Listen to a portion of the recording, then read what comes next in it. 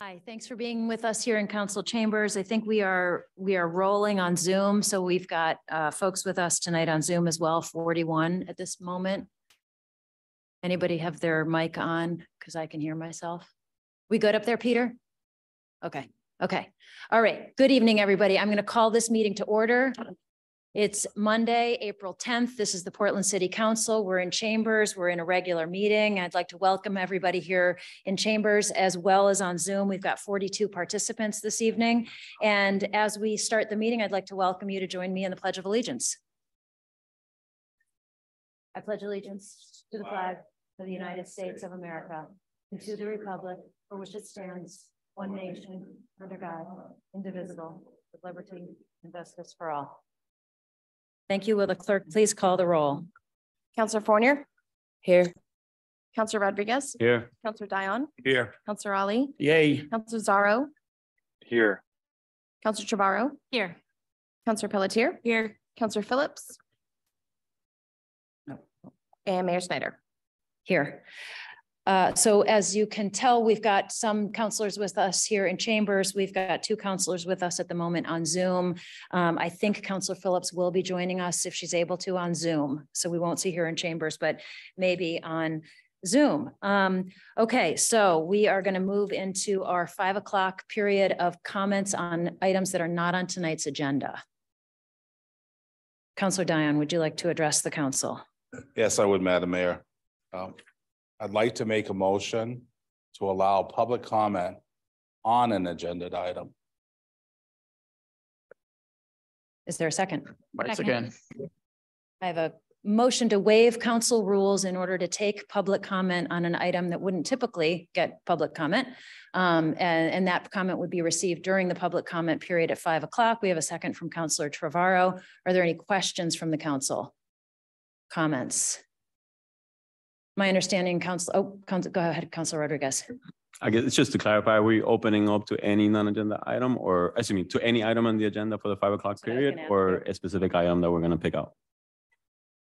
Madam Mayor, I apologize. I should have been more specific in my motion.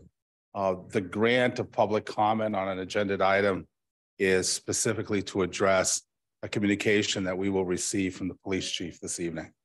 Thank you.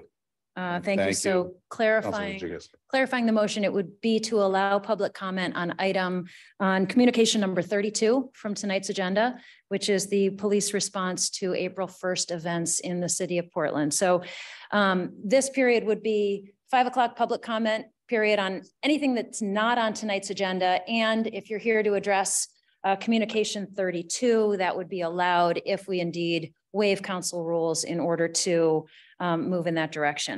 So additional council comment, discussion. My intention would be at this point in time um, to, uh, if, in the event that this passes, that we would take public comment on um, any number of matters, including communication thirty-two. I would then take communication thirty-two out of order so that that could be the first thing on the agenda. I do have a hand up from Counselor Phillips, who's with us on Zoom. Thank you, Mayor. I just wanted to let you know I was here. Okay, great. Good to see you. Thanks for joining. Yep. Thank you. We'll make sure the cl- the clerk reflects you're, you're here. Um, so without further discussion on this matter of waiving council rules in order to uh, accept public comment on communication number thirty-two tonight, we'll go ahead and vote. Counselor Fournier, Yes. Counselor Rodriguez, Yes. Counselor Dion, Yes. Counselor Ali, Yeah. Counselor Zarro, Yes. Counselor Trevorrow. Yes. Counselor Pelletier. Yes. Counselor Phillips, Yes. Mayor Snyder. Yes, so we have waived council rules. So this five o'clock public comment period um, is open for anybody who would like to speak to the council on items that are not on tonight's agenda and also including communication thirty-two. We'll start on Zoom.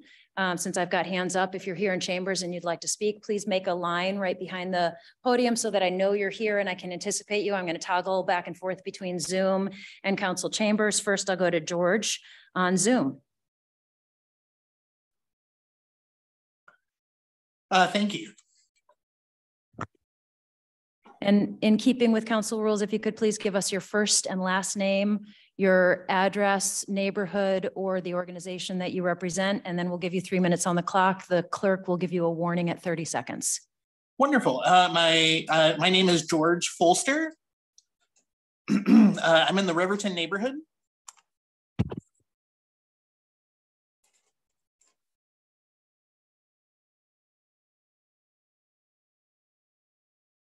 George, we can no longer hear you if you're with us. Oh, uh, I'm I'm I'm here. I'm here. Yep, and I'm uh I'm I'm ready to start whenever you guys are. Go, yep, go right ahead. Wonderful. Uh, thank you all for your time. Uh, my comments today are in regards to the upcoming school budget and the considerations surrounding it with tax increases. Um, I believe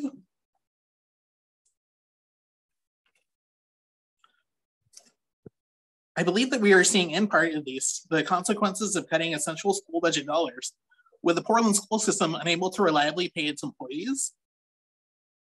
I believe that further cuts would be at the expense of offering a great education to the children of Portland.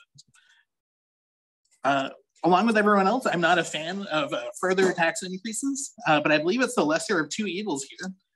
And uh, I support a 7% increase uh, opposed to additional cuts to the, uh, to the Portland school budget. Thank you. Thank you for your time. Thank you for your comment. Next, we'll go to our speaker in chambers. Good evening. My name is Viva. I'm representing the West End. I have on my phone a picture of Portland Police response to Black youths protesting peacefully against the system that continues to oppress and kill them. It is a photo of Portland Police aiming a rifle at Black youths, a sniper rifle from a roof. I also have the Portland Police press release in which they said Portland Police Department um, said Saturday a small neo Nazi rally led to disturbances, failing to acknowledge that that was the largest Nazi rally in Portland in decades. Portland police witnessed the Nazis violently attacking anti fascist activists and initially ordered them to the ground, which indicates to me that they did see something wrong. However, that was the extent of law enforcement action. Portland police then provided the Nazis a police escort as they departed. So much for leadership, integrity, and service. For a little background on the group that has been flyering the old port and recruiting for two years now, they are known as the Aryan Freedom Network. They are a small but growing neo Nazi group based in Texas. If this was Al Qaeda or ISIS, I wouldn't have to stand in front of you and tell you how scary it is that a hate group from outside of Portland is organizing to come here. AFN promotes hardline white, white supremacist views and largely directs its vitriol at Jewish people, Black people, the LGBT community, and these folks started their rally in front of the Immigrant Welcome Center. In a summary of events, on April 1st, members of the neo-Nazi organization NSC 131 marched through Portland and assaulted community members. These Nazi scum specifically targeted Black and queer community members, who are the very people that make up Portland's economy and culture into a place that people want to visit and spend their vacation dollars. Most of the news coverage and the police reports omit the violence enacted by members of NSC 131. By the way, NSC stands for Nationalist Socialist uh, something, and 131 is to represent the letters ACA, which has to do with being anti-communist. This was, which by the way, if you are not versed in this, is code for being against Jewish people. This was not a peaceful event. There were multiple hate crimes. The police did not take statements. 30 and let second warning. leave. Neo-Nazis are also building a white ethno-state in Maine. We know this from a Vice News article. We had notice on February 23rd and 24th in the news that this was going to happen. I knew that this was going to happen for the last two years, and I'm an entertainer. I'm a singer. So I don't understand how the police didn't know that we were going to have a violent hate group here, and what are they going to do to protect us? What will this city do to protect us? Thank you. Thank you for your comment. Next on Zoom, we have KRIZMN. Hello. Hello. Hi, I'm Chrism. I live in uh, 230 Douglas Street. Um, I'm normally a hermit and don't get involved in this stuff. But After seeing the violent assaults online from DSA and NSC against local Mainers, I felt like I needed to say something. Will city council or Portland police uh, be commenting on the videos regarding DSA organizers who ordered uh, members to punch the guy who held the banner? And then a few days later, it happened. We also saw a group called NSC who committed a, a similar act. Will either parties be investigated? Uh, pretty much all Mainers have watched these videos of both DSA and NSC. Both these groups need to be condemned and their violence needs to end. Thank you. Thank you for your comment. Next, we have a speaker in chambers. Hi, Sarah Ruggiero, West End. Thank you, Mayor Snyder and the city councilors for making the time today to discuss the escalating neo-Nazi presence in our city. Like many others, I'm disgusted by NSC's recent vulgar display of white supremacy and violence upon Portland, and before that, across different communities in New England. I find it deeply disturbing that police across the country have no issue or hesitancy shooting at unarmed Black people, but not at a group of armed and dangerous neo-Nazis who are actively threatening and assaulting people. I find it peculiar, peculiar that in the summer of 2020, police from, came from all across the county to show up in Portland with riot gear, pepper spray in response to a community grieving and protesting the racist murders of Breonna Taylor and George Floyd, but who allowed a group of neo-Nazis to go about their day without questioning or detainment. Perhaps this was due to indifference, but of course we know historically there is often overlap and ties between members of far-right extremist hate groups, military, law enforcement, from the KKK onward.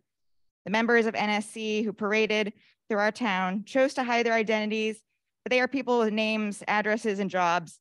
The exception would be Portland's own Richard Ward, who to my knowledge is unemployed and therefore can make fascism his full-time passion project and is allegedly the one to invite NSC to Portland. You may recall that in the summer of 2021, another such hate group, the Proud Boys, was gathering on a monthly basis at Matthews Pub. This group was not chased out of town by our police force, but by community members who refused to allow racism and bigotry to fester in the place we call home. We are here again to say that if you are not here to help and fight, then stay out of our way. Thank you. Thank you for your comment. Um, back to Zoom, and we've got Stephen Scharf next.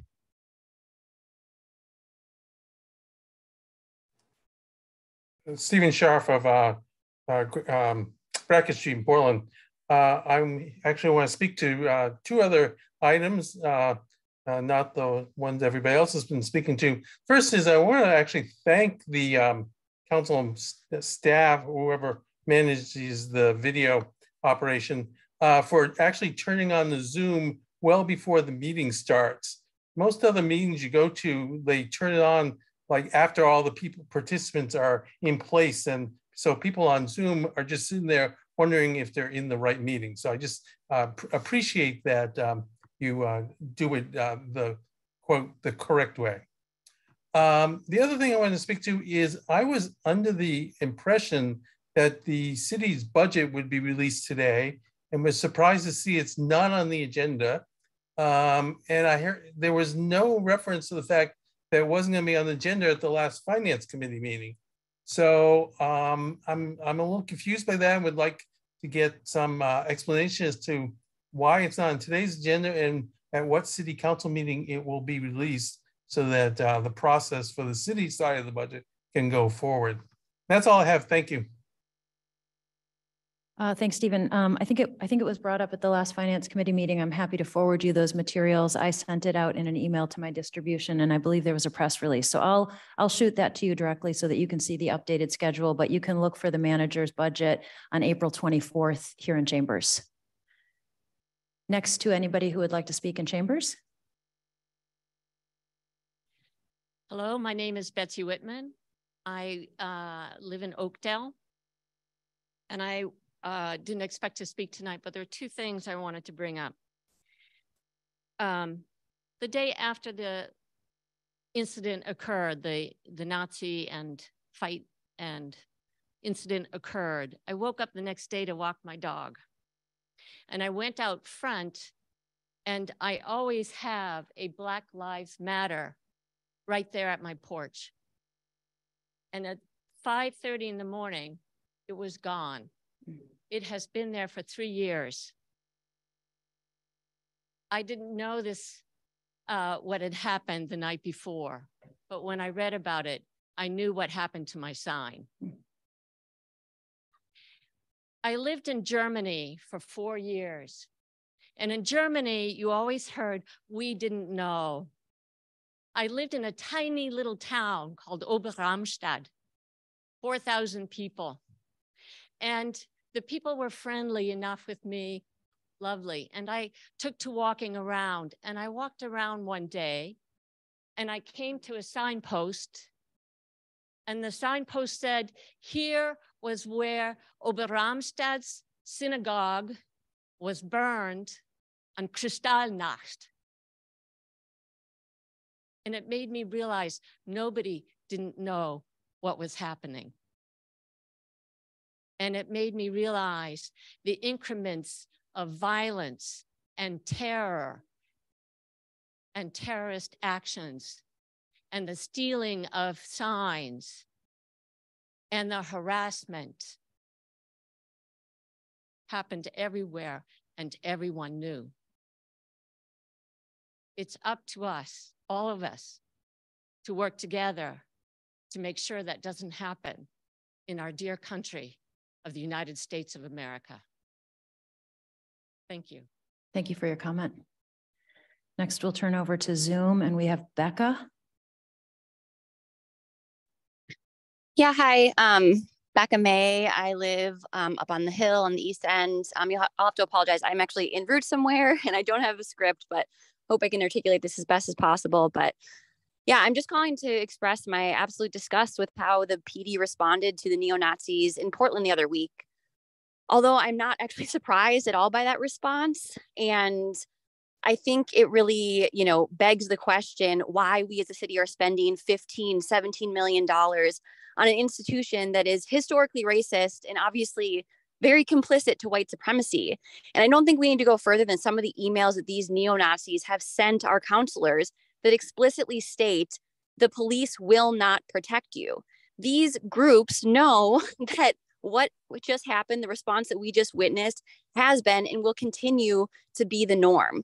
So, moving forward, I feel like if city leadership is not having conversations, serious conversations about literally defunding the Portland PD and investing that money into community based solutions to harm reduction, all of your talk about you know advancing racial justice and making the city safe for all of its constituents is simply performative so i hope that moving forward especially when we talk about budget that my other constituents continue to show up and honestly just ask you to put your money where your mouth is so that's all i got thank you Thank you for your comment. Next in chambers. Thank you, Mayor, councilors, and particularly to my city councilor, Councilor Pelletier. Um, my name is Leo Hilton. Um, I live in the West End. Um, you all know I come and talk to you fairly frequently, and normally I share my home address, but um, tonight I'm not sharing it um, because I'm uh, worried about retaliation. Um, uh, I'm queer and Jewish, and I've lived in Portland since I was a kid, and uh, I'm a communist organizer with the Maine Democratic Socialists of America. Um, last weekend, uh, my friends and I held up a pride flag in front of City Hall, and we got jumped by a bunch of neo-Nazi thugs.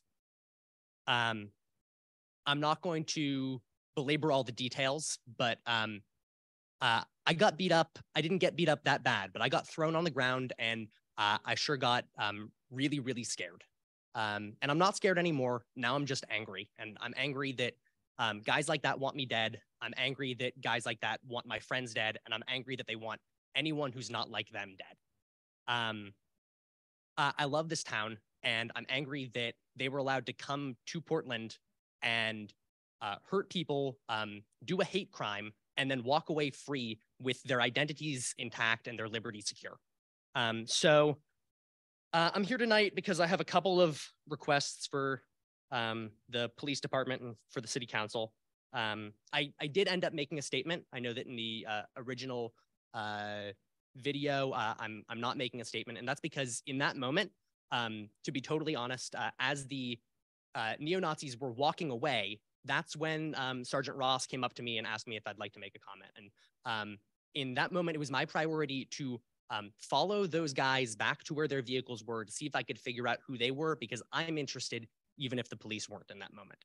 Um, I also wasn't comfortable sharing my story because in that moment I was thinking about um, watching those same police two years ago um, take a knee in alleged solidarity with people protesting the murder of George Floyd and then turn around and shoot pepper balls and uh, spray tear gas at a crowd of unarmed protesters. Um, I didn't feel like I was comfortable sharing my story with those people at that moment. But um, I've made my statement to the um, police now, and um, I um, I want truth and accountability. Um, I'd like the police to comply with any Freedom of Access Act requests. I'd like them to um, publicly release any body cam footage, any surveillance camera footage um, from the event to try to corroborate um, our story. Um, uh, I'm calling on the city council to um, hold the police responsible uh, for the police inaction. Um, and um, I think you should consider um, reprimanding and firing whoever was responsible for letting uh, 20 or more violent neo Nazis walk away back into the city where they could have harmed another person. Um, uh, I think it's worth taking time to realize an unfulfilled demand from 2020. May I have another moment? Thank please? you. Yeah, you can just go ahead and finish up. Yeah, you. yeah, we'll finish up here. Um, we have to realize an unfulfilled demand from the 2020 George Floyd um, uprising in Portland, and that's um, to create a police citizen review board that is actually capable of holding police responsible and responsive to demands of the community. Um, and um, finally, um, uh, I'd ask the council that you please not use my experience and the experience of my friends as an excuse to increase police funding. Um, that is absolutely counter to anything that I would want done. Um, thank you very much. Thank you for your comment. Thank you. Next, we'll go to Zoom and we have Ariel.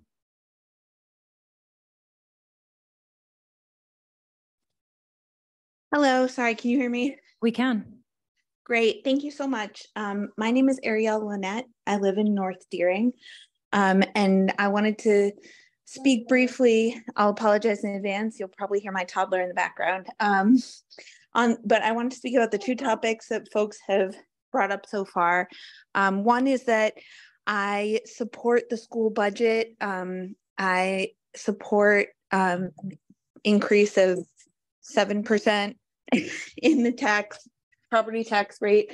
Um, I know that I have a particular stake because I have a child um, who doesn't go to school in Portland yet, but um, we can't wait for her opportunity to do that. Um, but I believe that it matters to all of us um, to live in a community where education is one of our top priorities. And I think it's actually linked to the other topic that folks have been talking about about neo Nazis parading through Portland and um, police having an inadequate response to it. Um, because I think that the rise of um, uh, more publicly tolerated fascism and fascist ideology um, can be countered in part by education. Um, and so I think we as a city have an opportunity to move towards um, the values that we want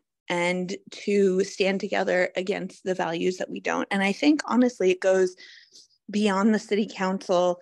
Um, I think that there are actions that you all can take, and I appreciate Leo um, for sharing some suggestions. Um, and I'm calling on all of us who are here to um, stand together against fascism in Maine um, and in support of people like me who are Jewish and people who are LGBTQ plus and people who are Muslim and immigrants and disabled and a lot of other groups that I'm not thinking of right now um, who neo Nazis want to stamp out of our society. Um, it would be a really grim place if they had their way. Um, so thank you um, for all the work that you all are doing, um, the council members and and the activists and citizens and um, everybody involved in warning.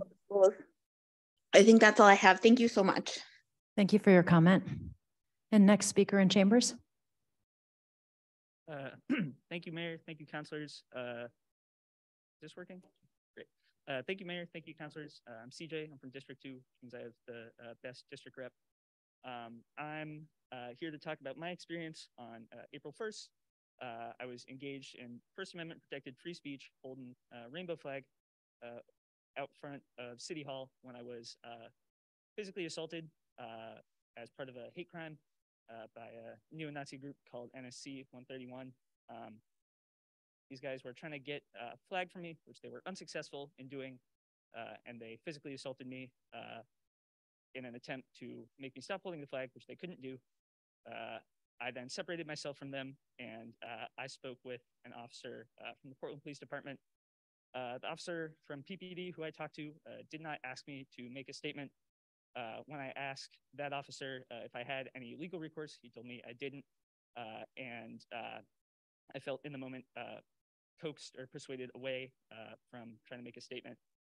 Um, I'm not someone who has uh, a ton of faith or confidence in law enforcement, but uh, I try to uh, approach any interaction I might have uh, with the law enforcement and with PPD with an open mind uh, and to be as respectful as I can. Um, but here's a situation in which I tried to approach this with an open mind, and my lack of confidence in law enforcement was only reinforced uh, because the officer who uh, didn't let me make a statement uh, upheld the guys who uh, prevented me from expressing myself holding my flag. Um, and I don't really feel like the police in general are uh, equipped um, or there to protect us um, from like neo-Nazi uh, or fascist threats, uh, like the guys who were in Portland uh, a little more than a week ago. Um, I think what is equipped to protect us is a strong community-based response, um, uh, an understanding of solidarity uh, in our communities. Um, I think that's what, what truly keeps us safe. Um, to that end, I think things that we can do uh, to keep ourselves and our communities safe. Um, we can educate ourselves uh, on uh, the violent fascist threats uh, that we face. Um, we can counter people who are doing target setting by spreading the same messages as these groups and um, encouraging these groups to visit Portland, either implicitly or explicitly, uh, and share their messages of hate. Uh, to that end, uh, former city council candidate uh, and school board candidate Richard Ward uh, has been doing an excellent job. 30 second warning. For these groups. Um, also, in the wake of this assault uh, against me, uh, this guy has encouraged people to release my identity, and as far as I can tell, has only uh, unsuccessfully succeeded in encouraging people to harass some other random person in Portland. Um, I think it's really despicable that someone uh, involved in the city's political sphere would encourage that kind of harassment for someone who is uh, guilty only of being the victim of a hate crime. Uh, I'll, I'll wrap it up here. Um, uh, I think building a strong community response and understanding of solidarity with our neighbors um, uh, and organizing either with organizations or just with people we know, love, and trust is what stands to actually protect our communities uh, from allowing the kind of radicalization that leads guys into joining these groups to happen. Thank you. Uh, I would also like the PPD to comply with any FOAA requests uh, regarding um, body cam to back up my claim that nobody took my statement. Um, uh, I would also uh, encourage uh, significant uh, review of the Police Citizen Complaint Board because right now it can only approve whether or not complaints filed about police misconduct. uh, whether or Thank not that Thank you. CJ. Thank you. Appreciate it. Thank you. Okay, next we'll move on to Cassie, who's on Zoom. Hi, my name is, can you hear me? I'm sorry. Yes, we can. Hi, my name's Cassie. I apologize. I'm actually at work right now, um, working um, and participating in this Zoom. I don't have a um, like a script or anything to follow. I really just wanted to second um, the things that Viva and the previous uh, seven people who have spoken about the uprise in the neo-Nazi um, movement in Portland. Um, I also will not be um, sharing my address because I fear for my partner um, and myself, for both of us being part of the LGBT community, my partner being a POC, and also us living by um, police and firefighters. I just really think that you guys need to take a moment to really listen to what we're saying and how scared we actually are. Thank you. Thank you for your comment, and we'll ne- next go to, go to our next speaker in chambers. My name is Charlie. I'm a queer Portlander, and I'm here to share my thoughts and experiences outside of this very city hall on the 1st of April. A violent hate crime was carried out against me and several other Portlanders by neo Nazis, and the Portland Police Department, standing here, let them walk. I sustained a brain injury, over $1,000 of out of pocket medical expenses, and lost a week's worth of work due to my injuries. I want to provide clarification on two specific falsehoods from the Portland Police Department's press release. Firstly, Portland Police Department states that there was a fight. The four people who counter-protested NSC 131 did so entirely peacefully by holding a pride flag in front of them. We did not say a word to the Nazis, yet within a minute of our arrival, we were there, they were there calling us homophobic slurs and surrounding us with all uh, two dozen of them. We were then violently assaulted. There was no fight. It was an unprovoked hate crime that happened directly in front of the police. Secondly, Portland Police Department stated that they did not make arrests because those who were assaulted did not make statements. By the time that I was asked to give a statement by an officer, the PPD had already released all members of NSC and let them walk down the block. This is documented in video I took of the incident that PPD has certainly seen. Because of their release, any statement I or others would have made in that moment would not have resulted in any arrests that day. Portland police witnessed a hate crime, and instead of doing the absolute bare minimum of IDing and unmasking the literal neo Nazis, they let them go. The Portland Police Department failed our community that it ostensibly serves, and the officers present last Saturday and here today should be absolutely ashamed with themselves. Their inaction has directly encouraged NSC 131 to escalate, to commit more acts of violence. The hate group said, let's try to accelerate things, to brutally attack people just for their identity. Portland Police Department's actions say, go ahead, we won't stop you. These events did not happen in a vacuum. This type of fascist rhetoric has been normalized by Portland locals for year, years, namely by Richard Ward. In fact, I was in this room just a few months ago to talk about how dangerous it is for our community to allow his public hate speech and dog whistling to go unopposed. 30 second warning. Last weekend was the result of that normalization. In conclusion, I would like to implore my neighbors to no longer let fascism go unopposed and to take this seriously. Richard might be the laughingstock of Portland, but he's directly responsible for the most vulnerable members of our community feeling unsafe. Lastly, I would like to address Richard and the members of NSC 131 that are tuning into this meeting right now. You are on the wrong side of history. There are more of us than there are of you, and you will only be remembered as a filthy stain on New England's story. The police will not keep us safe, and fascism is not going to go away on its own. It's only through the strength of our community, our ability to stand up for one another on the ground, that can stop these things. Thank you, Charlie. It's up to everyday Portlanders and Mainers to keep each other safe. Thank you for your comment. Next, we go to Lily on Zoom.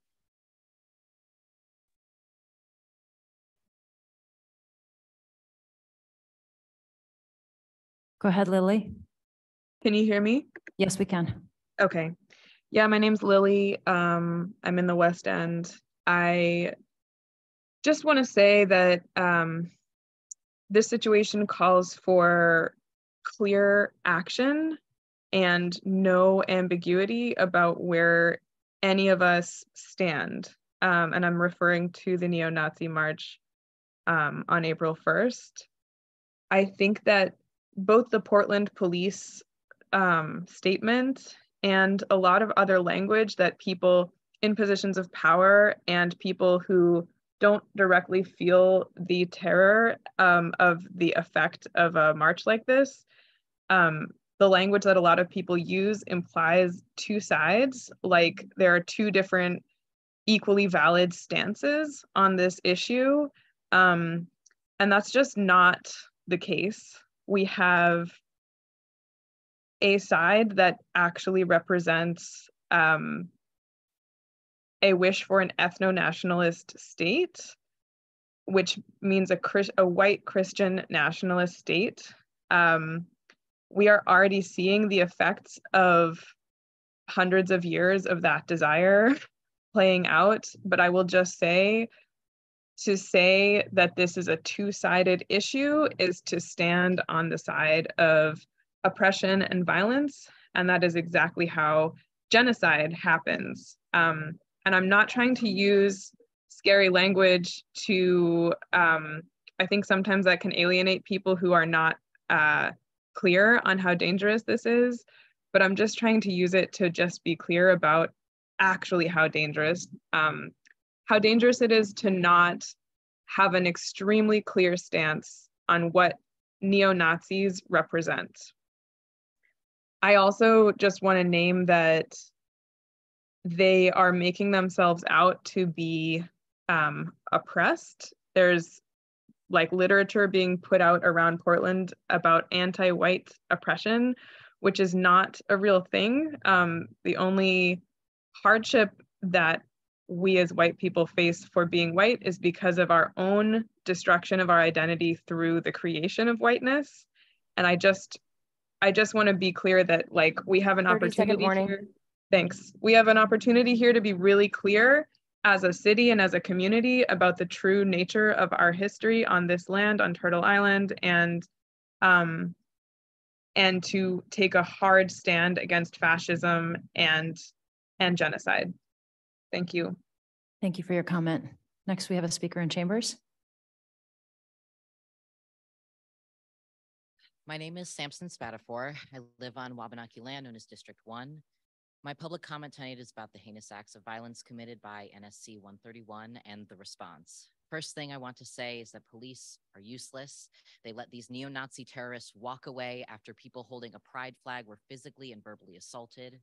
What kind of a city is Portland that we can have evidence of neo Nazis giving the Hitler salute and physically assaulting queer and Jewish people while shouting slurs on video and no one does anything about it? I am calling for the police who let the neo Nazis go without being identified to be fired. I am calling for accountability. Mayor Snyder, I read your email. The bullet pointed list of value statements regarding how hate has no home here does not make me feel any safer in this community. It does not erase what has happened. It changes nothing. The truth of the matter is hate does not live here. Hate does live here, and we are not safe. We need to be openly discussing safety in our city. What does safety actually mean for citizens that are uh, that you are accountable to? I don't want to be constantly worried that I'm going to be assaulted by Nazis on the street or shot up in the Equality Community Center or Cocktail Marys. And furthermore, we need community healing. This space is not a space of healing. This has actually been the space of further harm, especially towards councilors of marginalized identity. Fascism is alive and well in the city. We have to have a safety plan. We have to support one another. And in and this is for everyone, community members and councilors alike. I am begging you to connect with each other. Fascism thrives on fear and isolation. It thrives when we put each other against one another, and we cannot let that be our fate. Thank you. Thank you for your comment. Next, we go to Levi on Zoom.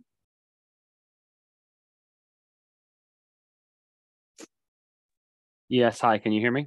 Yes, we can. All right, uh, this is Richard Ward, Parkside neighborhood. I wanted to say, it's funny that you guys wear masks uh, to hide your face, but you're saying the national social are wearing masks. Find that kind of funny. Um, and then I also find it disgusting, disgusting that the Democratic Socialists literally called for violence against activists and political candidates. Um, we had sitting city councilors call for violence against activists.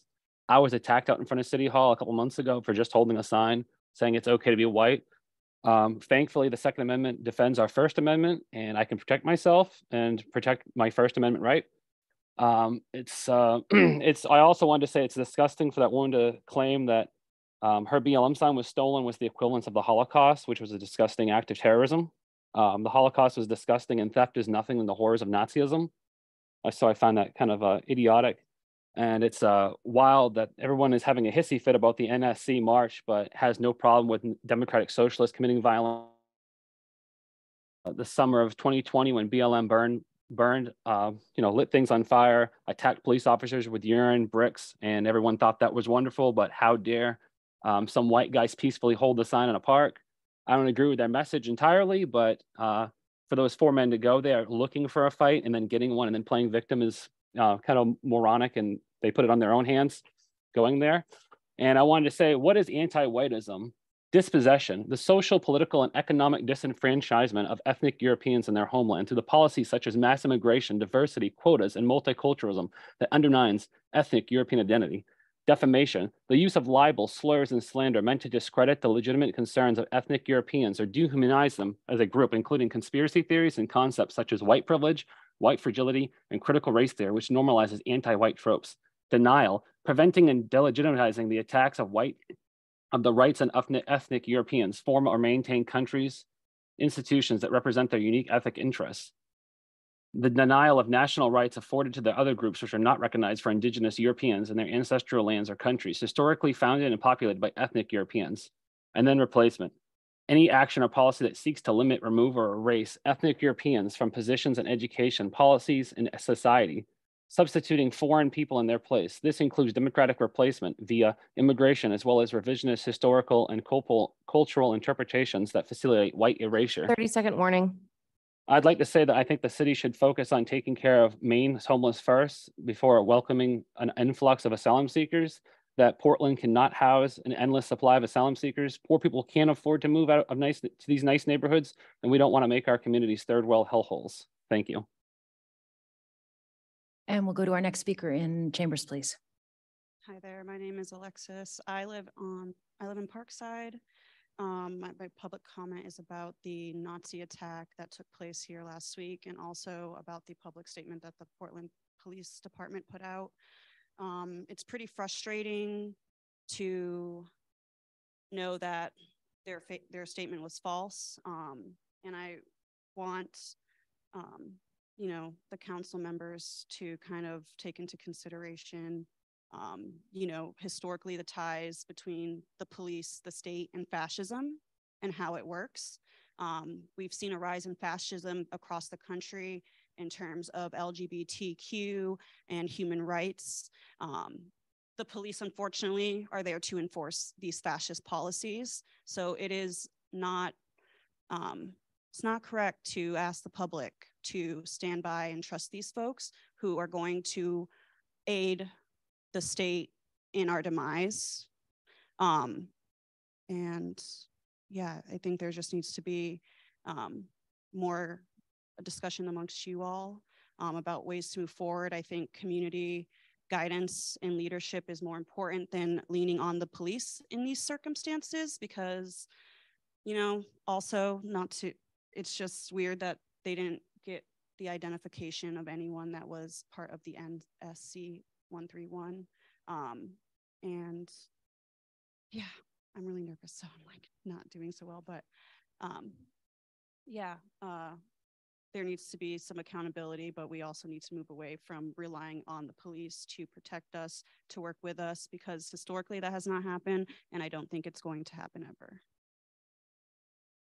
Thank you for your comment. And next we'll go back to Zoom. I have uh, T. Hi, can you hear me okay? Yes, we can. Hi, uh, my name is T Lane. I live in Portland proper. I will not be announcing my address, um, but I do just want to say that this has been documented. This has been here for quite some time.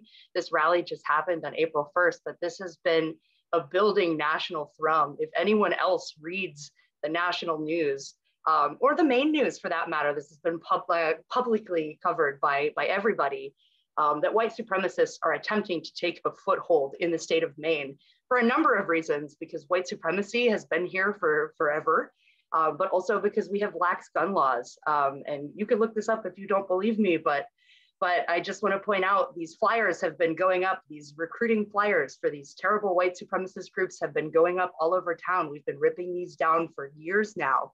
There have been activists online who have been documenting all of this activity, all of these plans uh, to, to make a point to come to Portland and to act like this, to be violent. This is a direct threat to all of the communities that live here. And inaction is violence. It is frankly disgusting and um, I, I just needed to call to say that this has been going on for some time. I think it's it is just crazy to me that you know we need to we need to garner everyone's attention with a rally and and this this comment here but you know this has been going on for months and months and months many many folks in this community have been pointing that out for quite some time and it is beyond time uh, that we act to outroot neo-nazism anti-semitism white supremacy from our communities altogether. Thank you. And next we'll go to a speaker in chambers. Hi, my name is Brett. I live on the West End. Um, I just want to be perfectly clear and say that there is no separation between Richard Ward and Nazism at all. And the fact that he wants to pretend like there is is really embarrassing. Um, there's direct ties from him to NSC via tweets that you can find going back months of him organizing and getting them to get out here. So his whole shtick is uh, is just embarrassing. And the optics on what happened the other day with the police officers and how they interacted with the group of NSC is like embarrassing at the very best. And there should have been arrests made or IDs or li- literally anything, anything. Um, but instead, nothing was done. Post just peacefully escorting them away after they openly assaulted someone completely unprovoked. And of course, they use the element of surprise because that's all they have. You're all cowards. Thank you.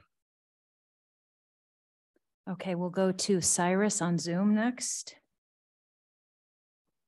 Hi, my name is Cyrus Shahan. I live in the east end of Portland. Um, and I think two important things uh, need to be said here. One is complicity. And if city council doesn't take decisive action, and by decisive action, I mean take money away from the cops, take money away from the cops so that they can't point sniper rifles at people, so that they can't armor themselves to look like Ninja Turtles, take money away from the cops so that they cannot pay for their armored assault vehicles to go cruising around Portland and racially profile my community. If city council does not take that money away from them, then they are complicit in this as well. City council is just as complicit in what the police do because city council is giving police permission to act this way. The, the police officers are also going to use the excuse that they were just following orders. Well, having just recently taught about the Eichmann trial in Jerusalem and talking about Hannah Arendt, we all know what the excuse, I was just following orders means. It's cover for any kind of fascist, racist, or generally marginalizing authoritative behavior. And so if city council wants to create healing, then take the money away from the cops decisively now, forbid the city police from having any surplus military equipment. For if cops want to racially profile people, then they can do it on foot and uh, with a pencil and paper instead of in, armored up in the back of a tank take the money away from the cops and fund the community organizations like the East End Public School, and that is going to be receiving an influx of all of our uh, new new citizen, new new uh, community members here who are now living at the expo. All of those kids are going to be going to the East End School. Fund the school, fund the teachers. Right now, the city is taking away two teaching positions from the East End School, even though the influx there's already an anticipated influx of students into that school. Fund community, stop funding fascist cops. Thank you. Thank you. And next we go to a speaker in chambers.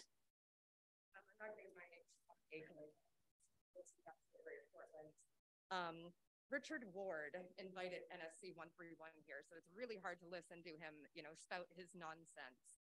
What's disappointing is that police are supposed to investigate things. Like, how did we as citizens happen here that no one helped? Like, how do we know more than you guys? Like, do you need to work with some of the people that I follow on Instagram to have this information? You can be prepared when something like this shows up in our town. Can you please go to the mic? I can't hear you. Can you go right to the mic? Yeah, is this better? Much, much better. Thank you, ma'am. Okay. Um, the actions or lack thereof, thereof from the Portland Police Department embolden these neo-Nazis. You confirmed their entitlement, their privilege, and their belief that the good old boy system will work for them. And it did. Just to let you know, our- one of our council rules is that you direct your public comment at me. So Yes, thank yep, you. ma'am. Yes, ma'am. Yep. Um, and it did. It worked for them. They were allowed to leave without having their IDs taken. I spoke with the lovely officer right outside of the door here. We had a good conversation. I've had my, I had to show my ID for something not as serious as assault or something like this. So the whole, oh, they were walking off and they didn't want to talk. I've personally experienced not being able to walk off and having to provide my ID. So it just, it doesn't feel right. And it adds to the mistrust. Like, why are we treated like this? We're just yelling for equality. Um, but these people are literally racist. They're using homophobic slurs and assaulting people, and, and they're allowed to get away with it. Uh, they assaulted your constituents. They called them terribly offensive, derogatory, and outright racist names. They were allowed to walk out of here without so much as showing their identification. Um, again, some of the pages I follow on Instagram could let you know exactly who these men are and how dangerous they are and the things that they are saying. Uh, these things, you know, ass- assaulting people, calling them It's called uh, using uh, racial slurs. This is illegal. This is illegal, correct? That's, that's my belief, and they're allowed to walk out of here. You failed us. You again lost our trust, trust and our faith in you to do the bare minimum, which is your job. Um, I'm wondering if the police are scared. Like we're scared too. We're scared too, but we show up and we don't have vests, we don't have guns, we don't have pepper spray, we don't have tasers. Like it's going to take all of us. And the more that people don't listen and you just stay ignorant to what we all know, um, it's it's just gonna 30 creep second up warning. trust. Thank you. Uh, we'll go to our next speaker on Zoom, Vivienda. Hello, can you hear me? We can. Uh, hi, my name's uh, Vivienda. Um, uh, thanks for the opportunity to um, speak. Um I'm a, I have a short, uh, brief thing. Uh, I'm a tenant at Northgate Apartments, uh, which is a historic um, apartment building in the Arts District at 231 State Street. Um, we have 25 units, um, and um, the the building has been passed down for multiple generations. Uh, we've always had numbered storage in our basement, and um, you know, our, our building is under the rent stabilization ordinance. And uh, we got our, our annual increase in our rent on January 1st. And uh, on March 21st, we received an additional uh, notice by email saying they wanted to charge us $100 for our storage units that uh, have always been with the apartments. And this is an obvious um, violation of the rent stabilization ordinance because the base rent has gone up and the, the definition for rental unit covers storage explicitly and the definition of rent is also explicitly um, any monies rendered for um, rental unit or housing housing services of any kind. And so so I went to the housing safety office. We we did um, as a tenant union anonymously um, in order to file a complaint. And we were told that uh, that we needed uh, a signed lease in order to pursue our rights under the rent stabilization ordinance. But uh, under the ordinance, uh, we are uh, allowed to form a anonymous tenant unit. We don't have to register with the city, and, and the city is prohibited from requesting our identities. And, and so um, instead of having our rights um, to an investigation and proper um, um, action uh, under the ordinance um, by the Housing Safety Office, uh, they refuse to investigate. And, and um, I've, I've filed a complaint with the uh, city manager's office, and um, some of the good people on the council here have been CC'd on some of these emails going back and forth. But this is this is frankly outrageous. Uh, the the the person there, um, Jessica, I don't know her last name, but she's the director of the permitting and inspections department. She said that changing the terms of the lease to alter rights, privileges, or services connected with the use or occupancy of a rental unit is not a violation of the rent control ordinance. She said that on March 29th uh, in an email. And she also said that the section um, 6239 refers uh, to tenant protections and not a signed lease, but uh, pr- 30 bear with me a second. Yep, bear with me a second. I'm going to read you that section. It says, uh, section 239, non-waiver of rights, no provision or right conferred by this article may be waived by a tenant by agreement or otherwise, and any such waiver shall be void. Any attempt to require, encourage, or induce a tenant to waive any provision hereof or right hereby shall be a violation of this article. And here's the important part. Nothing herein shall be construed to void any term of a rental agreement that offers greater rights by those conferred hereby. Um, this is, this is, I'm, so- one second. Um, I'm going to ask you to wrap it up there, but thank you. Yep, yep, this is explicitly the opposite of what has been maintained by the Housing Safety Office. And I would like the city council, the city council to look into this for me, please. Thank you very much. Okay, thank you for your comment. And we'll next go to our speaker in chambers. Hello, my name is Audrey and I live in Parkside. And I'm here to talk about the disgusting actions of the Portland Police Department most recently. I come from Richmond, Virginia, just before the Charlottesville incident happened. And I've seen what racist organizations can do influencing police forces. I moved here to Portland hoping as a queer Hispanic person that I would feel safe here. And for the most part, I've found a really good community here. I've found a good home here, and I am proud to live here up until recently. It makes me feel disgusted that this was allowed to happen without proper protocol, without proper follow through. And I'm going to keep it short and sweet. I want you guys to just reconsider in the future how you're going to go through and follow through with these behaviors, how you're going to go through and investigate, and how you're going to protect this community. this community that, keeps- that keeps you all in your seats. Thank you. Thank you for your comment. Next, we'll go to Malvina on Zoom. Hi there. Thank you. Can you hear me okay? Yes, we can. Okay. Um, I just wanted to share some experience I've, I've had talking with uh, friends and loved ones and coworkers, uh, all of whom are people of color. And I think it's really important when we talk, and many of them are survivors of various forms of trauma or, in some cases, genocide. And so I think it's really important when we talk about racial violence and genocide to remember that it's it's not abetted by people who come up come step forward and say i will help you. I will help coordinate this. It grows and it festers when we have people who one way or another say i will look the other way. Um, so i want you to please note that the members of our communities of color are watching your response right now. They've been watching for the past week very closely. I've heard them talk about it. I've heard them express how scared they are, and in some cases, so very, very triggered and rattled, and really just hunkered down, trying to find a place mentally that they can feel safe again. And uh, as somebody that cares very deeply about these folks, it's very distressing to see them go through that. Um, so I think that I just wanted to share how disappointed I've been by the city's response over the past week it's felt very weak and very watered down and very dismissive of what can be a very dangerous thing to start growing within our community. It's been applied that this group was harmless and that no one was injured. And we've heard people today testify that that was not the case in essence, our response said, we will look the other way. Um, and it said that we'll wait for a week for public comment and that we will let this die in committee and investigation. And I think I would echo the previous speaker's comments that we need to think very carefully about how we respond and how we show a strength of response, not only for the people who think that, that it might be easy to set up camp here, but also to the people who are very carefully watching whether or not this is a safe place to be their home. Thank you. Thank you. And we have a speaker now in chambers. Hi, my name is Clara Porter. I'm a resident of Deering, next uh, neighborhood of Portland. Um, and I'm also here as the Director of Prevention Action Change and as a member of Greater Portland SURJ, which is showing up for racial justice. Um, to prevent this neo-Nazi movement from growing further and growing in power, really need to work at both ends of this problem yes, the PD needs to be more responsive and effective in this moment um, when the neo Nazis are marching down our streets and more proactive and committed to building relationships with those most likely to be targeted. I co led the peacekeeping for the Trans Day of Visibility um, at Monument Square on Friday the 31st.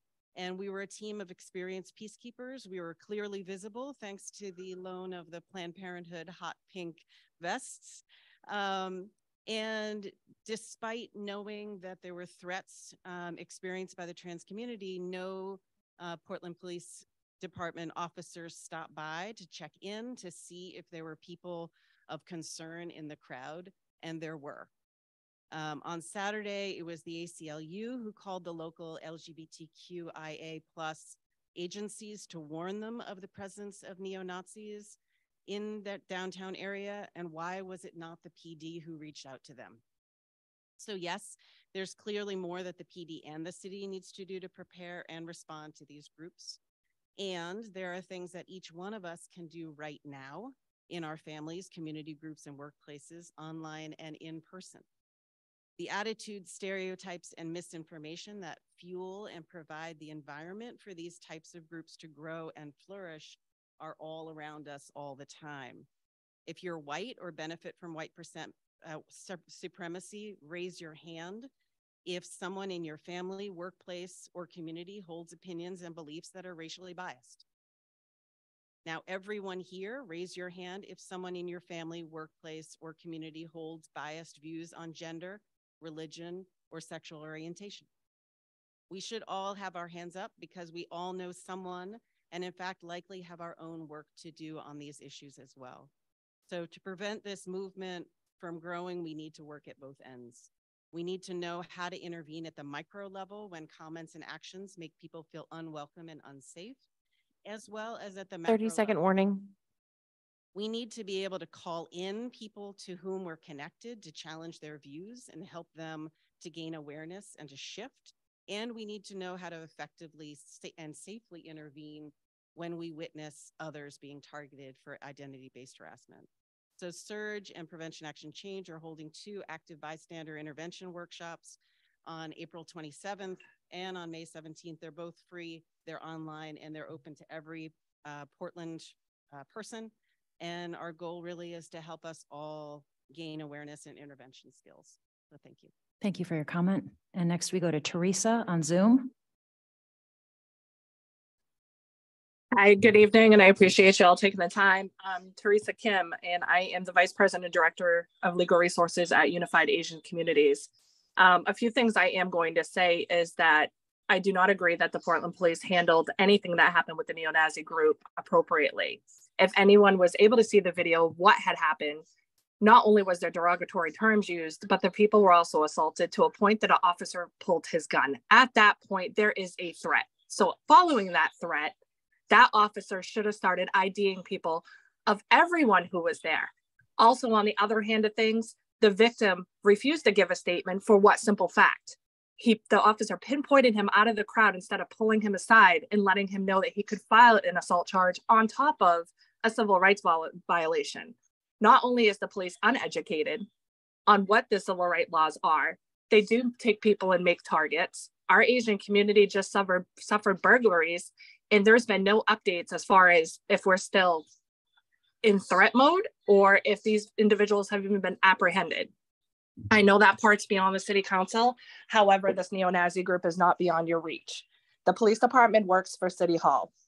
They all y'all work for everyone that lives in the city of Portland. So at this point, there should have been charges brought against that group, not only for assault, but also for every violation there was for the civil rights. I call upon you today to push this forward, make this happen, and also put a ban for the neo Nazi group. It's unacceptable and things need to change. Thank you. Thank you. And we'll turn to our next speaker in chambers. Good evening. Um, my name is Don Marietta. I live in Libbytown. Uh, first off, I'd like to apologize if anything I say is redundant because I know there are a lot of speakers. Uh, like to suggest that in future, when you have people waiting in the hall uh, to participate, that you aid them in participating by putting a, a simple audio device out there so we know what's going on. We have the technology. Um, this is going to sound harsh, but this council, the chief of police, and all of the officers involved in the incident on April 1st have created the impression that you can come to Portland, Maine, commit a violent hate crime, and suffer no consequences. None of us should find that in any way acceptable. I hope you all understand your responsibility in this. The response has been very slow, very uh, unrevealing of any sense of how critically important it is that we not tolerate Nazis and violent hate speech and violent actions. I strongly urge you to proceed very rapidly, very openly with a process to determine what happened on April 1st and that if there are persons found to have been negligent or derelict in their duties, that they be dismissed from the police department because we cannot accept hate crime in our community. If we have a police force that does accept those hate crimes when it happens right in front of their faces, we are sending a very, very dangerous message I hope you all take that to heart. Finally, I would like to see a renewed sense of urgency in the process that began after the BLM protests of assessing the role of the police department and how the police department 30 second warning. That's all I have. Thank you. Thank you. Next, we'll go to Gigi on Zoom. Hello, uh, my name is I Gigi. yeah. I, hello, Go ahead. uh, my name is Gigi. I live in the Rosemont neighborhood. I am a trans person and I am a drag queen. I am uh, regularly featured on our resident neo Nazis uh, social media presence as well as national social media um, for my presence in the community.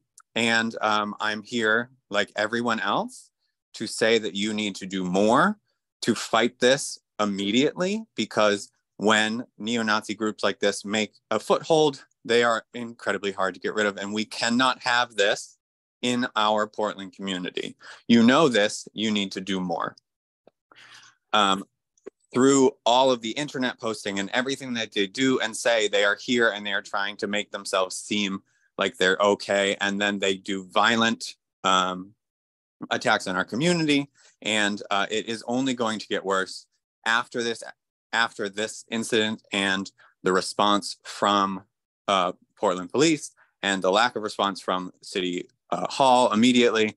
They have only grown bolder and they will continue if you do not enact policies immediately. Portland needs a zero tolerance policy for neo Nazi groups and to hold our Portland police accountable to that zero tolerance policy.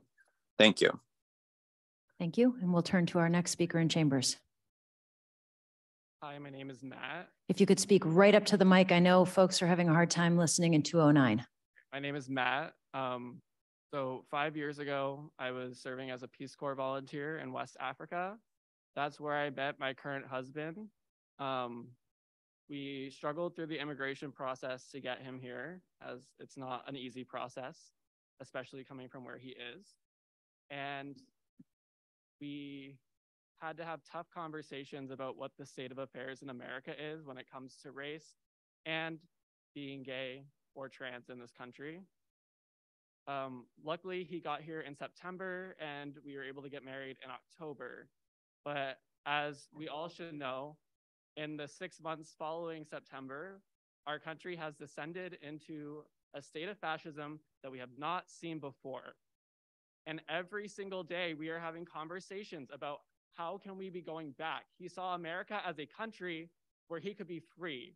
We saw America as a country where we could live together as a queer couple without fear.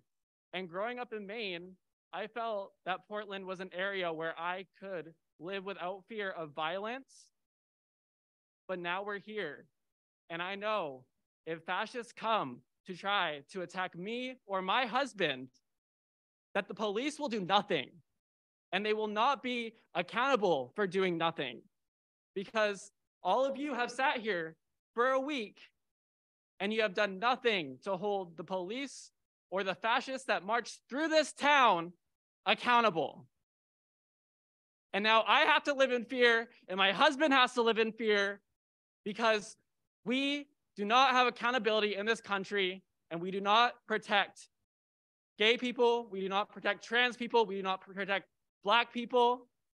It's not okay, and everyone should be ashamed of yourselves for not doing something when fascism is at our doorsteps.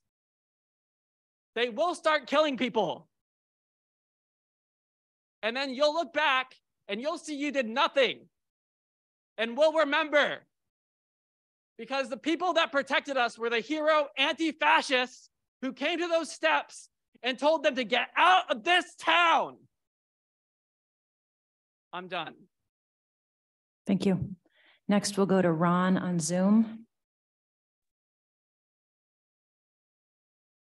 Hi, hello. Can you hear me?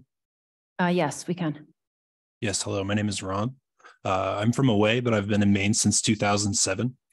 I've worked all over Portland. I'm actively boastful about why it's one of the best cities I've ever set foot in.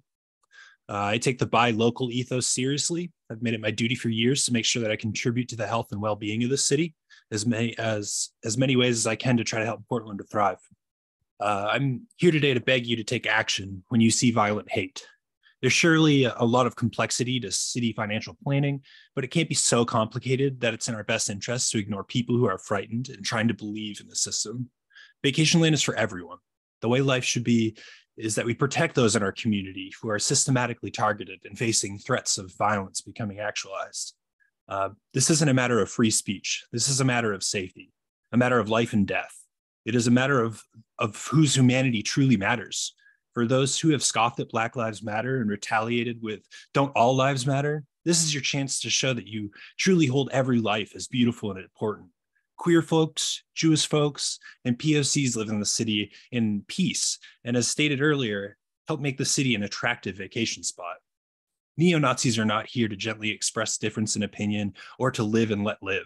They're here to eradicate those who are historically marginalized, and their escalating actions in the city over the past few years prove this. Your community is here telling you they need help, so now is the time to protect and serve. We must kaput that which makes us kaput.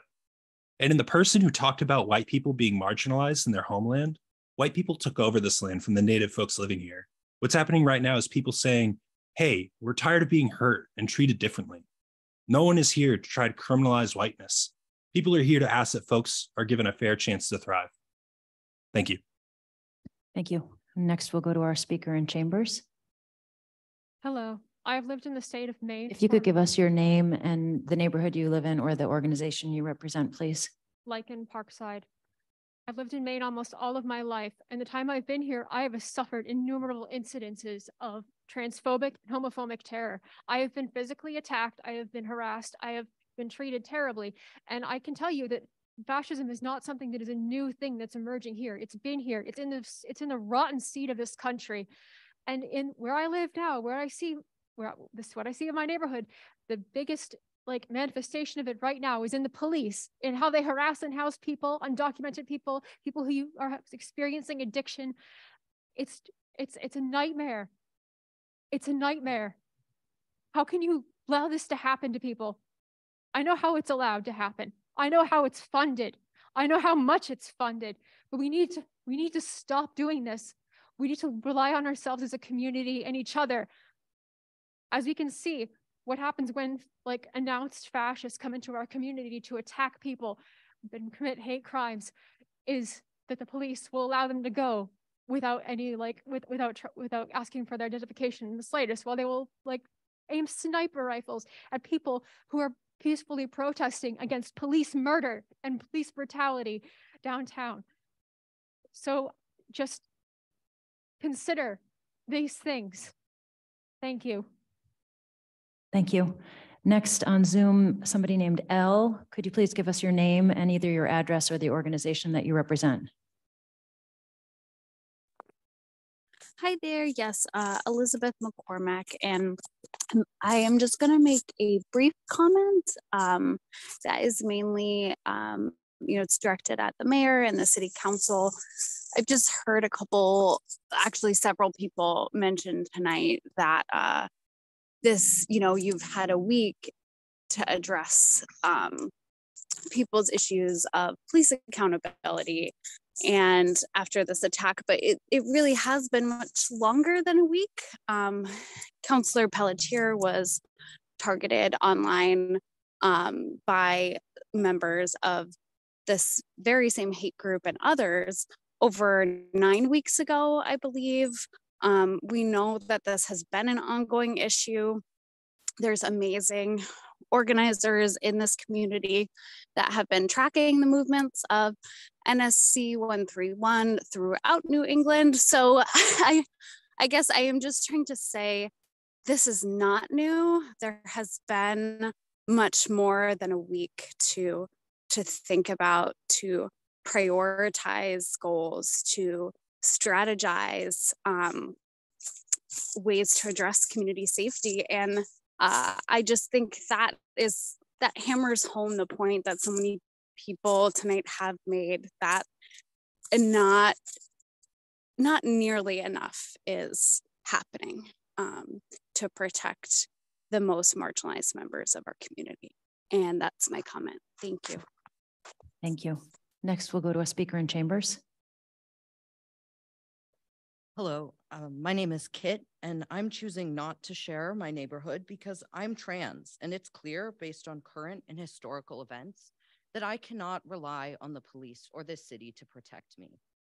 I am here to stand with my community, to speak out against fascism and the literal Nazis that were here. And what a goddamn shame it is that our elected officials are not standing with us. Richard Ward and his blatant hate speech is harmful and frankly appalling.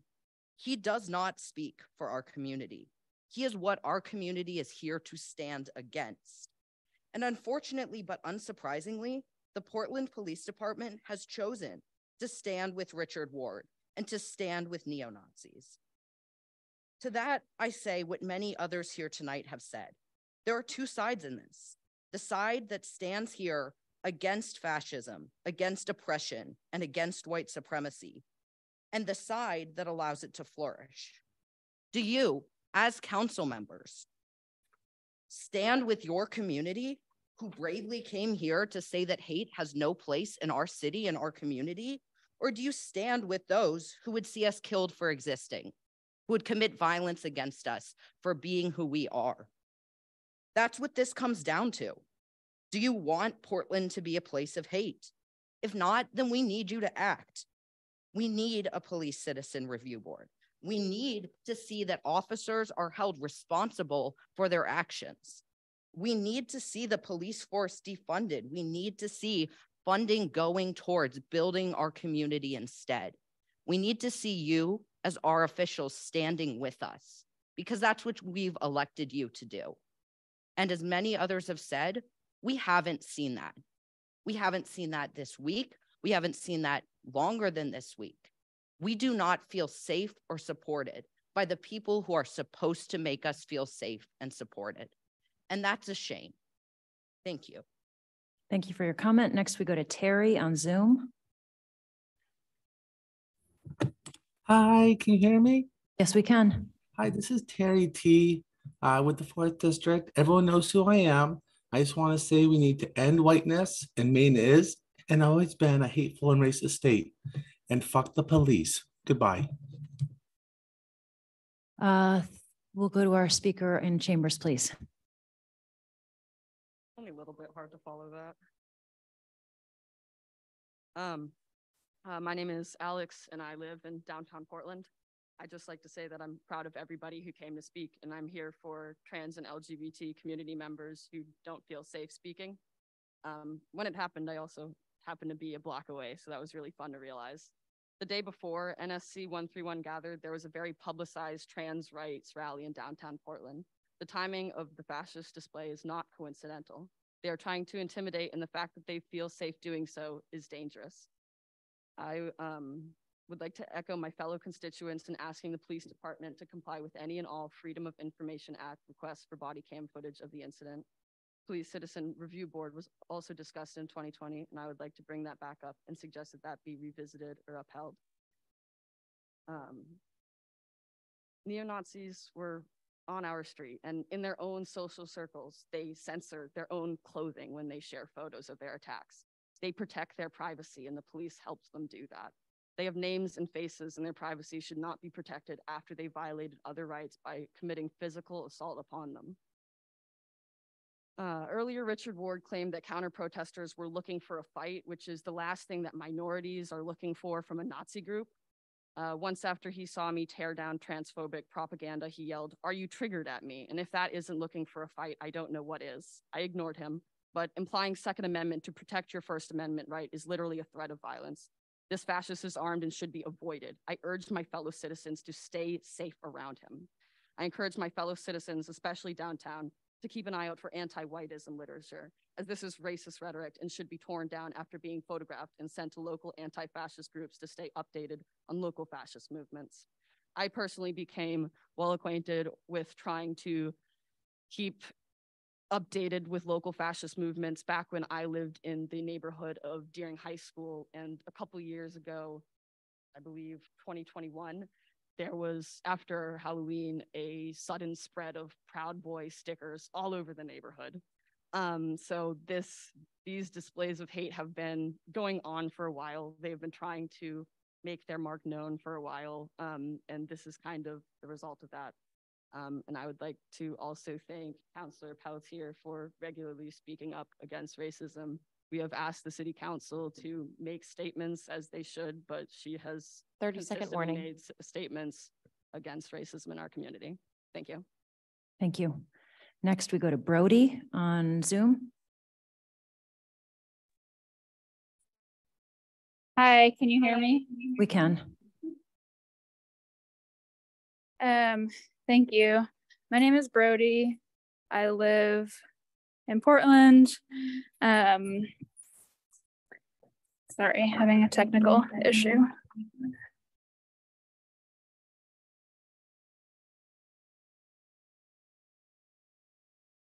Um, thank you. My name is Brody. I live in Portland. Um, I also work at the Portland Public Library. Um, and yeah, I I think I'll maybe keep it short and sweet or short. Um, I think I just want to um, ask. I think in particular, white um, leaders in the city. So like white, straight, cis leaders in the city to like ask yourselves like who you're hearing speaking right now about who is scared and who is in danger um as a result of Nazis in the city um and like think about the humanity of all of the people who are targeted and be really honest about folks' humanity and like what people deserve in terms of feeling safe and like truly being safe um and what is required of city leaders to to ensure that. Um and yeah that's my ask. And i you know i think i'm echoing a lot of what other folks are asking as well. And i support those and um that's all thanks Thank you. Next, we'll go to a speaker in chambers. Hi, um, my name is Karen. I live in town Portland. I've lived in Portland, Portland since 1995. Um, I'd like to thank everybody for taking the time to listen to me and others today, and thank you for your service. Um, I'm just going to share my experience with this particular neo-Nazi group on Saturday, uh, and then my experience with the police department same day. Um, I had finished my breakfast, um, wandered up to Monument Square, um, getting ready to walk around beautiful downtown Portland when I ran into a neo-Nazi group. Um, they were flashing uh, the white power sign. They were doing Nazi salutes. Um, they were asking to take back the streets. They were their streets. And me, I get to exercise my rights, my free speech as well. I confronted the group. I simply said, This is not, these are not your streets. These are my streets. Get out of this effing town now. Then they thought I was filming. They took my phone. I wasn't filming because I was so rattled I couldn't get my phone to film. One of them took my phone and threw it across Monument Square. It was raining that morning. I had an umbrella. Somebody broke my umbrella, scratched my hand, and caused it to bleed. Very minor. This really upset me. So I went back and started yelling some more, asking them to get out of our town, our town. And he, I was being filmed by this group, which irritated me. So now I'm on their website for God only knows what. What? Um, really upset. Somebody came, said, you need to, you know, get away from these guys because they're dangerous. Went across the street, continued to yell at them. There was no police presence there at that time. I got them when they were setting up. No police presence. I, very sh- shaken, walked down to the police department and asked to file a report. There was a very young woman working the front desk that day. She was like, Did you ask the police? Did you speak to the police in Monument Square? She said, We're aware of it. I'm like, No, because there was no police presence there at that time. That's why I'm here.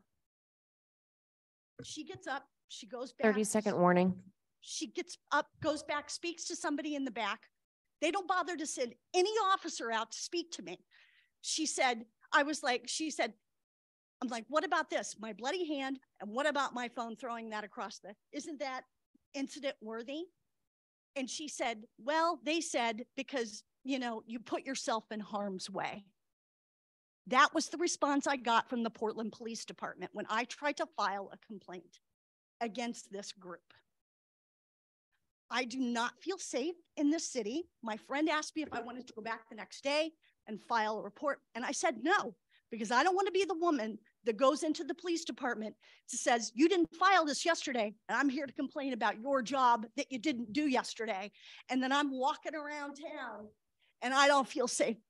I don't feel protected by the cops. Thank you. Thank you. Next, we go to Mike on Zoom. Name is Mike Pence. I just want to say it's time we start taking care of these problems ourselves. White people organizing? Hell no. Does anyone really care when a Nazi gets punched? Fuck no. Okay. We'll take our next speaker in chambers, please.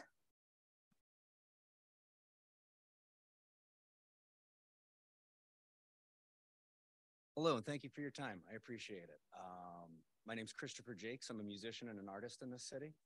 And um, I'd like to speak. There's been a lot of speakers speaking very passionately about their experience that day. I unfortunately didn't get to be there that day to help any of the people who had so many problems. Um, but I will speak today about something very common, um, commonly referred to as the paradox of tolerance. I'd like to respond to the idea that we must be tolerant of hateful views to preserve the free speech of all. This is something that's discussed in any high level philosophical, moral, or ethical debate. Paradox of tolerance is an elementary philosophical concept suggesting that being tolerant of everyone and everything means you must be tolerant of hateful ideology. There are a series of implications from this, but regardless, the paradox of tolerance disappears if you look at tolerance not just as a moral standard, but as a social contract, one that we all participate in. If someone does not abide by the terms of the contract, they are not covered by it. In other words, the intolerant groups such as NSC 131 and their ilk are not following the rules of the social contract we all have living in this city, living in this world. It is a social contract of mutual tolerance. We all live together. Since they have broken the terms of that contract, they are no longer covered by that contract, and their intolerance should not be tolerated. These domestic terrorists will not be tolerated. I'd like to end really quickly by just saying to the officers here and watching, I'd like to ask you how you feel hearing firsthand that so many of your citizens feel like you've abandoned them. Thank you. And we'll go to our next speaker in chambers. Uh, hi, Madison Raymond. I live here in Portland. Um, I moved here seven years ago because I grew up in rural Maine, uh, central Maine, just outside of Augusta. And I moved here as a queer person, an openly LGBT uh, identifying person since I was 18 or 19. Um, to watch uh, one of my fellow community members be violently assaulted and have their civil rights, uh, you know, violated uh, in front of police officers in front of City Hall. There were plenty of cameras, there were plenty of police, and those individuals who violated that person's civil rights were not identified, they were not detained, they were not arrested. You know, it it's shocking, certainly, but also over the past few years, especially since the George Floyd BLM protests that we had in 2020, I'm not that surprised that the Portland Police Department isn't doing everything they can, certainly, to protect marginalized people in this community. Um, I've certainly had plenty of people yell faggot and tranny at me as an openly queer identifying person. Um, it, we deserve the right to live in this city and to feel safe and to feel like our elected representatives um, will do the right thing and hold the police department accountable for their lack of action that evening. And uh, I honestly believe that nothing will come of this but thoughts and prayers from our city councilors and the mayor. I think that it will be a lot of hand wringing and, oh, you know, we don't stand for hate in this city. and nothing, no actual reform of the police department will be done. I would like the uh, freedom, of, freedom of information access requests to be granted. I want to see the body camera footage of the police officers who claimed in the newspapers not to see the altercation and how it started and who started what, because that was their protective defense is that they didn't see who started the fight, so they couldn't take action. Um, I don't know. I just, I've lived in this city for seven years and I want my loved ones, my friends, my community to feel safe. And it's clear to me over the past few hours that we certainly don't feel safe. Thank you. Thank you. And we'll continue with speakers in chamber. Hello, my name is Sanchita Mukherjee. I'm an attorney living, working, and existing in District 1 of Portland, Maine. I'm also the Racial Justice Co-Chair for the Maine Trial Lawyers Association. I would like to speak regarding the law enforcement interaction or fr frankly, lack of interaction on April 1st, 2023. Let me be extremely clear. The fact that people with white skin, covered faces, no identification, all black clothing, who were hailing Hitler, calling people walking by the N word, physically assaulting them and walking away from a physical altercation on government property with not only their lives, but also no identification requested from police officers at the scene is a racial justice issue. I would like to juxtapose this reaction by Portland PD with their reaction during the Black Lives Matter protest in 2020. While in no way are the tenets and the values of the people charged for protesting in 2020 similar to this past week's, this comparison serves to show the extraordinarily clear bias and frankly racism that is apparent, clear, and evident in the chosen action and inaction of Portland PD. I represented one of the 23 people charged and arrested in June of 2020 during the Black Lives Matter protests. By August of that same year, all charges were cleared and were dropped by the Cumberland County DA's office, citing insufficient evidence that they took part in violence. The exact opposite thing happened on April 1st. Police officers took no information, and Cumberland County DA Jackie Sartoris said on April 6th that they could have been charged had police questioned and the group and taken statements. I believe Portland PD will say that the alleged victim in the matter did not want to press charges. Portland PD certainly knows that a victim does not have the right to press charges, press criminal charges. The district attorney does, but the district attorney cannot press charges if information is not collected at the scene of the violence. Let me reiterate the fact that Portland PD took no steps except to, under, to understand who was part of the violence is racist, whether they feel so or not. Citizens of Portland are watching who PPD is listening to and who they are not listening to. I hope that they are listening today.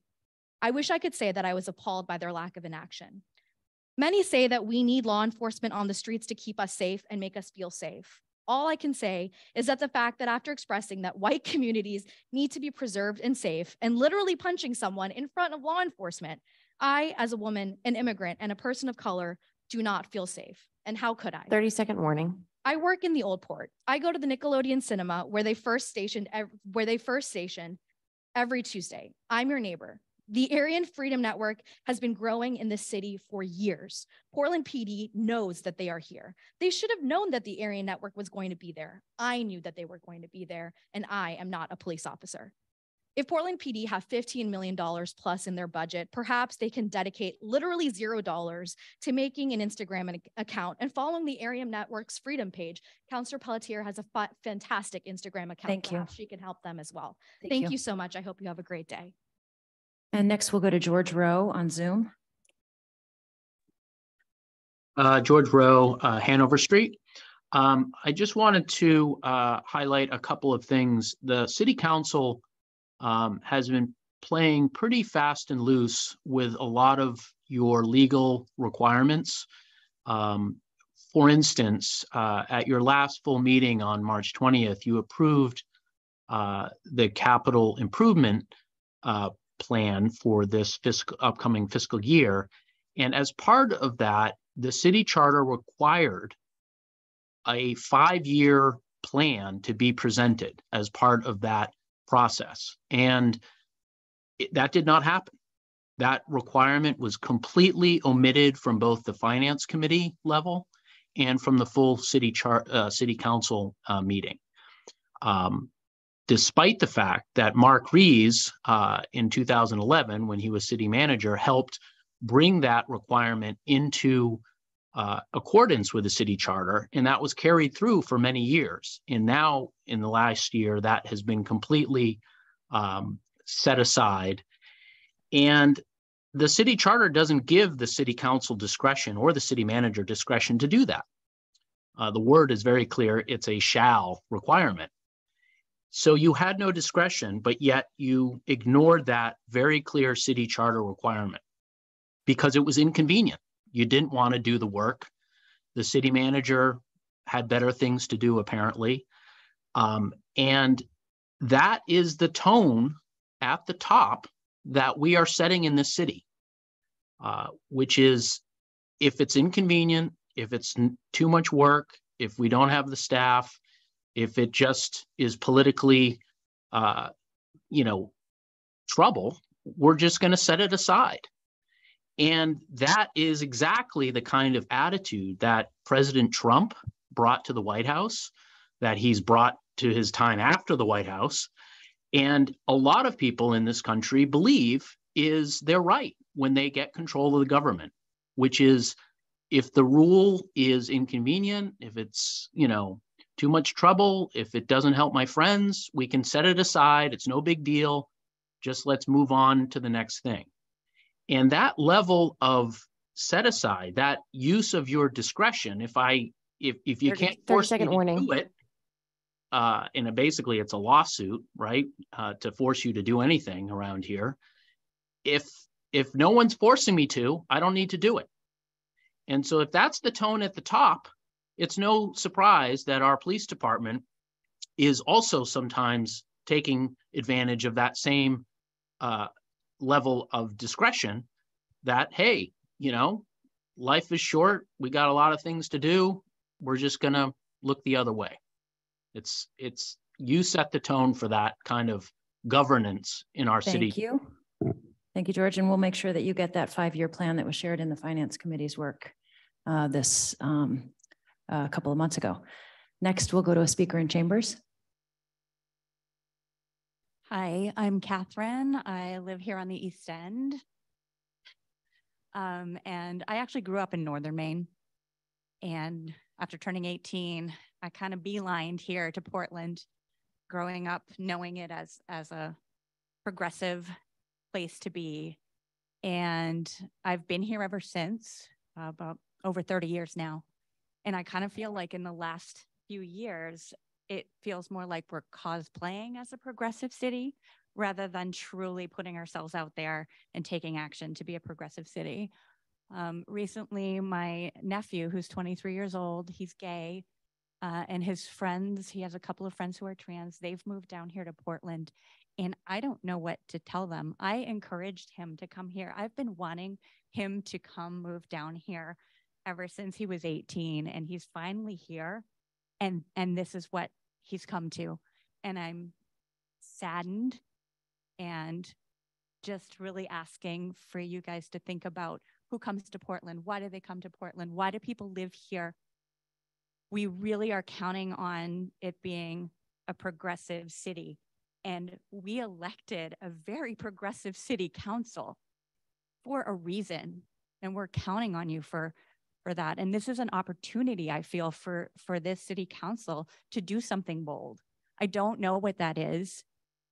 You're the experts. We need bold action. We need you to not ignore fascism creeping into our city like this. So I'm asking you, please, to just listen to everyone who's spoken today.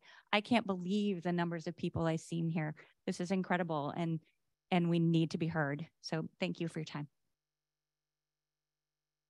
Thank you. And next, um, M on Zoom. M, will you please give us your name? Um, because I don't have a name here on Zoom.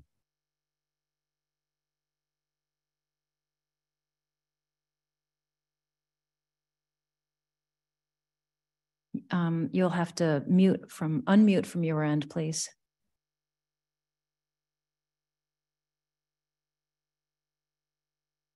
Hi, uh, I'm not ready to speak. Sorry. I'll speak later. Okay.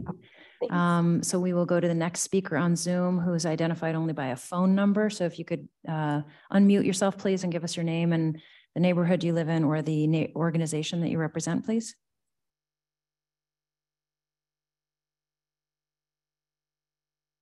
Phone number ending in 9310.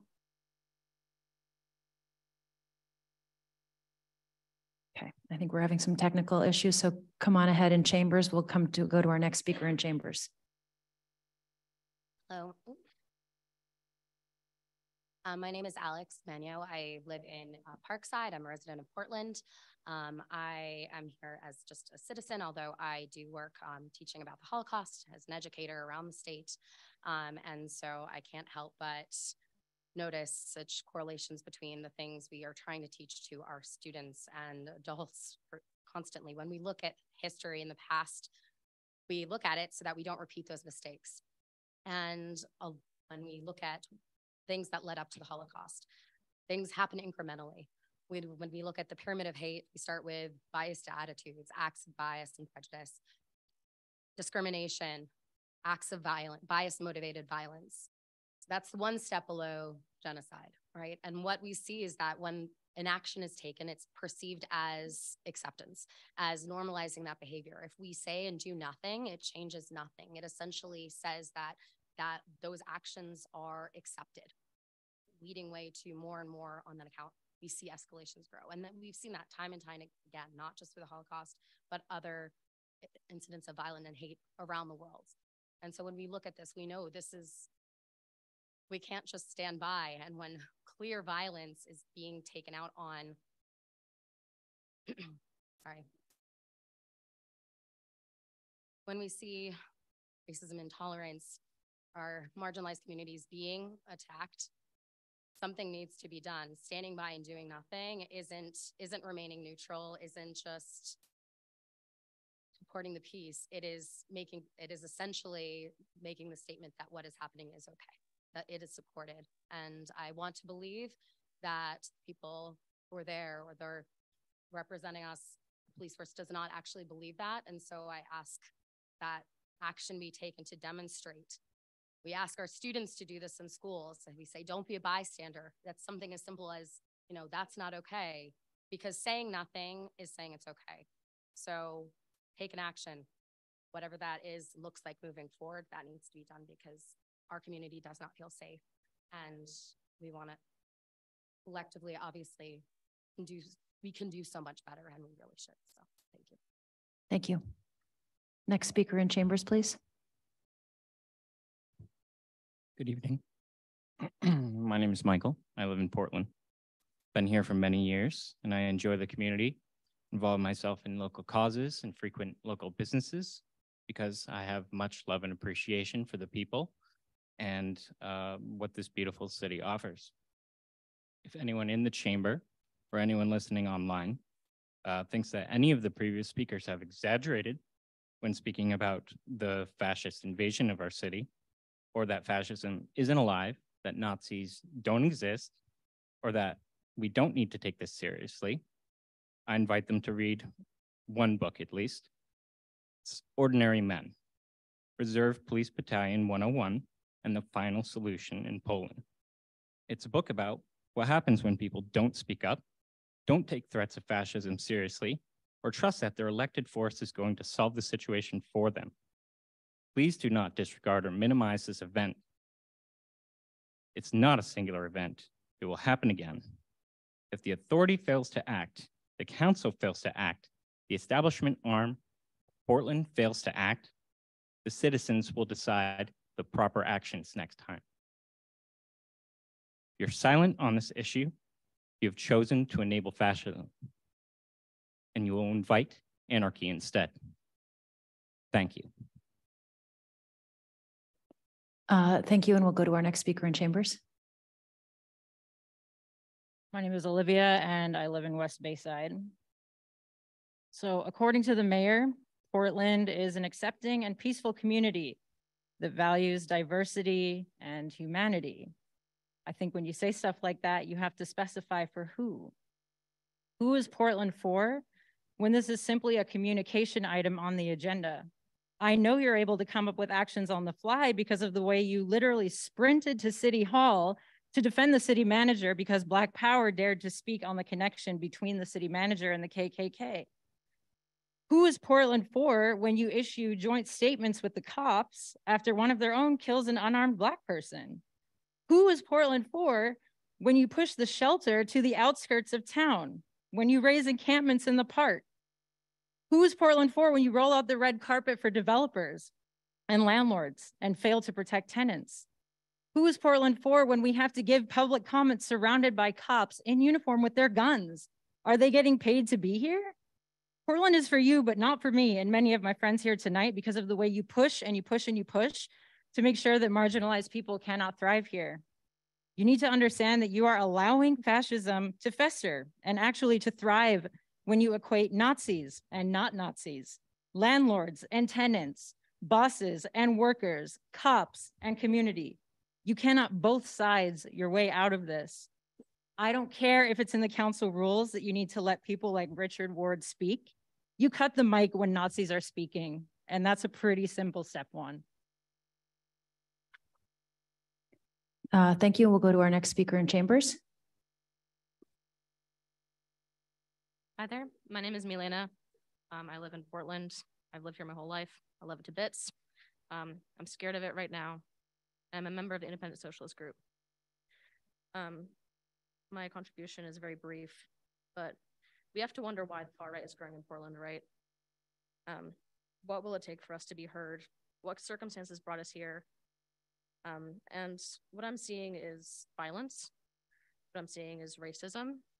What I'm seeing is people feeling scarcity, low wages, poor jobs, bad conditions, prioritization of profit, attacks on education, attacks on trans children, impossible rents, appeals on MaineCare, gutting social services where I work, etc. The answer is not and never will be inflating the police budget. It will be investing in workers, in worker power, and undermining far right recruitment. They, these far right racists advocating for violence and extermination will not go away, as everyone has so clearly illustrated. Which is why we must advocate for longstanding change now, speak now, and act now. Thank you. We'll go to our next speaker in chambers. Hi, my name is Bree, uh, and I just want to touch on something real quick. So uh, I've heard a lot of bigots and like even our friend Richard and even like people I know like talk about homeless people and weaponize it against like the immigrant community um, and say that they're like supposedly taking up resources that the city isn't giving to the increasing homeless population. Uh, honestly, this is idiotic and stupid uh, and also dumb. Uh, there are enough resources for everyone. Uh, this rhetoric is being used to divide people and prevent them from seeing the real problem. Homelessness is not the fault of increasing racial diversity. It's the fault of capitalism. Uh, as a matter of fact, uh, a great deal of our homeless population are not white. Many are people who immigrated here only to realize that the American dream is a lie uh, I care a great deal about the homeless, and I've seen the city police them, push them out of sight and out of mind, build a shelter miles away from the city center, job, and uh, just generally treat them less than human, all while our neighborhoods are being gentrified and uh, tourists and rich hipsters are being prioritized. And the streets are filled with working hands and empty buildings, and our infrastructure is crumbling. Uh, while housing prices skyrocket, uh, people of Portland, I implore you, please help the homeless in any way you can, because I don't think the city is going to. Uh, also, free Palestine. Okay, thank you. Um, and we will go to our next speaker in chambers. Hey all, uh, my name is Wes. Uh, I live on the West End. Um, uh, a councilor last meeting said that people uh, only seem to turn out when there are referenda. Uh, I think it, it, the, the connecting thread is that we only turn out when city council addresses things that are existential threats uh, to our community, uh, which is like very rare um, and almost never uh, the the city council's prerogative. Um, I've stood on counter on on the corner for for hours, just standing in front of like propaganda signs. I have uh, taken down like mobilized to take down like transphobic flyers. I've given up like every weeknight and weekend over the summer to knock doors to try to make a uh, a referendum happen, which is apparently extremely easy. Um, and all of it's like part of the fight um, a fight that city council has been fighting tooth and nail against. Um, and it's, this is what happens, right? It allows fascism to fester. While what, what white supremacy tries to do is it tries to uh, undermine our communities um, and tries to rip them apart and make them not feel safe in their homes. Um, and what city council has done has basically been in line with that agenda, right? Every single vote kind of goes the way of like making apartments more affordable, um, making it harder to uh, get onto the ballot because, you know, y'all want to like take out your ink pen and like make sure that the landowners are properly represented.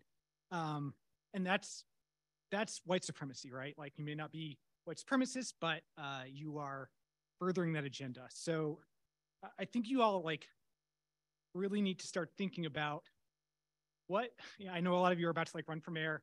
Uh, start thinking about like what have I done that a Nazi would not have done were he in my position?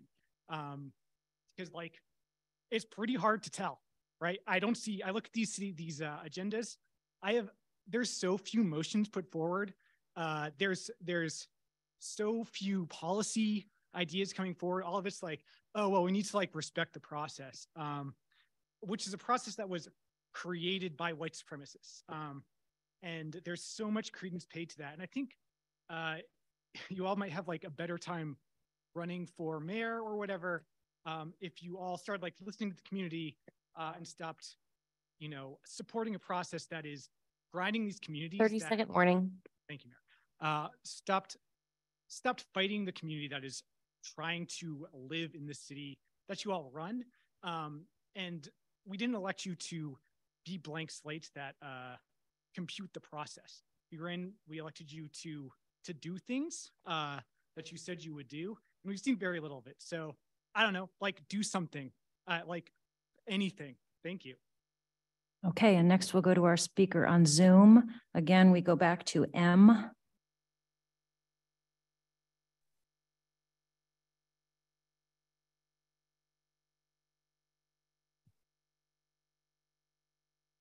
M, you've got the floor. If you could give us your name, please.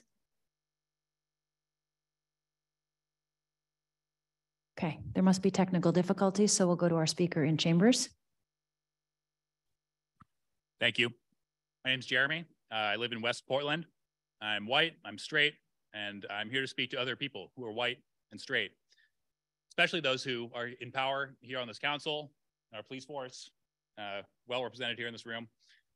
Uh, I'm not saying that we're living in 1930s Germany or 1960s America, but if you've ever studied those times and you've imagined what you might have done during those times, you can do it now. You have an opportunity my fellow white and straight people, the Nazis who visited here might not hate you based on your skin or your identity, but this is still your fight. You can't be neutral on Nazis. Be on the right side of history when they come next. To our council members, have a plan for when they come next that is not neutral on Nazis. That goes doubly for all of you. Our mayor, Kate Snyder, interim city manager, Danielle West, and interim police uh, chief, Heath Gorham, you all govern us only by our consent and through our support. And that consent and that support wanes with each failure that you present to us, such as last weekend. Commit to us, protect this community from violent Nazis, or we'll take your power away through our democratic processes. To all the fence sitters uh, listening on the phone, please do not be tricked into tolerating intolerance. It's a paradox. Trans rights are human rights, and all lives cannot matter until Black lives matter. Take care of each other. Thank you. Thank you.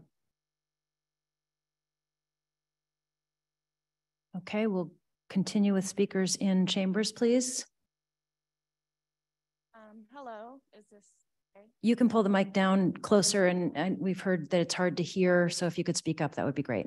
Uh, yes, okay. Uh, my name is Sam and I've lived in the West End for probably about five years now, and I can't say anything that other people haven't already covered. So I just want to thank people who have come forward and shared their stories about how they've personally been victimized by hateful people in our city. Um, and I just want to say to you all, my city council, who I rely upon, um, that their blood and there was literal blood is on your hands. And for every person that freezes to death on the street, their blood's on your hands. Um, our quality of life is dependent on how you act. Like that is your job. And I just want to say that we are disappointed. Um, I'm disappointed, and I really hope you can prove to us that you can do better. Um, love you all. Bye. Okay, and next we'll go to M, back to M on Zoom. If you can unmute yourself, please. Hi, can you hear me? We can. Hi, uh, my name is Melissa. I live over near USM. Um, I just want to say everyone here is fucking brainwashed. Okay, thank you. Uh, next we'll go to J on Zoom.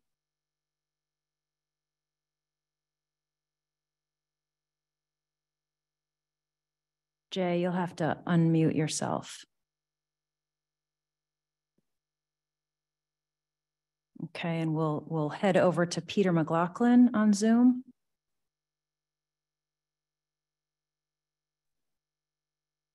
Hi, Peter McLaughlin. I live in District One. Uh, I want to first echo the demands of the Nine Island organizers who showed up at City Hall on April 1st to stand in opposition to hate and who were subsequently assaulted in plain view of Portland police officers.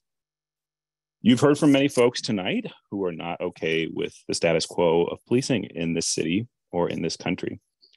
I think the police response, lack of response, and subsequent statement uh, to this incident of neo Nazi hate are fine examples of why that is the case. That being said, the public safety system we have today is the Portland Police Department. We know this. And as long as we have such a system, we need checks on it and we need transparency and accountability. The people of Portland made it clear that this is the majority belief in the streets in 2020 and again at the polls in 2022 when a stronger police review citizen board was voted in as an integral part of our city charter. I know city staff and this council are beginning to implement these charter changes, but I hope you see this incident uh, as an example of why this needs to be implemented correctly and carefully with stark improvements from the current inadequate review board and process. In a democracy, power cannot be allowed to police itself. Police cannot be allowed to police themselves. It's in that spirit that I ask the council and manager to do the absolute least here. And that's to make sure there is a full and thorough investigation of police response on April 1st, that all relevant and video documentation is made public, and that this investigation takes place in the public eye with full transparency and accountability. We have a steep, seen a statement from the police that does not align with eyewitness statements with available video. And we've now seen a statement from our district attorney affirming the inadequacy of our police response. It is clear that the city needs to act. I have lived here for 13 years. I believe in this community, and tonight's rally and show uh, during this council meeting, during public comment, uh, it reminds me of why I believe in this community so much. And I know that this community will protect each other. I, I look to you, uh, those in the halls of power of, of City Hall, to do the least here and, and make sure that we have checks on, on the police response um, so that we can be better protected should this happen again. We'll do the rest. Thank you. Thank you. Is there a speaker in chambers? Hi, my name is uh, Jenny Ferrari. I am a business owner. I own Arcana on Market Street downtown. Um, I'm also a parent uh, to two small children and a queer person. Um, I came out in Maine at 16 years old. I'm from Northern Maine. Um, and at 16, I visited Portland and was assaulted on the street physically and called um, a slur uh, while holding my girlfriend's hand. Um, I thought that was nearly 20 years ago. And I would like to think that walking through Portland today in 2023, I would be safer. And I do not feel like that is the case. On Saturday, when NC, NSC 131 was marching through Portland, I got a message that they were near my shop, and I called um, our staff that day, which is all queer and trans people, and I told them to lock the door and to stay inside. Um, that's not something that I ever knew that I would need to do, um, but I'm also not surprised. Um, we can see, we've seen the seeds of fascism planted in Portland for a long time, and I will echo what other folks have said. There are people who have run for school board, like Richard Ward, that are connected to NSC 131 um, that I would I would say likely invited them here um, that the city should be monitor- monitoring. Um, there have been many incidents that the police do not care about. Um, learning about that woman earlier who was assaulted who tried to file a report, I am disgusted, disgusted with the Portland PD. There was also a report that came out regarding the Portland PD's racial bias uh, earlier this year. And if you went past the headline that made it seem like it wasn't a big deal, you could see that the data did show clear racial bias with the Portland PD. And I just want to say, as a citizen, as a parent, as a queer person, and as a business owner, I do not feel safe in Portland, Maine, which is supposed to be one of the most progressive cities in New England. This is not a safe place anymore for BIPOC folks, for LGBTQ folks, for Jewish folks, and you all need to do something about it now. And we'll go to Jay on Zoom. Okay. Uh, hey, yep. Um, my name's Jay. I live over by St. John. Um, can you guys hear me? Yes, we can. Okay. Um, I just wanted to mention, um, you know, for the most part, I've lived here my whole life, and uh, the police have really been very good, uh, you know, compared to other cities in the United States here in Portland. Um, I've probably called on them about 25 times in the past uh, three years, and they've you know they've always been you know there to sort of like help and diffuse whatever situation uh, has been happening um, that said um, i have in sort of uh, recent history had a few um, potential reports um, where it looked like there should have been some criminal charges that happened but there wasn't really a filing that ended up going through. Um, so I'd encourage uh, more sort of um, accountability um, for uh, people who are uh, bad actors uh, for the police to continue to enforce that. I still think they're doing a really great job for the most part um, with the numbers they've got and everything. Um, and then, um, you know, we uh, I worked on the marriage campaign in 2012, and uh, we worked really hard to to get the rights instated for everybody here. Um, and I think that was a really great time. Um, I just encourage, uh, you know, all my uh, LGBTQ, um, you know, allies to to continue to hold the hold the torch there, and uh, continue to just uh, maintain the responsibility of of what of the power you guys have now to to enforce all this stuff, and continue just to try to make sure to um, keep strong about it. And then um, another thing I'd like to mention also is like it's you know it's definitely not just the police force that's showing this sort of um, kind of uh, one-sided um, like attitude towards everything. You know, uh, uh, many of our park benches have been taken out uh, taken out downtown, everywhere. Um, the the general city, the the municipalities, particularly the construction people, um, all that stuff. You know, it's like it's very difficult to navigate this city compared to how it was uh, when we were younger um, regarding you know just basic amenities like I, I get that like a lot of like people will sort of like uh, make a you know set a bad example and they can't we'll lose some of our privileges if things happen. But you know some of the basic municipality general um 30 like second warning. amenities uh, that we're getting through a lot of the the people who are doing things regarding just the city's general layout concrete wise i mean you see this stuff in big business everywhere you know the type of sort of I'm, i wouldn't call it fascism or nazism but whatever this is this type of you know sort of uh, you know uh, handshaking secret handshake type stuff thanks guys good job everybody Thank you for your comment.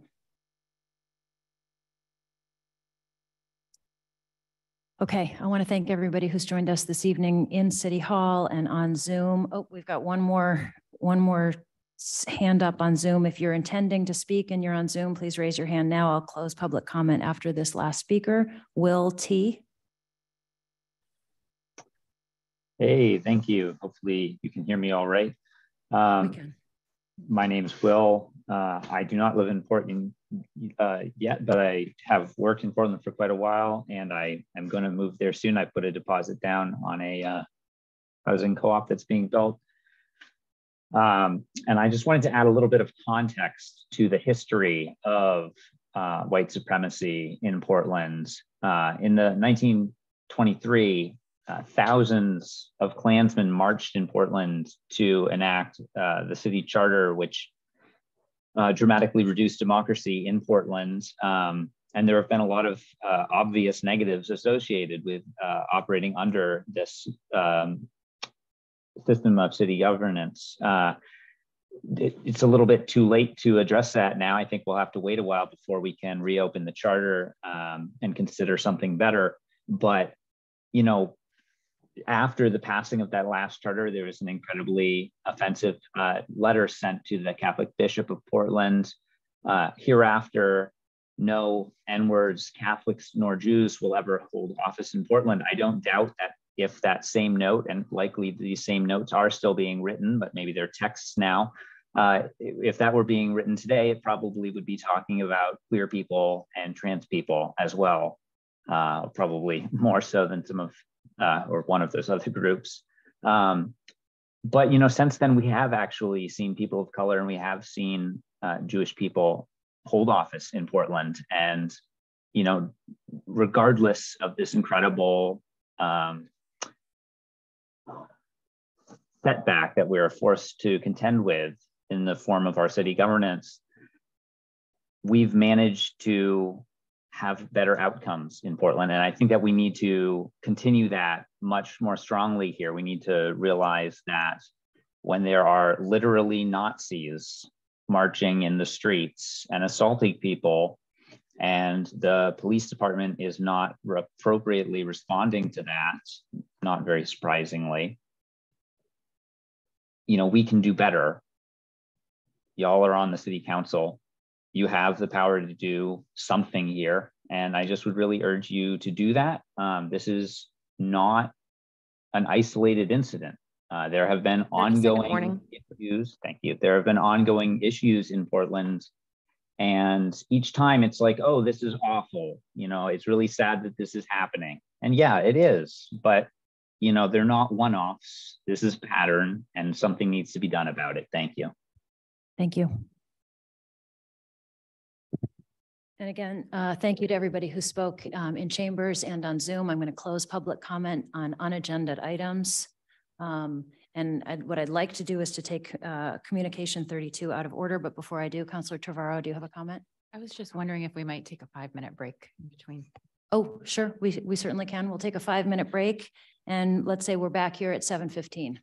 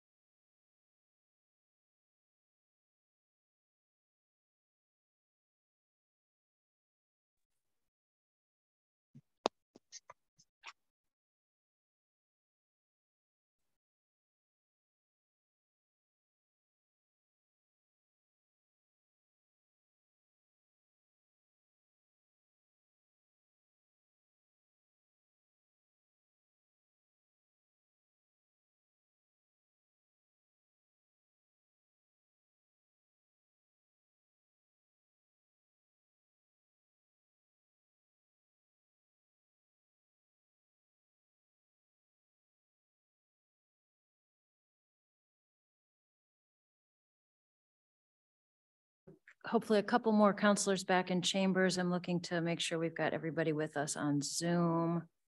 I think we do. Okay, we're just returning from a five minute break. Uh, thanks everybody for sticking with us. And so as mentioned earlier in the meeting, what I'd like to do is um, take item uh, communication 32 out of order. So will the clerk please read into the record communication 32? Communication 32, 22, 23 regarding police response on April 1st, 2023 by interim chief Heath Gorham, Police Department. Chief Gorham, I'd like to welcome you to the podium and thank you for addressing the council and offering your communication. Madam Mayor, Manager West, councilors, thank you for having me tonight. I want to start by affirming that the views expressed by NSC 131 are in no way in keeping with the values of the Portland Police Department. I provided you with a memo that details the decisions that were made by officers and supervisors on scene on Saturday. Uh, and I will tell you that I support those decisions in that particular incident. Um, as we dive through, I'm sure you will have several questions, um, but I want to get into a little bit about our philosophy when it comes to facilitating the First Amendment rights of our community members. Portland has a very robust First Amendment community and takes a great deal of pride in expressing their First Amendment rights. We as a police department have taken the role of facilitating the expression of those rights. We do that by reacting to spontaneous or organic protests that, that pop up. We immediately provide lead and tail cars to ensure the safety. We shut down intersections and we attempt to communicate with the organizers of the protests so that we can facilitate a safe rally. Um, in this case, we didn't know it was coming and we reacted to have officers monitor it. They were not in the streets. They were on sidewalks, so there was no need for a lead tail car and officers set up a distance away to monitor the rally. Um, after the protests of 2020, the city contracted a very in-depth um, investigation into the way that the Portland Police Department handled the protests in 2020, particularly on June 1st. Uh, what we found from that protest, uh, from that investigation, was the Portland Police Department and our partners did a better job than most other agencies across the country. And the reason given for that was that we took a facilitative stance as opposed to taking a management stance and trying to control the protests. Um, it was noted in the report that we could have made several more arrests than we actually did, but we're much more diplomatic in the way we made our arrests, and that helped with the relationships in our community. Um, these are the most tricky situations for our officers, for our supervisors, as we try to facilitate these. We try to be the person in the middle, not taking sides, whether our views um, are completely apart from them. We cannot express our views. Our job is to facil- facilitate their First Amendment rights. Um, that is all I have right now. I'm happy to take any questions. I'm sure there will be some. Councilor Dion, I apologize. It. I'm happy to give you the cliff notes if you would like. Thank you, Chief Gorham. Um, and before we go to council questions or comments, I just want to ask if the city manager has anything to add on this communication. Uh, yes, thanks. And thank you, Chief, for, for being here tonight. Um, we, I just wanted, I, I know there was a lot of mention during public comment about um, the DA's uh, comments over the weekend. Um, we had a, uh, a, a statement that was issued recently. I've given it to everyone here at, um, I, I'm around the dais. And um, we will also make sure that that gets uploaded to the backup materials so that everybody has it. But it basically addresses um, her uh, comments specifically in the Press Herald on uh, on Saturday the eighth. And I won't read it uh, to everyone. I think you can all read that, uh, you know, in the backup specifically. But I just wanted to highlight that she um, she was troubled by the the events, but she also articulates that the headline um, of the article uh, was neither what she believes or wanted to convey as her reactions to what was happening. Um, she wanted to note that she thought that law enforcement personnel acted on April 1st to keep the peace in a very fluid and very difficult and fast-paced situation. Um, that she was grateful for their presence and mindful of how uh, constantly dangerous and tough their work is. Um, and that she also um, noted that interim chief gorham uh, immediately you know sought her uh, guidance and to discuss this further and clarify um, what was the best way that each could support each other's work and that she really appreciated that and that she looked forward to continue to move forward um, and recognize the chief's uh, lengthy service with the department and uh, continued hard work in this area. She's given some specific um, recommendations that she would see. And I know the chief and I, we just got this. So we're going to be diving into that and really looking at that and looking at ways in which we can uh, work with the district attorney's office moving forward. But I just thought that was important since it was specifically uh, discussed during public comment uh, this evening. Uh, Thank you for that. And just um, to note, it came in through email at 2:15 this afternoon. Um, I didn't see it right away, but um, if it's possible to get it uploaded tonight even, I think that would be helpful for folks in the community to have access to this statement. Um, So now I will go to council questions and comments. Councilor Dion?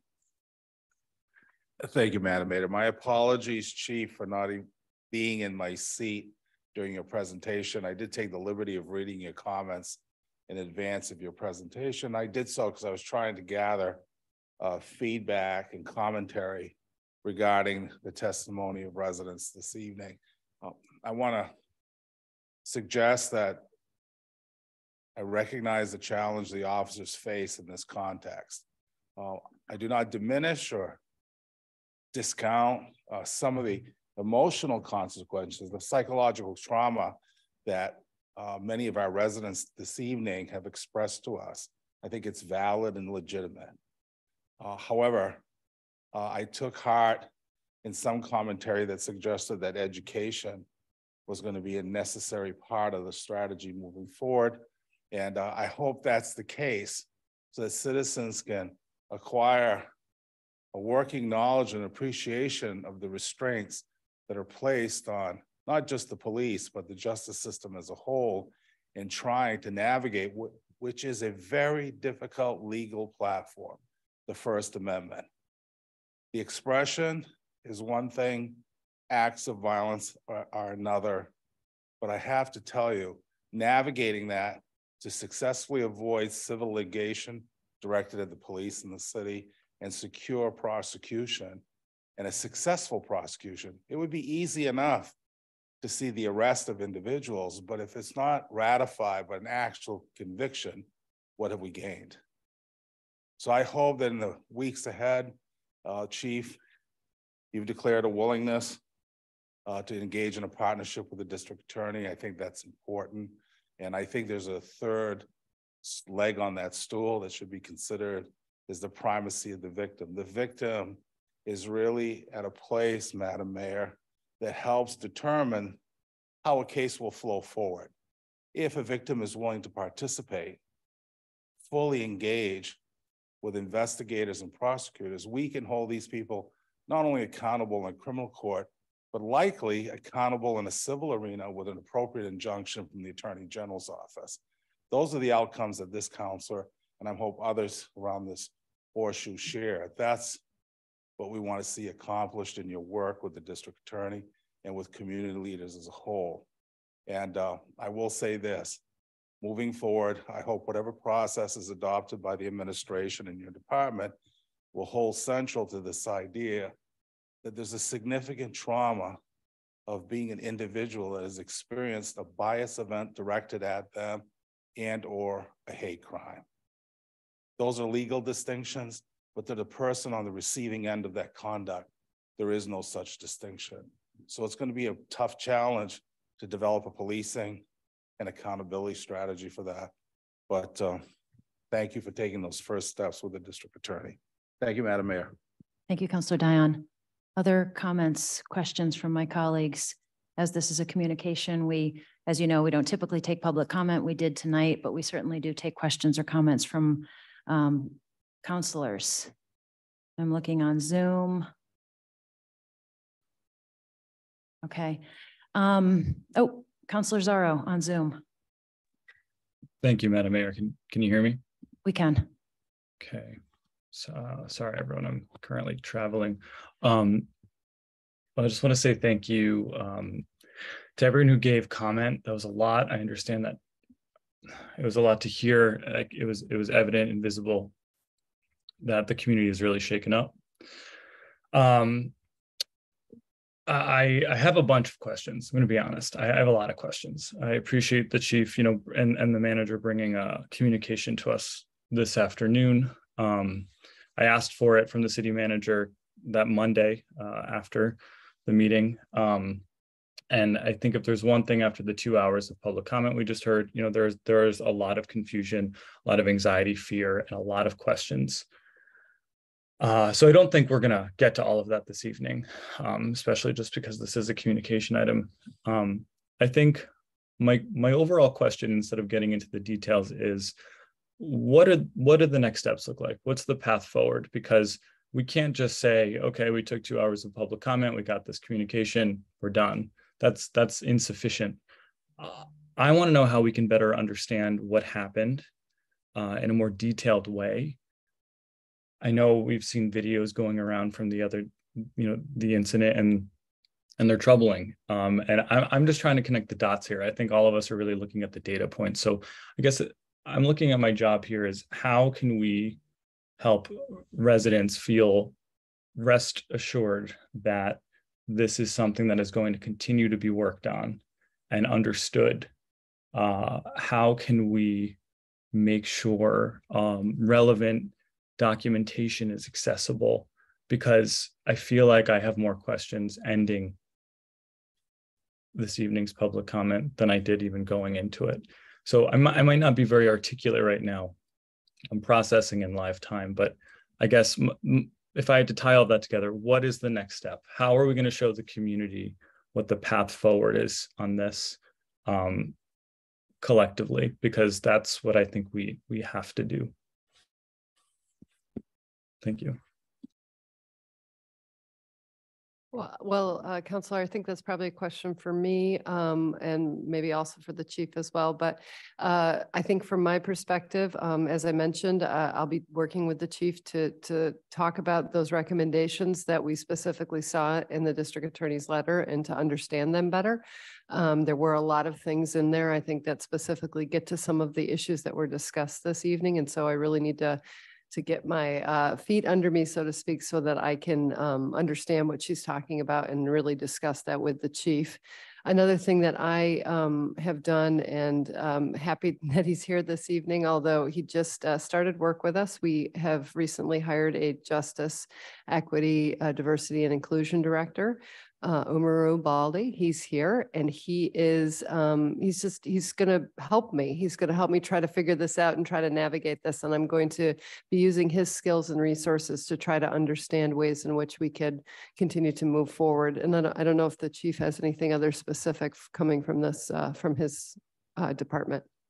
No, I think it's, you know, for us, it's continuing to look at, at national trends and best practices. Um, we have stayed ahead of that thus far and continued and plan on continuing to do that. Thank you both. Councillor Zarro, I want to, you've got the floor, so I want to go back to you. Thank you. Um, I, I appreciate it and I look forward to, to the next steps and, and understanding more the DA's um, uh, involvement as well. Um, you know, I, I I I'm one of the ones who left her a voicemail. The you know as soon as this was uh, you know evident, or as soon as I was made aware of it. Uh, last thing I'll say, because there is more of a sense of urgency and humanity, is I I'm having a hard time articulating and understanding the the physical harm that happened, and we heard from a couple of people tonight. Um, and I I'm trying to imagine if that were me, how I would feel and what I would want. Um, and and folks shared some of that, and and I'm just having a. I I believe our role is to protect people, uh, specifically marginalized folks, if they're harmed, right? If they're physically harmed, and that happened. And so, again, might not be the most articulate I've been before, but I, I want to better understand how we can under how we can let people know that that is not tolerated, right? Yes, people can say things, even if we don't like them, even if they hurt to hear. But if you say something and then you act on it with violence or harm, that is a line that cannot be crossed. And so that for that's the part I'm still I'm still struggling with how how we can um, understand what happened, not only to prevent it from ever happening again, because clearly that we need to do a better job of that, but how do we make it right? I don't know if we can. How do we, how do we look at the folks who who were on the receiving end of that and say um, that that we're sorry and that we're never going to let that happen again? Um, anyway, uh, thank thank you, Mayor. Thank you, Councillor Zarro. Chief, would you like to respond in any way? That is that's a really challenging question and it's something that we deal with all the time. And I think, you know, as law enforcement officers, as we are trying to put cases together and we're working with victims, we we very much take a victim-centered approach. And we go into it understanding that although we're going to do whatever we can to secure that conviction or those consequences for the perpetrator, that it just may not happen. And so with that, we have vic- victim advocacy, um, folks who are trained to work with our victims, and we work through that process together to try and hope hopefully limit that post-traumatic stress that can come along with some of those critical incidents. Thank you, Chief. We've got a hand up from Councilor Phillips, who's with us on Zoom. I'm so sorry that I'm not there with folks in person. Um, it unfortunately it just couldn't be helped the way that this worked out. Um, I really and truly appreciate um, all of the folks coming forward um, and giving us um, their comments. And I also appreciate uh, Councillor uh, Zarro for um, speaking just now because I just I really want to put on the record that I totally agree with him that um, it, it, this is a time for action. This is just such a time for action. Our community wants it. Uh, we want it.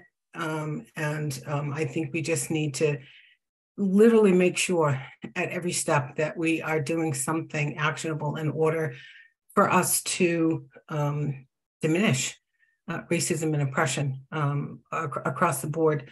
Um, you know, as I was looking at the material before we were getting started on this, I did have several questions for the police department, um, but those questions to me at this point don't matter um, because we could go back and forth um, and I could ask questions and then I could get an answer and then I could ask other questions and get another answer. And so um, I, I, instead of asking questions, I decided I was just going to make this kind of statement. Um, and just say that, you know, in, in certain circumstances, um, Black people and people of color don't get this kind of a response. Um, and I think that that's where my frustration is. We just don't get this response. Uh, we get something uh, totally different um, from police across the country. Um, and so I do think there needs to be a plan. Uh, I want to thank uh, interim city manager Danielle West um, and the chief for um, putting this plan together. Um, and also that this is just going to take more than just um, more than just that. It's going to take all of us. It's going to take the folks around the chamber, around the council chamber. Uh, it's going to take the community. It's going to take all of us to figure out how to do this. And if we think, and, and I'm so glad that we have our uh, justice equity, diversity, and inclusion person. And I'm so grateful that he's also going to be working uh, with us to try to kind of figure this out. This is going to take bold steps that some people are not going to like.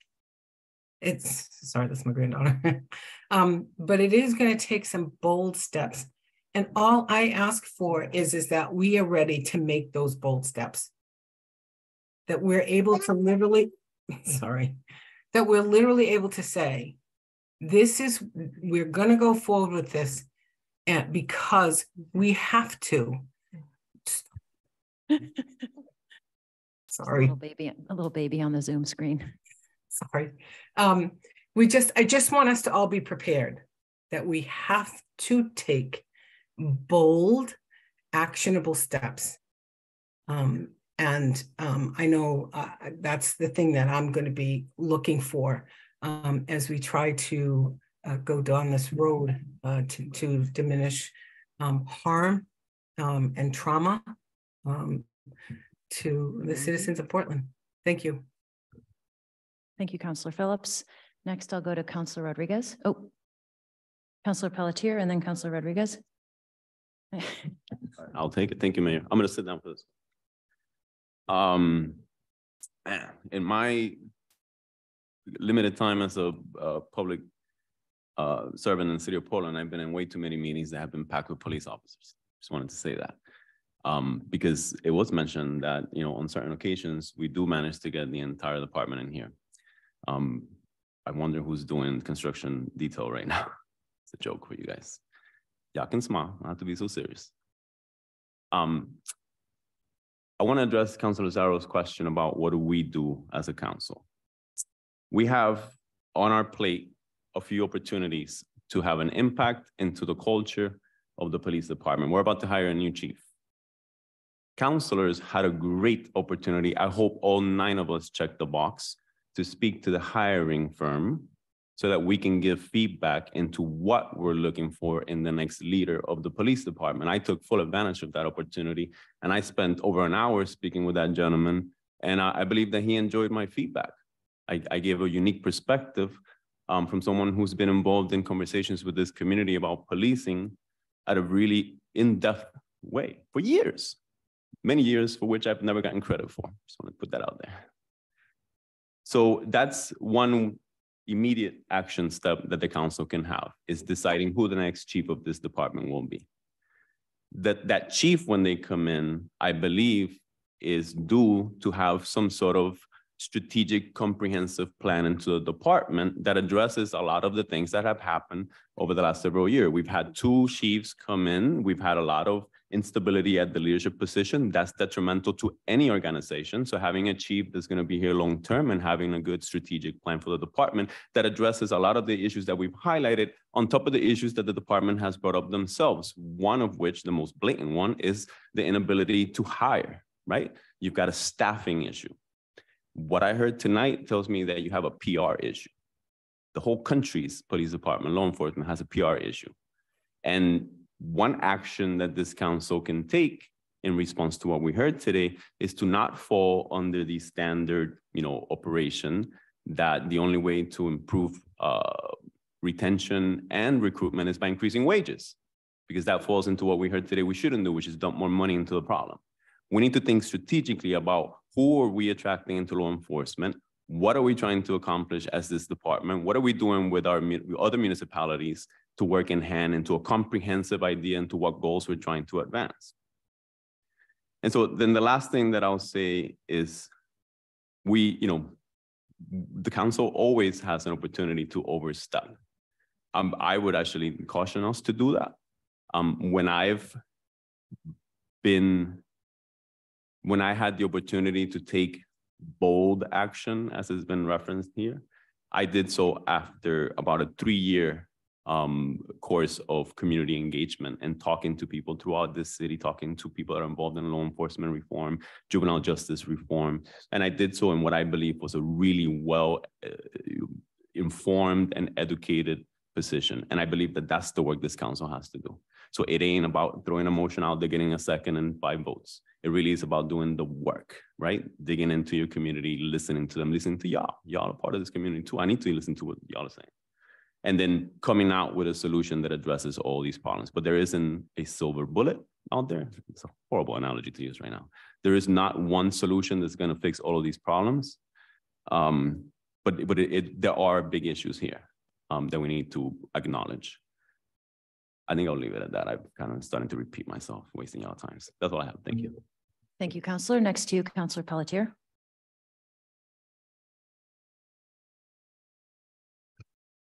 Thank you, Mayor. Oh, you, Chief. I'm sorry, Councilor Trevorrow. Sorry, she wanted me to go first. Okay. Um, thank you for being here. This has been a rather intense evening. I feel like we should start our meetings with like breathing exercises or something to remind us that we're all here together as a community and that we're all doing our best um, towards a similar goal, although we may be in different places in our um, understanding of the issue of equity, which is really what we're talking about tonight. Um, I don't want to come at this from a perspective of reprimand or, you know, I believe that there are um, tools in the toolbox of the police force that um, can be used and that must be refrained from, of which I am no expert. Um, so I appreciate that the police force was there for this rally and put their best effort um, forward with the tools that they had. Um, so my comments will just be my personal thoughts as one councilor as you delve into this work on how to go forward. Um, the comments from the community tonight really did speak to me.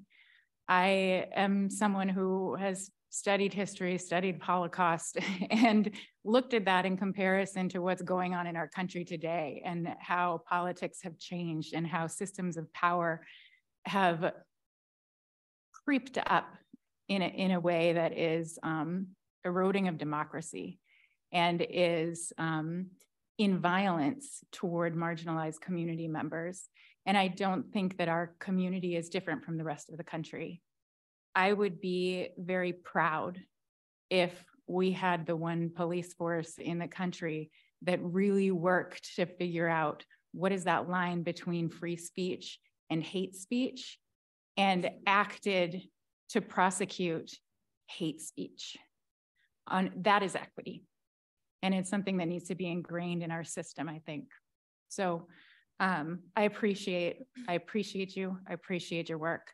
And those are my thoughts for moving forward. I appreciate what the DA has put forward, and I look forward to hearing more about your work. Thank you. Thank you. Thank you, Councillor Trevorrow. And next we'll go to Councillor Pelletier. Thank you. Um, I'm trying to figure out like where where I am with this, and I hope that I don't get point of ordered. Um, and my other colleagues just let me share. Uh, you know, because I, think like this is ridiculous, like that we are here again. Like this, this entire exchange is not working for me at all. Um, and I'm just listening to the conversation. I'm reading the statement. I'm reading the press release, and we're just kind of like best practices against like Nazis coming to Portland. Like we're gonna just like best practice for for Nazis coming here. And you said you have to be the person in the middle and not take sides.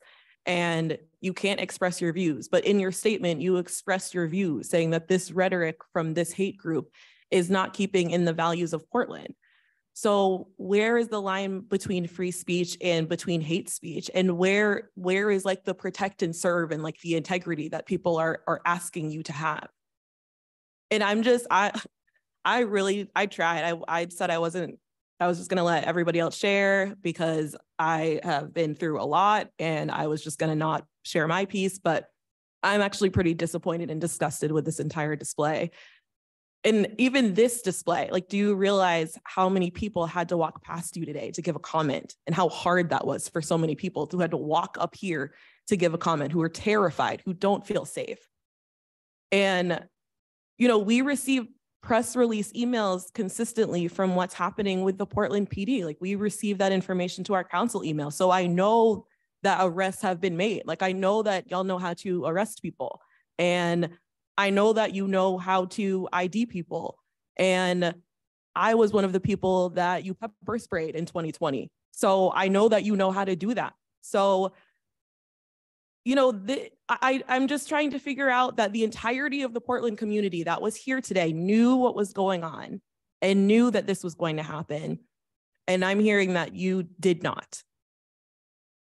And this this just happened in Kittery when there was a banner on the overpass saying keep New England white and there was an immediate civil rights charge because there was an ID. And again, I was just here. We were just here in February because of racist social media attacks on me.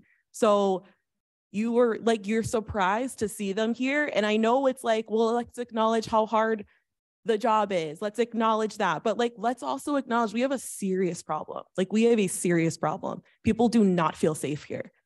And then we have to now figure out a plan and the plan is like best practices and like love and light and that doesn't work for me. People don't feel safe in this community. I am a black woman on this council and i have never felt more unsafe being in this position. So what does that say for everybody else and again, we were just here. It's been, we were here eight weeks ago, nine weeks ago, same packed council. Everybody gave a statement. We all went around, we said our piece, and it was kind of like, we're going to do something about it. And there has been nothing, nothing that has been done since then.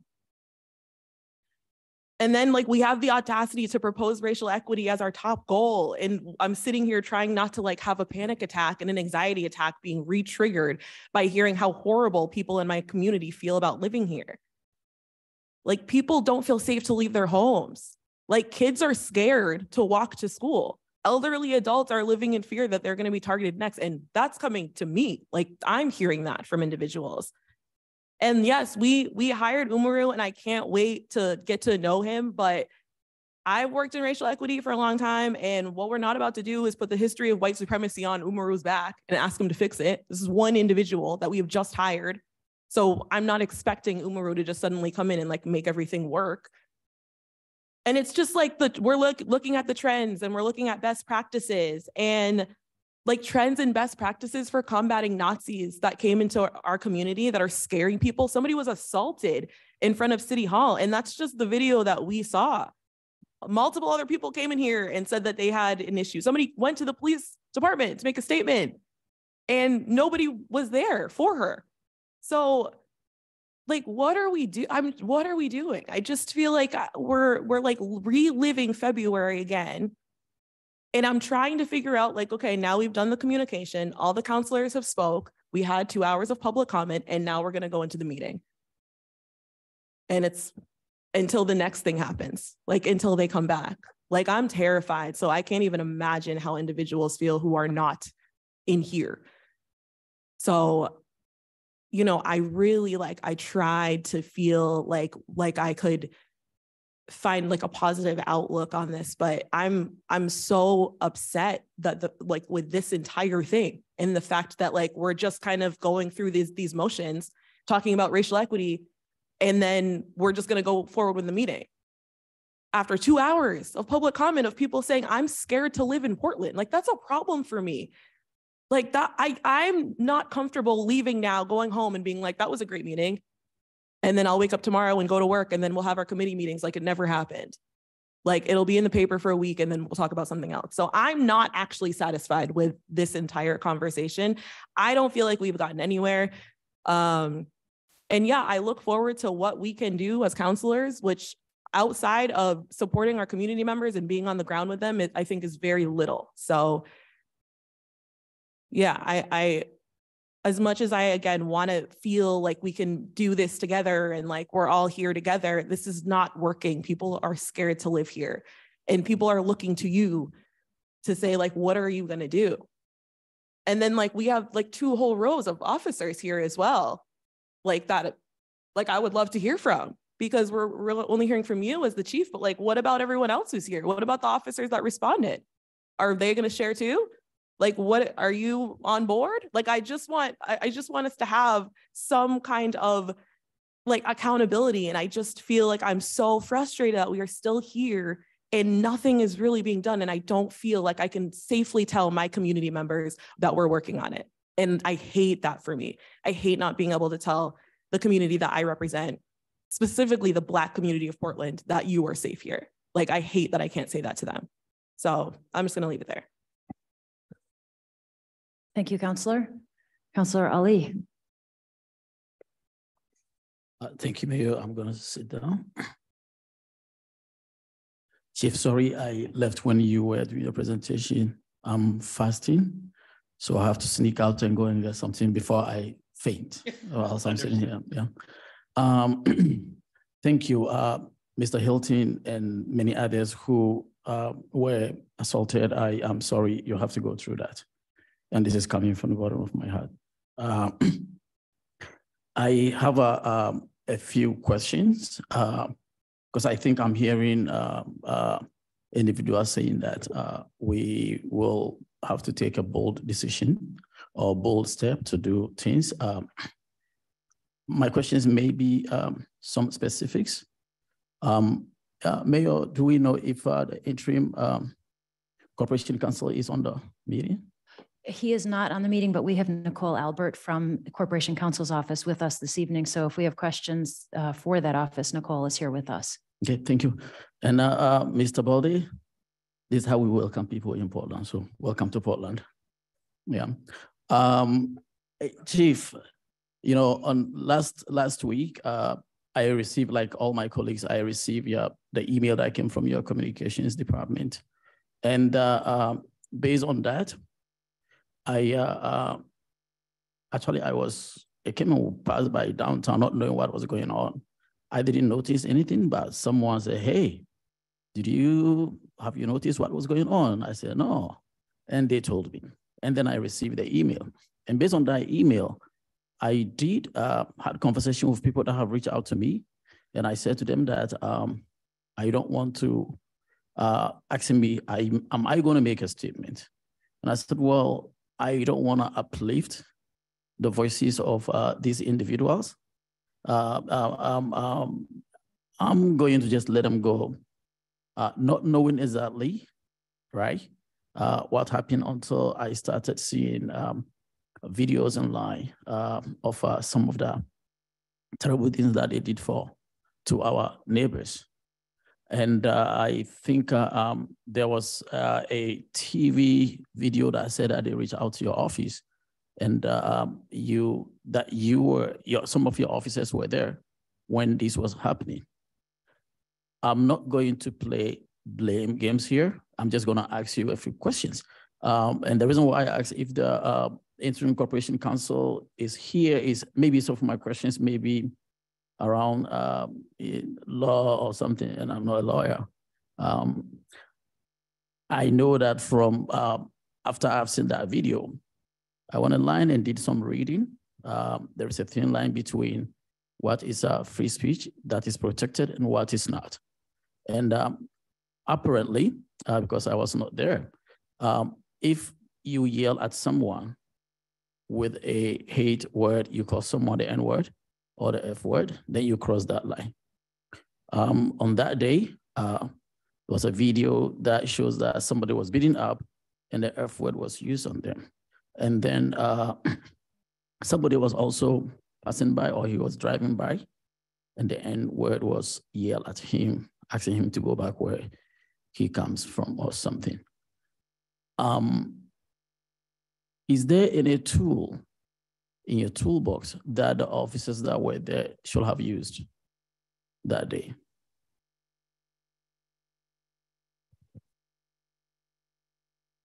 Not a First Amendment expert, but I can say that unfortunately, the use of a racial slur alone is not a crime.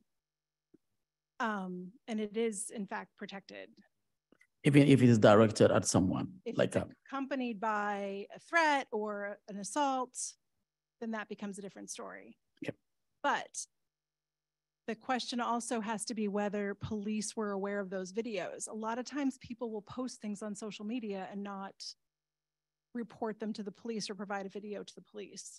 Right. I mentioned two incidents, the the use of the the N word and then the use of uh, the F word and it follow up with individuals being physically assaulted. Right. That is not protected, is it? No, it's not. But the question remains of what the police who were on the scene actually saw. And I, I can't speak to that. Um, and then whether there were witnesses who were willing to provide statements at the time.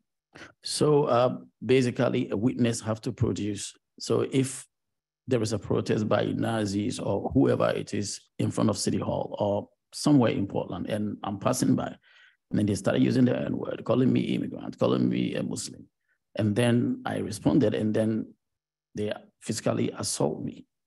If there were, and I'm not saying that there was, if there were police officers there, and they noticed that, uh, what is available to them in their toolbox to use.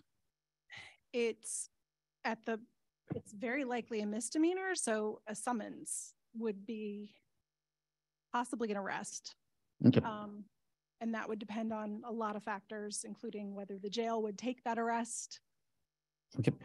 So um, it's unfortunate that uh, interim um, corporation counsel was not here, but my question is, is there anything we can do as a city government to put something in the books so that if a situation like that happens, um, our officers can use what we have in the books? I think that's probably a council, uh, question for Michael, um, the Corporation Counsel, and he can respond to that, I think, in a follow-up memo for you, but um, I think the tools may be limited, uh, in what we could do, but, um, I'll have him look into that.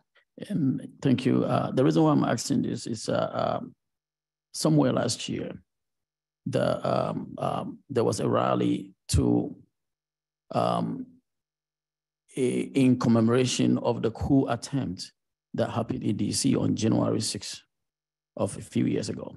But that event was at uh, uh, uh, Monument Square. And uh, there were two groups. One group was the one that were, and then an individual was able to find his way all the way to stand behind speakers uh, from the other group, right? And uh, uh, I, when I was told, a lot of people reached out to me, and I asked myself, what if this gentleman or this individual who was able to cross and go all the we've seen what is happening in different parts of the country a while ago. Uh, people were being shot at protests. What if he shot someone? What if he did something to harm one of the people that were speaking at that time? And uh, I did ask, um, uh, is there anything that we can do to make sure that if there are two parties protesting, one person from the other group does not cross because uh, uh, we may have a, a, situation at hand um, that uh, will be detrimental to our community. Even what happened last Saturday of people being assaulted should not have happened, let alone something worse than that. I'll add uh, a piece for Michael to look at, you know, some specifics with regard to that, but I would just add that um, this counsel, two different times when I was corporation council um, attempted to uh, regulate speech in different ways. One time was with regard to the medians, uh, requiring uh, and indicating that we didn't want certain speech in the medians. And then one time was in front of Planned Parenthood specifically. And that um, uh, we were trying to keep people away from the front door uh, of Planned Parenthood. I will tell you, we lost both of those cases. And it's that that shows you that the First Amendment, it, it's tough. It, it's really hard, and the and the case law is really difficult. So I'll have Michael look at that specifically. Um, but I I just wanted to remind everybody of that because those cases we took them all the way up to the um, to the First Circuit, and we lost in both instances. Thank you. And then um, my next question uh, is, uh, uh, I think uh, Councillor Pelletier did touch on that. Uh, when she said that, uh, where do we go next? People are, the two hours of public comment that we had are people saying that we are, we are afraid, we don't feel protected. Um, we pride ourselves uh, of being a welcoming city uh, uh, for everyone. I know I have used that several times. Um, will I be able to use that in front of uh, a certain group uh, that were here today? Uh, if I should be standing in front of them uh, um, tomorrow in front of City Hall? Probably uh, not, based on what I've heard from them. How do we, as a council, uh, what what do we have? What do we? What are we going to do to reassure people that um, we are welcoming and thriving city for all? That is a question to all of us. I, I'm not expecting any answer. It's a rhetorical question. So, and Mayor, I will want to know what we can do. Thank you, Councillor. Omar, welcome to Portland. Thank you, Councillor. Um, okay, well, thank thank you everybody for comments. I I'd, I'd like to offer you know just br brief comment. Um, first, I want to thank the community who came out tonight uh, to speak to the council. Um, that's a lot of a lot of feedback, and I think uh, I know that we all take that very seriously and listen attentively and care when members of our community uh, feel unsafe and feel harmed. Um, I mean, first and foremost, we want to make sure that we're representing um, in our roles as elected officials in order to um, make sure that people feel welcome in Portland and make sure that people feel safe and um, and steward this place that we live and that we love. Um, when the events of April 1st happened, I think we all learned different things at different times. Um, and there was a lot of direct feedback to city management um, with questions. And the response back was let's respond to this openly and transparently with a communication, which I think is that's the right thing to do. That's what we're here to do is to offer um, this conversation and the information that we've got um, from the chief, from the manager. And again, I do want to draw attention to the fact that we got a memo from the district attorney this afternoon that I think sheds really important and meaningful light on the conversation that we're having here. Um, so I urge people to check it out online and to read it. Um, I also want to thank the police officers for being here tonight. Um, we routinely sit and listen to public comment. And the fact that you're here listening to it with us, I think is important. And I want to say thank you. Um, the questions before us tonight, um, I think the, the critical questions are, what are we going to do? And I think that we all agree that one person, our new JDEI director, can't do it all, but we're glad that he's here. I think my colleague, Councilor Rodriguez, said that uh, Portland's not alone in having a PR challenge when it comes to um, policing. And this is something that we can all work on together. Um, I think the recognition that we're not alone is important um, because we need to look around and see what's working and what we can, not only what we can do as an example, but what, what can we look to as examples. Um, I think we all need to continue to work together and to do this work openly and in discussion with one another. And I want to acknowledge Councillor Pelletier's frustration with how do we move on tonight? You know, how do we move on tomorrow? We're going to move through our agenda tonight. We're going to wake up at eight o'clock and have a legislative committee meeting. And then there's going to be an HHS meeting tomorrow night. And then on Wednesday, I'm going to go to Augusta because it's the midst of the legislative session. And we are working hard with our delegation and others in Augusta to make sure that important legislation is um, or legislation that's really important to Portland is um, is something that we're up there talking about consistently. Um, we're to have two days worth of city manager interviews at the end of the week. And I say this just to acknowledge how difficult it is sometimes to move from thing to thing. And I know that we all do it, whether it's council work or your jobs or families or all the things that come to us. But that's part of the challenge is to continue to move our way through the work that we have to do, but do it mindfully so that we're not forgetting this work tonight and that we're carrying the thread through our committee work and our council work. Um, I don't think it's easy, and I know that it's frustrating.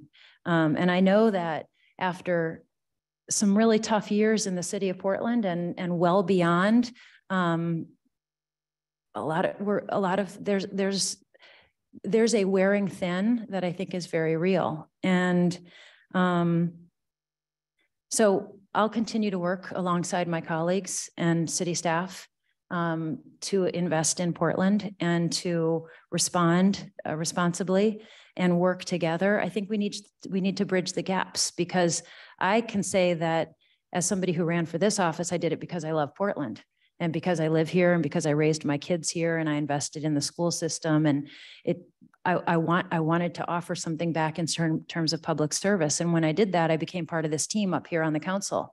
And the council is part of the team that is the city of Portland, which is so many employees who execute municipal government every day for our residents and the people who visit Portland and who work here.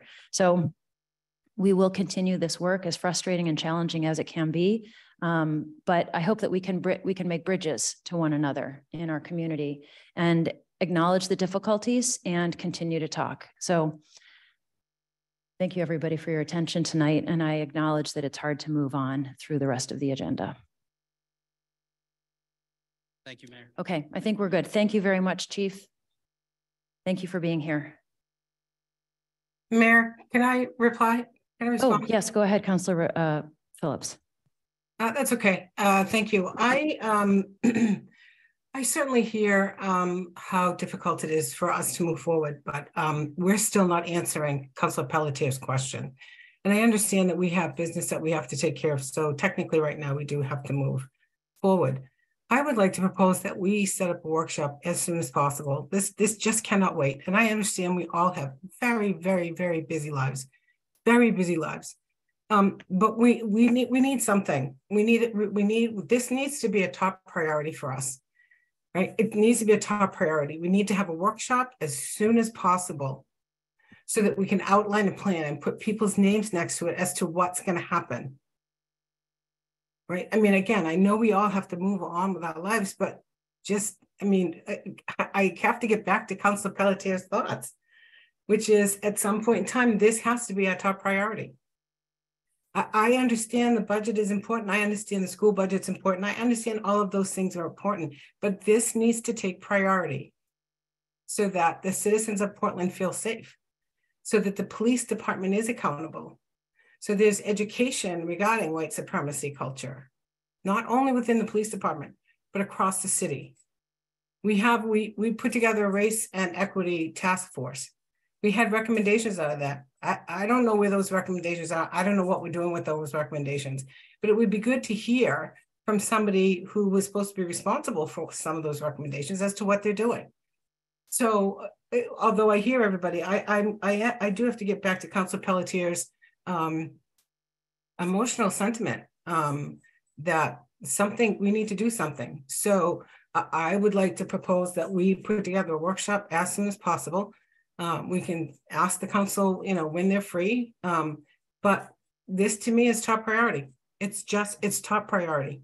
And um, we need to do something um, as soon as possible. So I, don't know what that looks like. I don't know if that's a phone call with all of us tomorrow to say what's the next step, but um, uh, we, we've got to, we, this, this is number one for me. It's number one. Thank you, Councilor. Did you want to reply? I just wanted to reply specifically about the Racial Equity Steering Committee report. As I, as I told the council, I think um, previously, hiring the Justice Equity and Diversity and Inclusion Director was the first step in that. So we've created as a staff, uh, and I've talked with um, him about this, uh, a plan um, that looks at all of those uh, various pieces of the puzzle. He has to he has to learn the city and understand that. So we have a 30, 60, 90 plan um, what we're looking to accomplish in 30 days, 60 days, and 90 days. And it include, it's pretty robust, uh, potentially maybe more robust than, than we can, uh, we can handle all up front. Um, and will include the development of the department and also addressing those racial equity steering committee uh, recommendations, uh, among other things. Um, but as I said, he's uh, learning the city, understanding what we do already, meeting staff, meeting community groups, uh, meeting councilors, meeting anybody, uh, anybody out there, I think at this point, and trying to get that information. So it is uh, front of mind and it, the work is underway. Um, and I would also just add that later this evening, we also have a um, a charter implementation memo that's on for communication, which talks about another piece of the puzzle that um, was discussed uh, during public comment.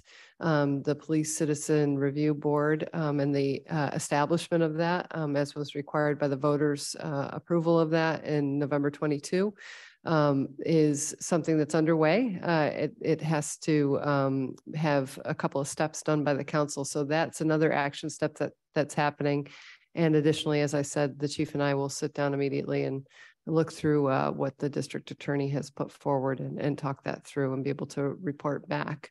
Um, obviously happy to, to talk about that further in any sort of session that the council would like, but that's sort of what's on the horizon. Thank you. Councillor Ali. Uh, thank you, Mayor. I just want to, uh, I don't know if that will be helpful in terms of the workshop that uh, Councillor Phillips is uh, asking. I think some of the, uh, or I can speak for just myself, some of the struggle uh, when I'm having conversation with individuals around um, uh, how do we call it, uh, um, the freedom of speech and how it is protected. Maybe in a workshop setting that might be able to give us a clear uh, asking questions like, uh, do we have the flexibility of denying a a um, I, let's say I want to have a Ghanaian dance at a, um, a, Monument Square or somewhere in Portland, and I apply for a a pass or a permit, and I'm denied, right? And then I go to court. Uh, oh, so if we can have a conversation around that, maybe that will through that workshop we might have a clarity on what is in the minds of uh, uh, some of our colleagues uh, when they say that, what is the next step forward? Maybe. I'm just throwing that out there for consideration of uh, from all my colleagues. And I um, think it would have to be general, um, but I will talk about that with uh, with Attorney Goldman and, and see, you know, specifically what what he could do in terms of responding to those specific types of questions. Right. Um, and sort of maybe like I'm just thinking a frequently asked question format or something along those lines um, uh, I'll, I'll speak with him about that. He, um, it, it might take him some time. And so that may, uh, it- that, because those are complicated questions, but the- there's a lot of pieces here and, and we'll try to wrap our arms around it and see when, when we could get it all together and, and ready for the council. okay, thank you. Thank you for the suggestion, Councilor Ali. Okay. Thank you, everybody. Thank you, Chief. We're going to move, we're going to move on through our agenda. And the next item on the agenda is announcements. And I look to my colleagues to see if anybody would like to offer an announcement this evening. I would. Um, I want to share, um, first of all, I want to thank the council for working hard to build the process to get to the point of finalist interviews for a new city manager. I want to thank my colleagues on the search committee who have been working really um, very hard daily and weekly for a couple of months now, um, actually since just a day or two after the November election to make sure that we could do this work swiftly um, because we understand the urgency associated with um, you know, filling positions at City Hall, starting with the city manager position. So this Friday, I want to invite everybody in the community to a community reception in the State of Maine room in City Hall from 6 p.m. to 7:30. That'll be an opportunity for folks to meet and hear from the city council, uh, sorry, the city manager fi finalist candidates. Um, earlier that day, the city council will be doing one-on-one interviews with the candidates. The candidates will be given um, driving tours of the city of Portland. And then on Saturday, after that community reception, we'll have the opportunity to work as a full council um, in support of the interview process. We've also engaged city staff at various points along the way strategically to engage uh, those folks in the decision-making process and give people a chance to meet candidates um, and have their say. Both at the um, at the after the community reception on Friday evening, there will be a feedback survey. Um, so it won't be lost between Friday night and Saturday morning. Um, we'll be able to actually hear from our community um, uh, feedback um, and perceptions. So again, this Friday night, the 14th, starting at 6 p.m. Please come to City Hall and join us as we welcome our finalist candidates and hear from them um, and, and make our way into this two-day interview process. So the city's website has all the information about the search committee's work and the finalists. So check it out if you're inclined. And we want to appreciate everybody who's been engaged so far. We had a really successful community survey and other um, outreach efforts, including two listening sessions. So um, I've gone on long enough on that front, but we welcome the community to join us on Friday and uh, thank you. Councillor Ali. Uh, Mayor, uh, about two weeks ago, someone asked me a question and I promised them that I will ask you. And maybe this is the perfect time for me to ask. Um, when we started this process, there was a time that uh, we publicly uh, asked each other on the committee to find information, like a uh, contact information for different groups. Um, some of them told me that nobody did got in touch with them. Um, are they going to be contacted down the line or I think, time? yeah, all those stakeholders that we identified were co- contacted directly to engage in the community survey and have been, I think, part of the outreach to get folks to um, the listening sessions and the community reception this Friday. Okay, so if someone's information have been given and they are not contacted, it may be that their email is not correct or something. It's, it's possible, but I followed up on that exact same question recently just to confirm that the stakeholders that we identified where we had, you know, given names and email addresses had been included in that outreach. Okay, thank you. Thank you, Councilor. And I, I know that it's hard to reach everybody. We, the city does um, a good job with social media. I know we all use outreach in different ways. I use email, other people use social media.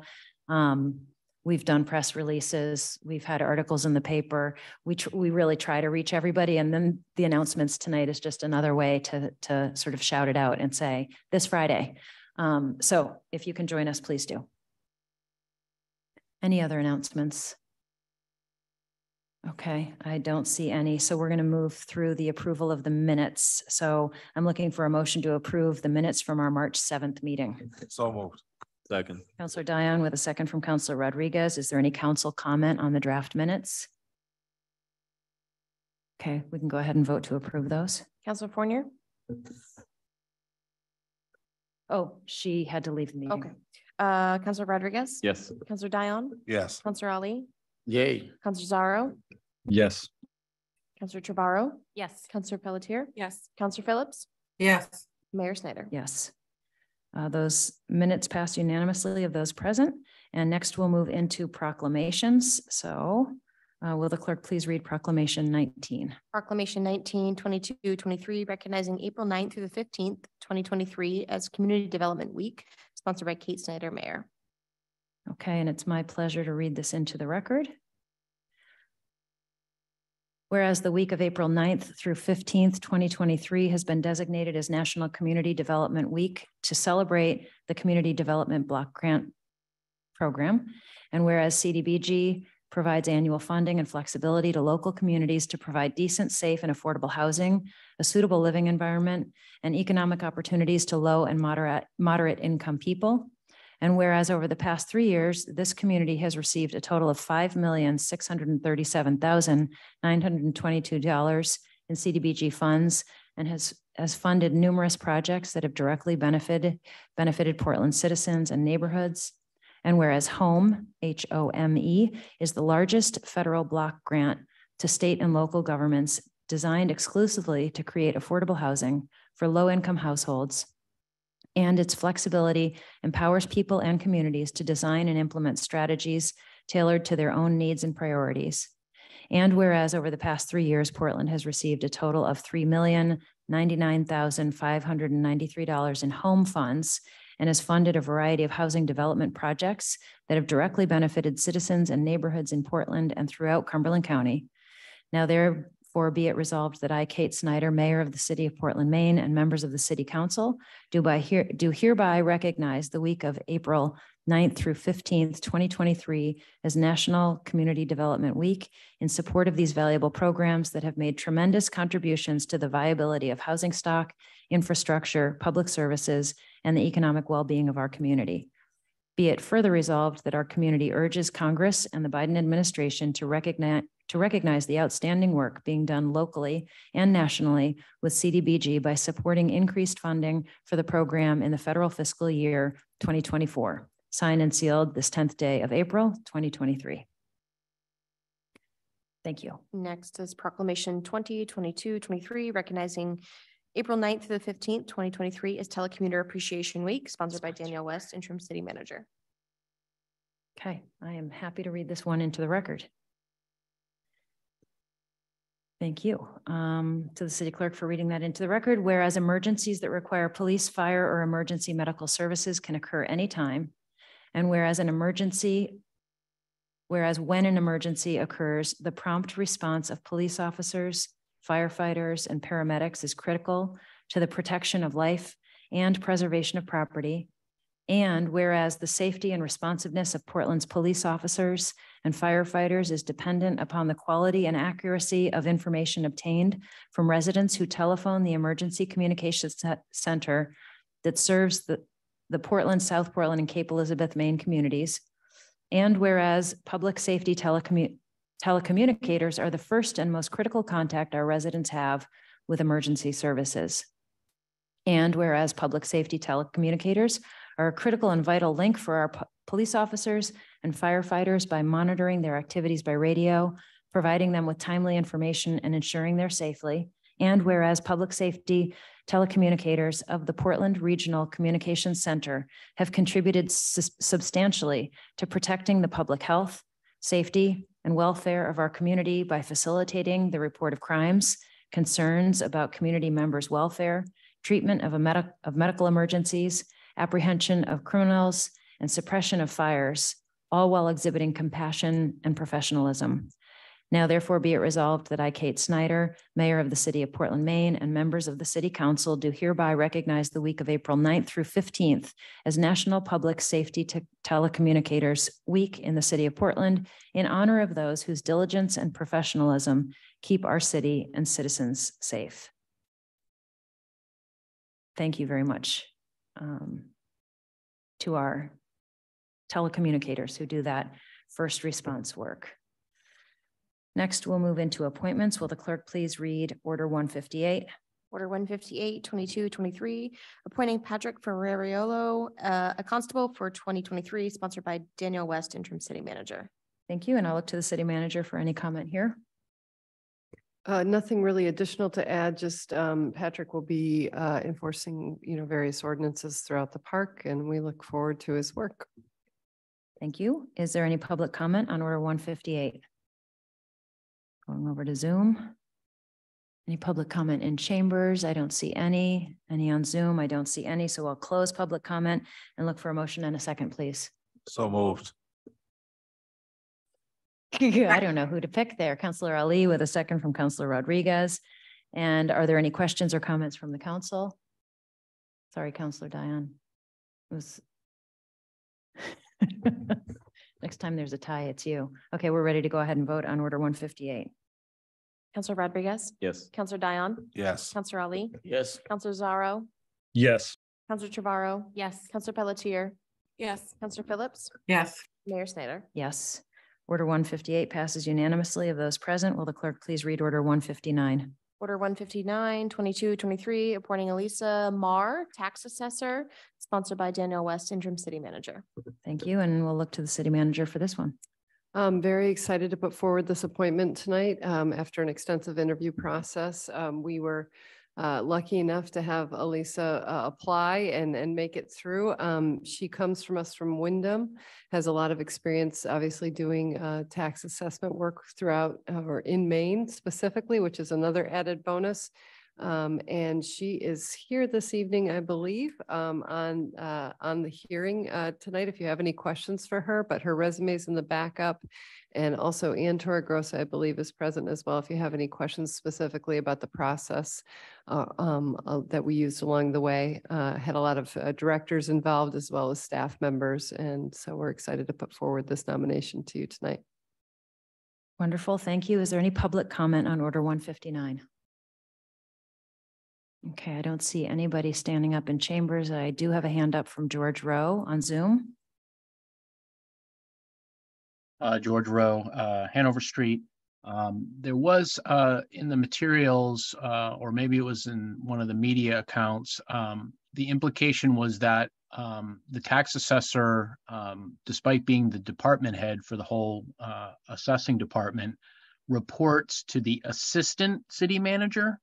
And I was a little bit confused by that because I thought that, uh, being a department head, they would be reporting directly to the city manager. Um, I don't know if you guys need to review your, your org chart, but um, I don't think there's anything in the city charter that gives an assistant city manager the authority to supervise department heads directly. So I don't know exactly what that reporting structure looks like, and it'd be great to clarify it. Um, I really welcome this appointment. Um, certainly seems like a, a very, very well qualified, experienced candidate. Um, the thing that really makes me excited is uh, Ms. Marr's experience in Windham. She uh, indicated on her resume that she had done a city or a town-wide revaluation uh, in 2018, 2019, and, and then two subsequent years after that. I can't remember if it's 2022 or 2021. I- would assume uh, 2020 maybe got skipped, but that was four out of the last five tax years. And the fact that the town of Windham, which has been growing substantially over the last few decades, was able to conduct that, mar- those market updates um, over such a short period of time means that it's quite possible, just like the town of Freeport does similarly, for these market updates to be very frequent, almost every year. That is not what Portland does.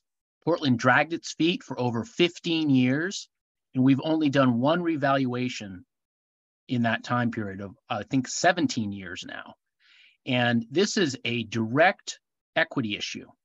The, the modest homes in this city are constantly subsidizing the most affluent taxpayers in the city. Just on Kenwood Street, there's a house that was sold for $750,000 in July of 2021 that's only assessed today at $507,000. 30 second That's an, warning. that's an enormous subsidy that that homeowner in the seller of that property received. While the rest of us who have much more modest homes are subsidizing property taxes that sustain our city. And this is the, this is the authority that you need to give this new hire, is the ability to do frequent market updates every year if possible, if not at least every two years. Thank you for your comment. Addition, additional public comment on order one fifty-nine? Okay, seeing none, I'm going to close public comment and come back to the council for a motion, please. I'll, ha- I'll happily second that. So this is a motion to appoint Counselor Ali. I'm the second, and I look for any discussion from the council. I just wanted to address the question. Um, we have uh, 13 departments, as you're well aware, uh, within the city, um, and only uh, myself and Ann uh, McGuire, who is my assistant. Uh, and so we do divide departments among the two of us. Obviously, Anne reports to me, and so she keeps me up to date on everything that's going on within those departments. But it's almost impossible uh, to to handle all of that just coming directly at me. So she helps me to do that. And, uh, and that's the way that this department will be reporting directly to her and then Anne to me. So, um, the structure, uh, works and we'll be working and excited to work, uh, with Elisa as she starts. So, thank you. Thank you for that clarification. Councilor Rodriguez? Thank you, Mayor. And I, um, perhaps a conversation that I have another, another time, not when we're, you know, appointing a tax assessor position, but um, on the backs of Mr. Rowe's questions. Um, can we, you know, the revaluation process, and we know that we don't want there to be a big gap of time so that we don't have that huge, um, you know, shift on people. But um, does this help to facilitate a shorter period of time between valuations? Is this part of the plan um, with this particular person? And I, yeah, I'll just leave it at that. Um, I think, well, I know that the, um, the mayor, I believe, and the council, uh, was it a year or two ago, um, put forward a resolution, uh, to look at a shorter time period. I believe it was five years that the, the council was looking at at that time. At most. At most. So they were looking at a much, uh, much narrower time gap. Um, and that would be, uh, what we would do. I would just uh, caution us because we had to delay the most recent one due to the pandemic. And then we've had, um, you have appeals that, and we're, you know, we're still, we were still handling those up until about two months ago. So um, it's just a lengthy process. And, and obviously Portland has a significant tax base that we would be looking at. But yes, that, that is something that we would, um, be, you know, thinking about and making sure that we could do moving forward. Great, thank you. And I guess I'll just take um the opportunity while I'm speaking that that's certainly something that's important to us. And you know, the the negative impact of waiting such a long time on evaluation certainly is not something we want to see. So I appreciate that we're building the capacity to get that going. Thank you. Thank you, Councilor.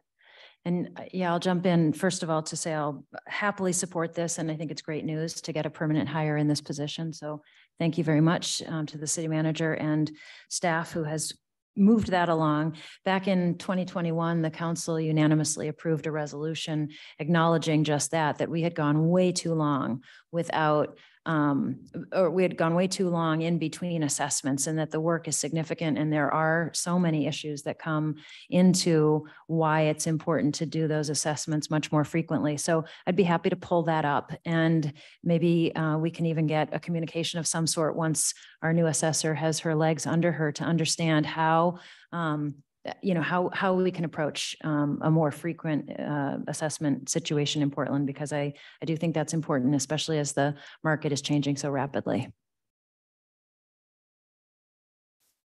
Okay, I think we're ready to go ahead and vote on order one fifty-nine.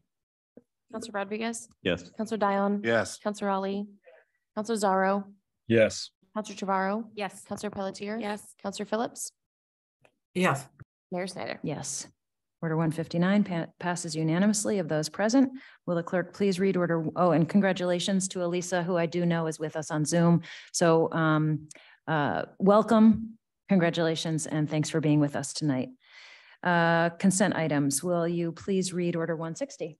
Order 160, 22, 23, declaring April 29th through October thirty-first, twenty twenty-three in the Square Festival, sponsored by Danielle West, interim city manager. Thank you very much. And would you like to address this? I think it's pretty straightforward. Okay, the consent items, sometimes we have more than one, sometimes we have one. Tonight it's one. uh, Intended to be a relatively straightforward issue for the council to consider. Um, But of course, if there are questions or concerns, we can address those. Um, Before I look for a motion um, from the council, I'll see if there's any public comment on order one sixty. Yep, we do have a hand up on Zoom and uh, CJ Opperthauser? Yes, thank you. Can you hear me okay? Yes, we can. Hi, thank you. Uh, first of all, you pronounced my last name correctly. Appreciate I that. did?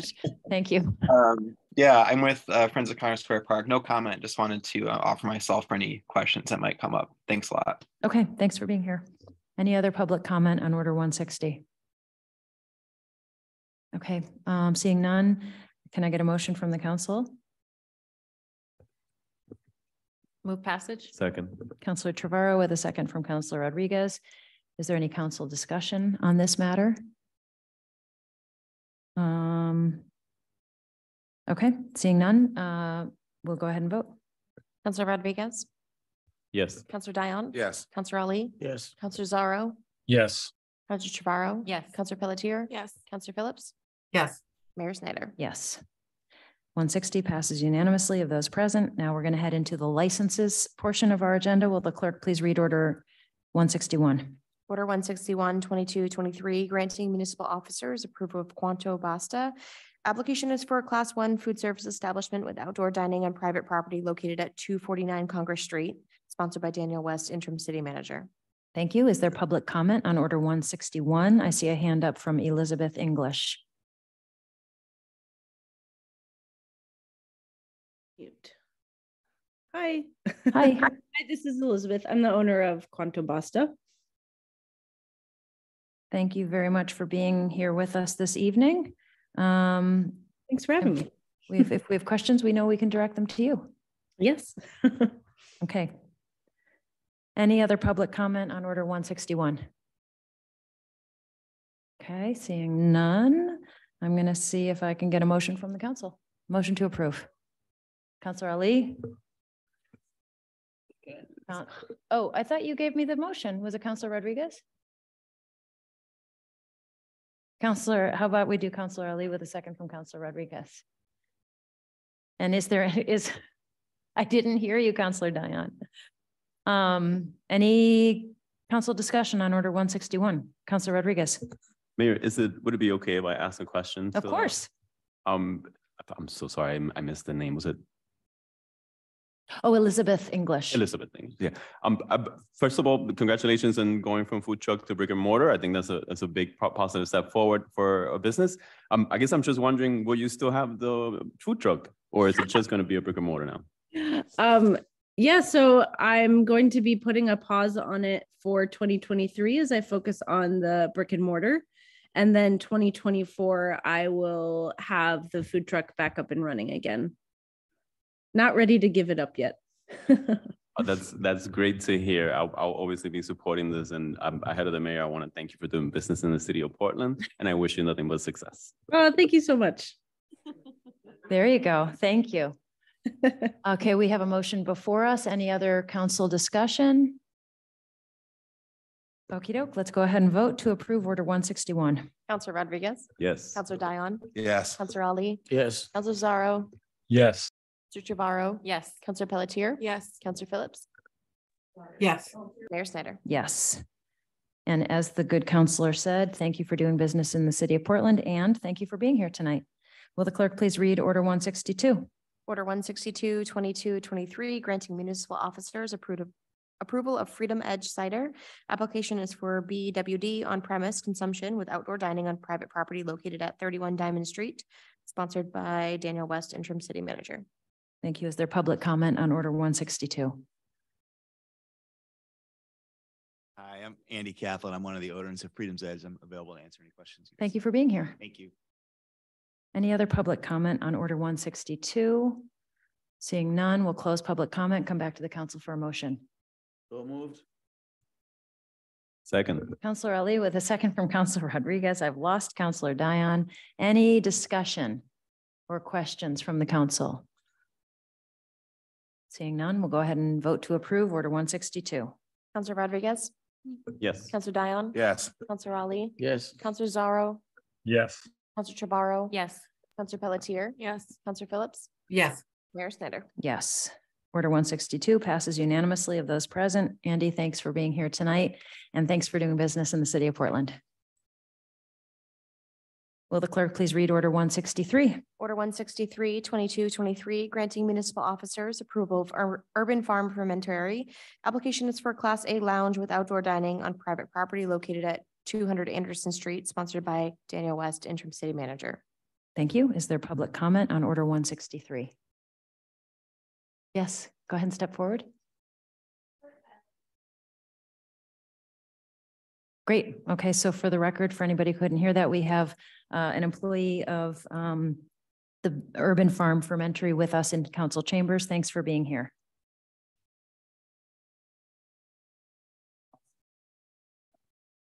Okay. Thank you both for being here. So we've got representation from the business that is seeking a license tonight with us in council chambers. Is there any public comment on order one sixty-three? I see none. I will look for my, look to my colleagues for a motion to approve. Move passage? Second. Councilor Trevorrow with a second from Councilor Rodriguez. Any discussion from the council? Questions?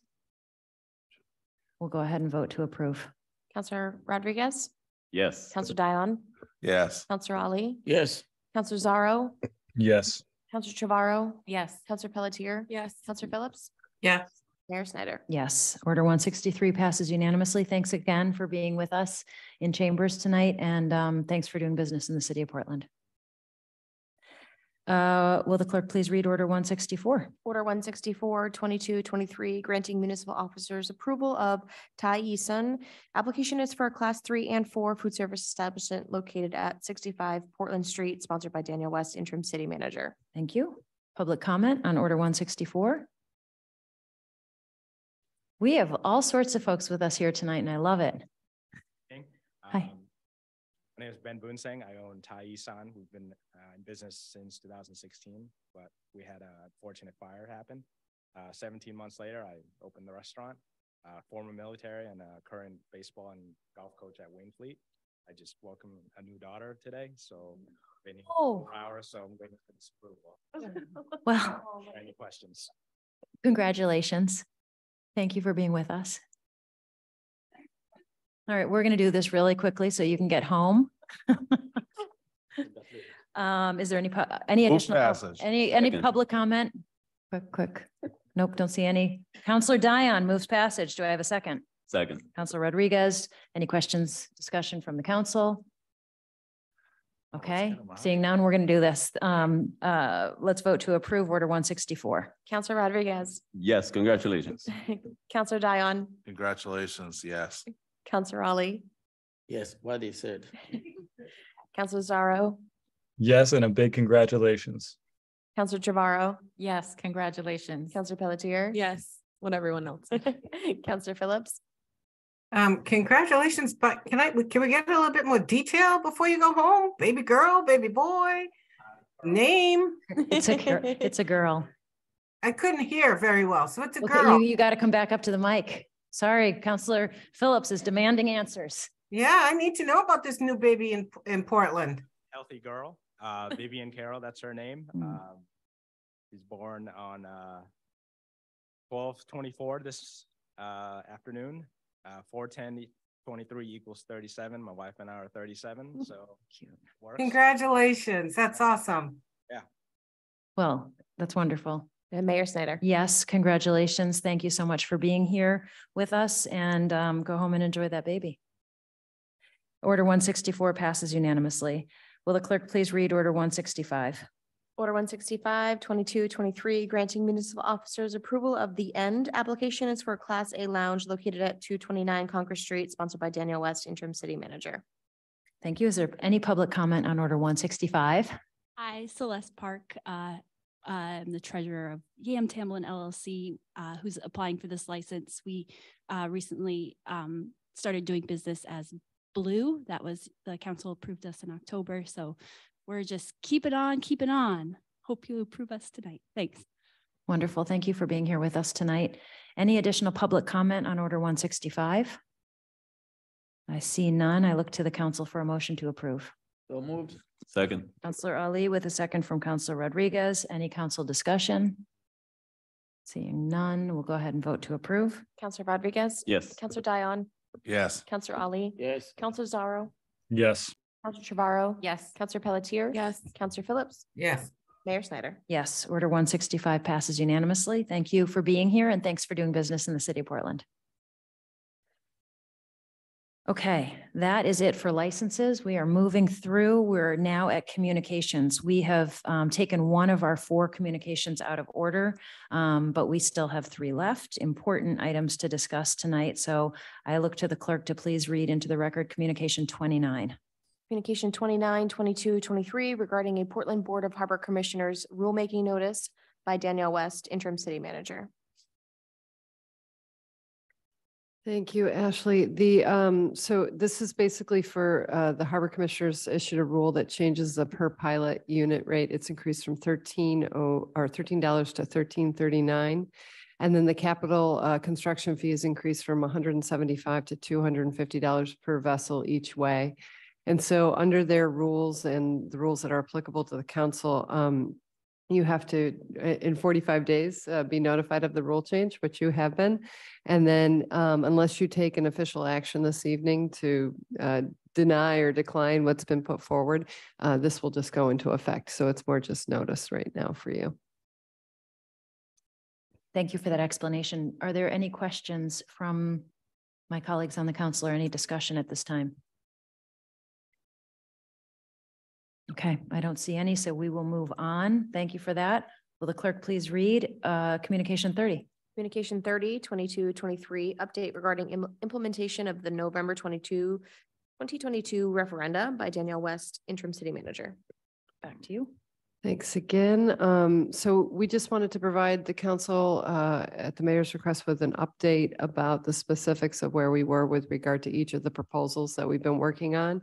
Um, and so you'll see, uh, we just updated the, what we have right now um, in terms of costs, where we're at with each of the proposals, including the, um, Act to Protect Tenants' Rights. And then the, the preamble, um, the clean elections recommendation, which I know everybody's been working on um, as well as the ranked choice voting. And then, as we mentioned tonight, um, the uh, Civilian Police Review Board recommendation. So you'll see all of the, I won't walk through each deadline, but they're all in there, um, included as to where uh, the council will, will be required to do work. Um, and we will be continuing to track that and put in uh, workshops so that you have those in front of you and you can work on the specifics. Um, and then I would just draw to your attention, since we're getting close to the budget, the uh, total um, annual increase so far, uh, unless there's changes at the uh, clean elections level. Um, This doesn't include, this includes the 290. It doesn't include anything above that, but it's a $590,000 expected um, recommended uh, increase that will be included in the budget in the city manager's recommendation for these changes so far. Um, So if you have any questions, happy to answer those. Thank you very much. And I'll just jump in here and um, as the city manager said, I, I, I requested this. I, we've gotten updates along the way. Um, uh, and it, it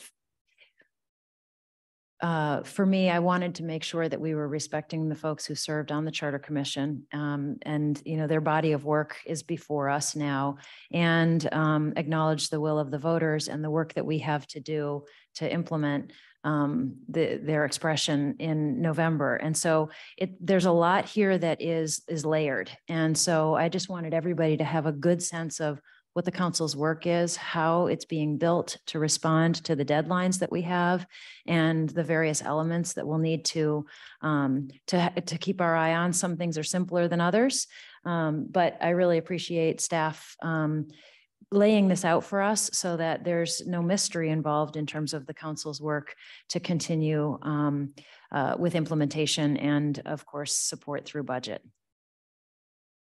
Is there any council discussion or questions on this communication? Uh, Okay, I don't see any. I will move on. Can the clerk please read order, uh, communication thirty-two, please? Oh, no, wait, thirty-one. Communication 31, 22, 23, updated numbers regarding asylum seekers, seeker arrivals by Danielle West, interim city manager. Okay, thank you. Back to you, Council, uh, City Manager.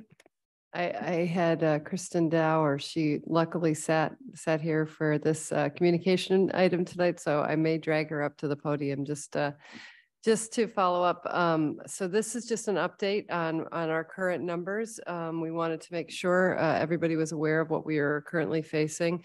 Um, We opened the expo today, and so I think Kristen can speak to some of those specifics, but I just wanted to highlight for you um, we're, we're, we're at capacity, as you can see across the board at every single location that we have, even um, I'm, I'm not sure of the exact numbers at the expo. I'm sure Kristen will update us, but I think we're going to be very close, if not there, uh, at capacity very soon. So I wanted to be as open and transparent as possible. Um, you know, we're, we- we've, we've definitely reached our, our, our limit. We have no ability at this point um, to beyond the spaces that we've opened to uh, be able to continue to open other locations. So we will, as you'll see at the end of the memo, um, we, we won't be able to guarantee shelter once the, the capacity has been met at the expo.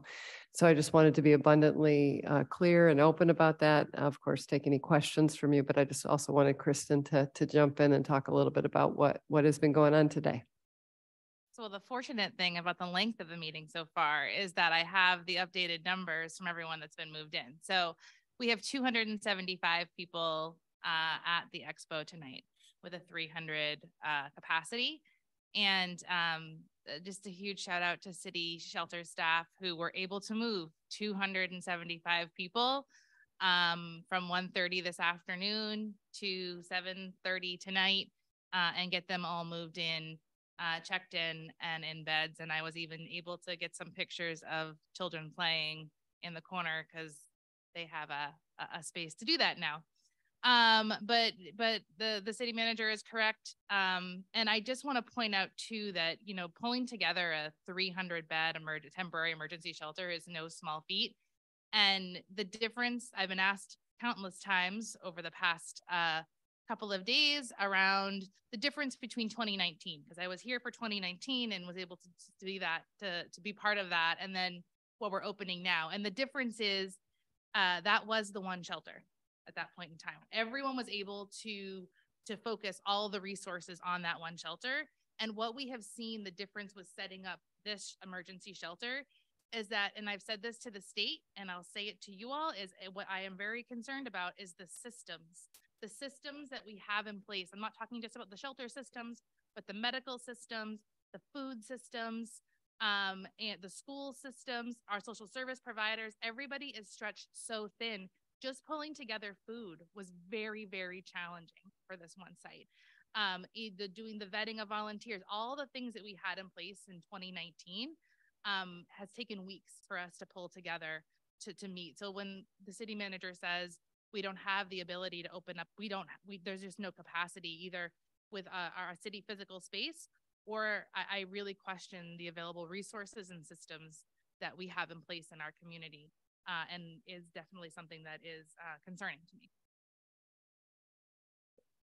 Thank you, Kristen. Um, and I'll just follow that up. I know the mayor mentioned this earlier, but we continue to, to go up to Augusta to advocate, um, to help to find solutions, uh, to this uh, issue, because it's one, as you'll see, we mentioned, um, Title forty-two will lift, uh, in May. Um, we've seen significant numbers of people over the last few weeks. Um, we just, you know, I don't, I don't see an end in sight, um, essentially. And so we are very concerned. So to work on those solutions in Augusta and then also at the federal level, um, is, is front of mind for me, um, because we do need to try to figure out a way in which we as a community, but also as a state can continue to welcome people. And, um, it, it's not, it's with a heavy heart, I have to say that we, we are unable to you know, guarantee shelter once we reach that capacity. I mean, it's not, it's not a place where we want to be. Um, but we want to make sure that you were abundantly uh, aware of that and it was very clear. Um, and so uh, happy to answer any questions you might have. Hmm. Thank you very much, Director Dow, and to the city manager for this communication and update. Questions or comments? Councilor Rodriguez. Thank you, Mayor. Um, thank you, Director Dow and, and City Manager, um, West. Um, can you remind us how, how long we have the expo available for, for this use? And then I have a follow-up question about the meals. Sure, Councilor. Um, it's, it's through the summer. So pretty much the end of the summer, um, is, is, is it for us. Um, and you mentioned, Dr. Dow, the, the food. Um, so can you just remind me, uh, how many meals are we serving and where are we getting the food from? Sure, we're serving three meals a day for three hundred individuals. And um, Preble Street was able to, I believe, do dinner uh, and breakfast and Wayside uh, and Maine Immigrants' Rights of Coalition will be helping with lunches. Okay. Are most of these are like packed, um, meals or, um, Yes, yep. Okay, so it's not, okay. Um, and they'll, that, they'll be able to continue to provide food through the rest of the summer, or is this kind of like we're still? nope, that, that was the plan. Okay, excellent. Um, yeah, I think those were, that was just like my very immediate questions, but I certainly understand the, the huge lift, uh, that it was to get this open. Um, it's heartbreaking that it is a temporary fix, um, and that so much energy and planning goes into that. Um, and we don't have that many options for a really long-term solution right now. Um, so it's, it's just really disheartening, but I just super, um, proud of all the work that everyone is doing to get this going and, and the efforts that we have to look at that long-term solution as well. Thank you. Thank you, Councilor. Councilor Ali, did I see you had, had a hand up? Uh, yes, I was gonna ask, uh, because, uh, uh, uh, I I heard, uh, Ms. Dow said that, uh, we don't have staffing. If someone is watching and they want to volunteer, what are we looking for? Yes, so we were able to fortunately hire some per diem staff. So it's just for staffing, but the volunteer part is another part as well. Um, so for staffing, we were able to hire 14 per diem staff. Almost all speak um, English, Portuguese, and Lingala. And um, they were primarily um, uh, hired from Abbott. Um, there was a the layoff at Abbott. So we were able to to onboard about, about 14 per diem staff and we're still interviewing. So that's that's fantastic. But yes, for volunteers, we definitely have volunteer shifts.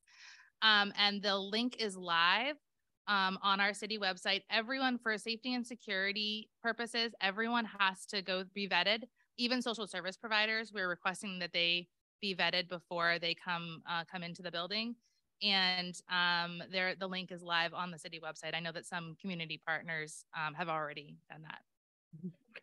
And, and I'll just add, I just wanted to add that the link is live, but also we, um, our donations, uh, have been live and we've been very excited about, about the response already. Um, I believe just in two days, it was close to twenty thousand dollars that we received to help, uh, help us, uh, be able to meet this need, but um, I know that, uh, you know, we've just, we've received an outpouring of, of support and help. There's also a link uh, for specific needs um, connected to Amazon.com. So you can find the, the things that are needed like diapers and other things. So um, the, the specifics are out there if you need that. And we're happy to pass that along to anybody who, who needs more information. Thank you very much. I've got um, two hands up. First, Councilor Dion, and then we'll go to Councilor Phillips on Zoom. Thank you, Madam Mayor. Thank you, Director Dow, and an extended thanks to your staff. I, I guess this question maybe involves you, but I'm going to direct it to the city manager and the mayor as well, because they might be more informed than I. Um, everything I'm hearing suggests to me that we're running out of pavement. Okay, and it's, it's nice to talk about your systems are being stretched. I think we're gonna get to a place where we have to consider, I'll choose my words as carefully as possible, but there has to be some intentional, coordinated transfer of individuals that are coming to the city. They, I don't fault them. They're coming here because they've been given an expectation that we have the capacity to receive them, their children, and provide them with their basic needs and education. But I guess, maybe it can't be answered this evening. But I believe the runway's ending really quick in real time. And, and I just will wait to see what our plan is moving forward. Um, I mean, I, I've seen some media that some communities are trying to build capacity in their own city or town to accept refugees, but I don't escape the idea that they've already had what they think is their fair share of the challenge and they were fortunate to build the capacity. But it doesn't look like it's a capacity that has a lot of elasticity. So I just want to put it out there. I know you're thinking about it, uh, Manager West, and I know the mayor thinks about it, but at some point, for me, that'll be the real conversation when we have to make a public declaration. There is no more runway. And, and what steps will we take to help coordinate the meeting of their needs in other communities? So I, it's an awkward question, but it's going to become a real problem, I think, probably before the summer's over. I, I actually think it may be sooner than that. Um, I, I just want to be clear. I think Kristen just said it, our, our, we're stretched. We have twenty-five spots left essentially is what I'm telling you. And we're going to meet that in no time flat. And so I, I think we're there. And, and that's why I'm trying to, to be as clear as possible to say that we have reached the end of that runway. And um, that's why, you know, the things that we're doing in Augusta and at the federal level are extremely important. Um, we do need our community neighbors uh, to step up and, and to look at, you know, maybe trying to figure out ways in which they could develop um, or find uh, developers um, that that can put forward uh, solutions within their communities. Um, I'm hopeful that the the solution that Developers Collaborative has put forward with regard to Blueberry Road is is successful and gets going and, and can be um, an uh, you know a transition for us. But I think that you know other communities are going to have to have to look at that as well, as well as that you know state level coordination that we keep talking about and and seeking and that includes potentially providing other housing options uh, throughout the state, I think. I, I think it has to be a broader approach um, across the board. So I, I, I, don't want to be too blunt, but we're there. We're already at the end of the runway. Manager West, you don't have to be blunt. I, I looked out the window and I can see the end of the runway. I just don't know if the capacity question has become tangible among many people in the community. I mean, Portland has a great reputation of always making it happen. No matter what problem they've thrown at us, we've had the solution. This might not be that case. And I admire all the work that's been done in Augusta to try to secure more funds. But for me, this is a fundamental question of sufficient staff and sufficient space. Right. That's the other challenge. We we're running out of runway and that's a real thing. It's not abstract. It's, Well, we and just I- don't I- have the I just place for would- more beds. The only thing I would caution about is that we are still going to be housing twelve hundred people. Even when that runway, we reach the end of it and have no additional capacity. So the funding need is going to be there no matter what. And so I think that's one piece. The other piece that I think Kristen's trying to drive home and, and I, I'm echoing it as well, is just that our systems within the community, within the city right now are stretched uh, to the maximum staffing wise, um, as well as just service wise across the board. One final comment, Mayor, then I'll shut down my mic. I, I didn't say it well, but when I've talked with other leaders in other communities, they think we have a cash problem. And they're very supportive of facilitating an environment where we can receive more funding. But I've tried to push back and say it's much greater than a cash problem. And that's why I, I appreciate your efforts and that of staff and the mayor's office. And as promised, I'll shut off my mic. I'd love to take just a second to, to reply, Councilor Dion. I think um, as we face FY twenty-four, resources are an issue. So we keep our eye on the continuation of funding from Augusta and other sources that help us meet the need. And like you said, it's not just a cash problem. And so we've got a systems problem.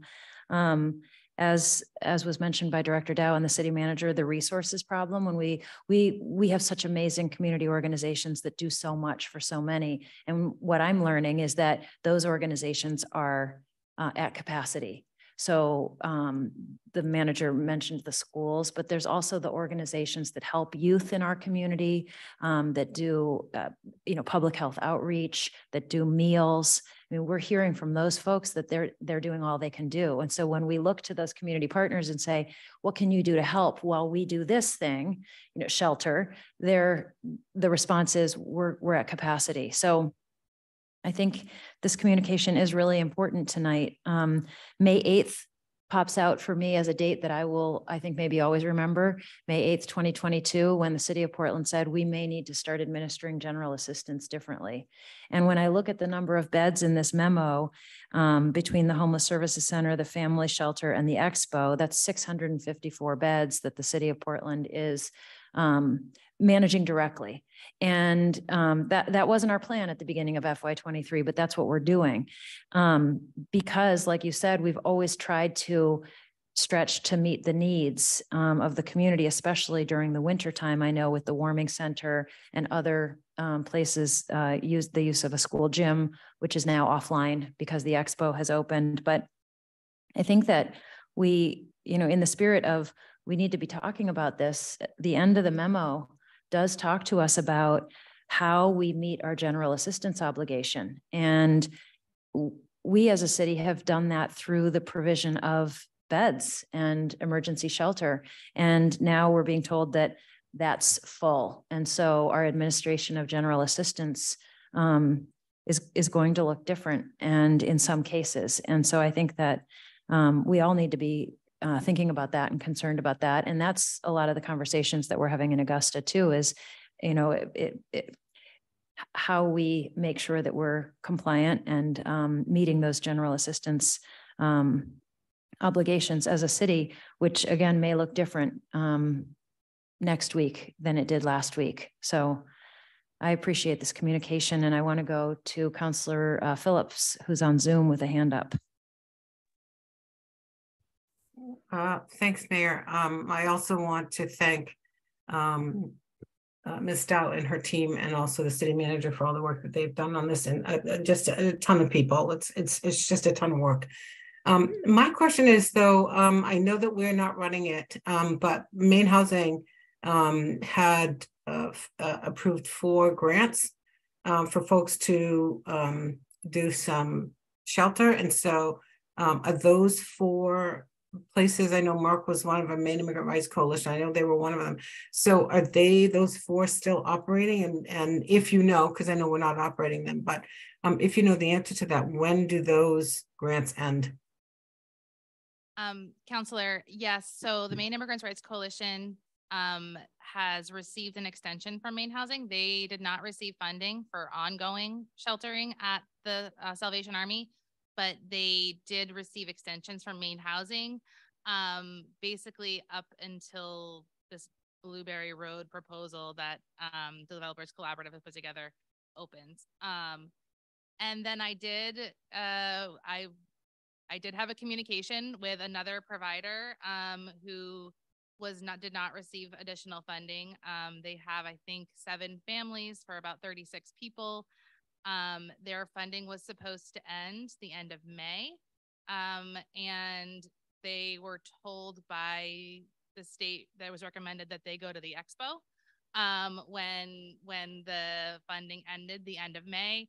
And uh, I wrote back to that provider as well as to the state themselves and said the expo I can guarantee you will be full by the end of May. And we should not be relying on the expo to uh, continue shelter for any kind of uh, state funds that are ending. Um, so I have had that communication with the state and that provider. Uh, thank you. So the numbers that you, we have in the memo do not include, obviously, they do not include um, the folks that are staying in these temporary shelter places. Or is the twelve hundred uh, interim city manager that you were talking, is that is that the full extent or is it more because of the it's definitely more, Councilor. more. Um, so there's seventy-seven, I think, at uh, Salvation Army. So that would be an additional seventy-seven. And also that doesn't take into account, I don't think specifically the ones that um, rely on different uh, per- uh, parish services or, or um, that are provided pastors that provide uh, assistance, um, as well as obviously what's in the surrounding communities. So the number is uh, most likely much higher than that. This, that's just what the city of Portland is caring for right now. And so when we talk about, I always want to call it, as you know, Blueberry Lane. What is it called again? I'm, I can never remember. Is it? It's, it's Blueberry Road. Yep. I don't know. I just really, sorry. Um, so basically though, what you're saying is, is if uh, Blueberry Road. Road Blueberry Road. Um, if we go down, well, we were already down the path of Blueberry Road. I, I think you had said that we could house four hundred. And so are you also, sorry, go ahead.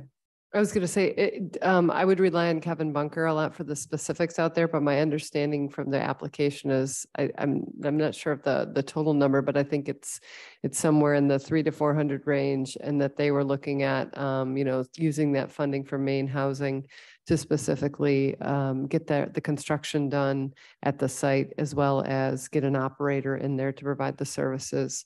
And then that would be look, we'd be looking to, due to our, our limited time frame at the expo, to transition um, people out to that site.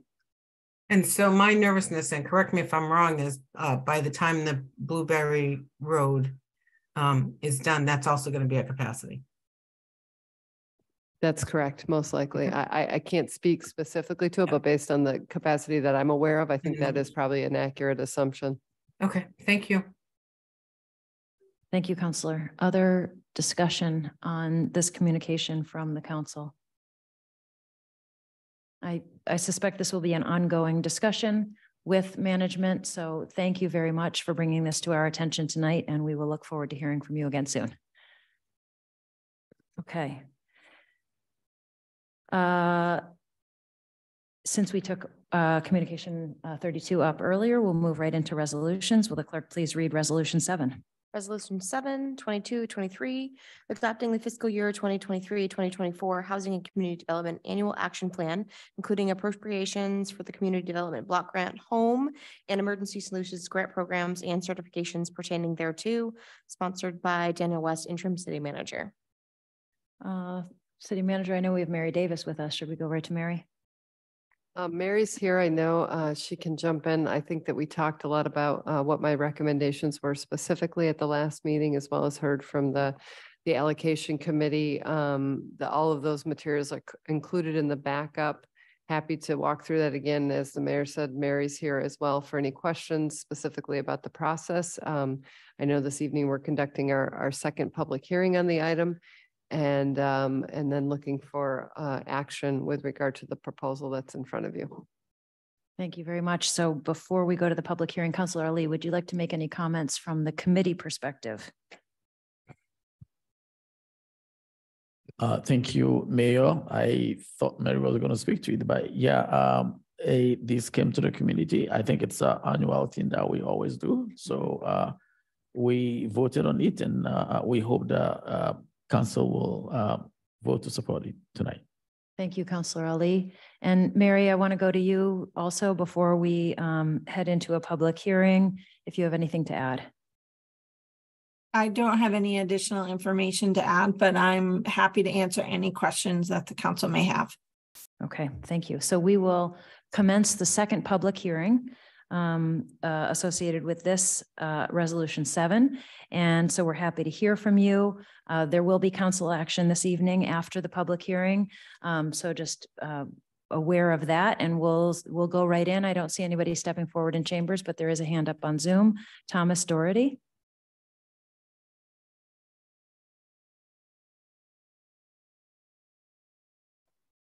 Hi, Tom Doherty. I'm the Executive Director at Milestone. I wanted to thank the committee for their recommendation for funding um, and for Danielle West. We sit at the nexus of homelessness and substance abuse. And the funding proposed in this will allow our home team to continue serving all across the city and reduce the impact on the police department and provide an alternative response. So I wanted to thank everyone for that support. That's all I have. Thank you very much for being with us tonight. And next we'll go to um, Peace is next. Oh, I think we just lost that speaker. Hold on, let me see. You unmuted, you unmuted me. I don't know if that was the intention. Huh, okay. Um, uh, uh, I think your name is Elias. Correct. Okay, you go ahead and then we'll, I think our, our other speaker may have dropped off, but um, we've got them back. So you go ahead and then we'll go next to Peace.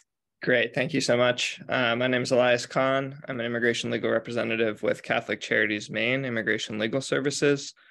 Um, thank you for your time and effort reviewing proposals and for the opportunity to address you. We deeply appreciate your recommendation of CDBG funding for our joint program with ILAP. CCM and ILAP provide free and low-cost qualified legal advice and representation to support family reunification, citizenship applications, green card applications, work authorization, consultations, and representation before USCIS and the Immigration Court in Boston. With expanding immigrant populations in Portland, including Afghans, Ukrainians, Cubans, Haitians, and asylum seekers from many nations, Immigration Legal Services has increased our range of services At Catholic Charities, we've expanded our team to 10, including two additional part time staff and six volunteers, two of whom are former attorneys. We provide direct multilingual legal services covering 11 different languages. We continue to collaborate with Maine immigrant assistance providers to address emerging trends, gaps in service, and access to intakes. In response to the crisis in Afghanistan, Ukraine, and Haiti, CCM and ILAP were able to quickly address the community legal needs by offering in person legal workshops. We also support Hope Act's work permit program and host monthly immigration legal orientations and workshops. These new initiatives to respond to the needs of, of the moment matter. At present, there are only three agencies in Maine, including CCM and ILAP, that are nationally recognized by the U.S. Department of Justice to provide immigration legal services. Together, we more efficiently serve clients through close and regular coordination, information, share, information sharing, and consultation. DOJ recognized organizations deliver accurate, trustworthy, and affordable immigrant legal services at a time when immigrants can be compelled to attempt these legal applications without proper legal support. We provide crucial trauma informed services and immigration law to the local immigrant population. Mistakes during the immigration law process can be catastrophic for families, leading to lack of status, inability to work, and at worst, deportation. A recent success story highlights the importance of this work for our community. Early this year, our client G successfully received permanent resident status. A victim of torture whose family was murdered, G overcame many barriers. During the long journey to the US through South and Central America, G witnessed many atrocities and was detained in multiple countries before arriving in Mexico. 30 second warning. G waited at the border for months, avoiding human traffickers, drug cartels, and violent crime. Once in the US, they were detained for eight months before receiving asylum.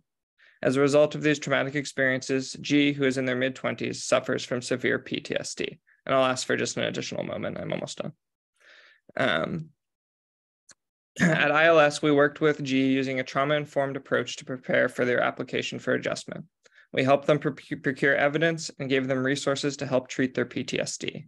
At every step of the process, ILS was there providing multilingual representation and advocacy on their behalf and ensuring that they understood the process every step of the way. I'm proud to say that they received their green card, are fully employed, and maintain a stable home close to their community. ILAP and Catholic Charities continue to provide our immigration legal services both remote, remotely and in person in the face of growing need in the community. We are grateful for your time and consideration. Thank you. Thank you for your comment. And next we go to Peace Mutesi. Hi, um, my name is Peace Mutesi, and I work with Quality Housing Coalition. I'm the Project Home Trust coordinator. Um, Project Home Trust is a Maine's first direct cash assistance program. And the purpose of this program is to uh, stabilize homes uh, by investing in the families. And we all know that um, when families are stably housed and financially secure, they and their children will be able to thrive in and out of school and they'll be able to thrive professionally. And there's um, less, uh, they're less likely to ever experience homelessness. So I want to thank you all for supporting this recommendation. Thank you very much for your comment and for being here this evening. Is there any other public comment on resolution seven? Okay, I see none, so I'm going to close public comment and I would like to come back to the council, please, for a motion. Move passage. Second. Councillor Trevorrow with a second from Councillor Rodriguez. I'd like to ask if there are any questions uh, from the council or discussion on this. Councillor Rodriguez. Thank you, Mayor. I'm actually going to stand for this one because I've been sitting for way too long. Um, Mayor, I just wanted to take, them. first of all, I want to thank the folks who spoke, who are representing the organizations that are being awarded amounts, um, and, and to highlight and to, to give us a brief summary of the work that they're doing. I think this is a great example of how the council has opportunities to tie in a lot of the comments that we heard earlier today of the, the folks in our community who are um, have historically been disenfranchised, that continue to have uh, gaps in services and not have their needs met.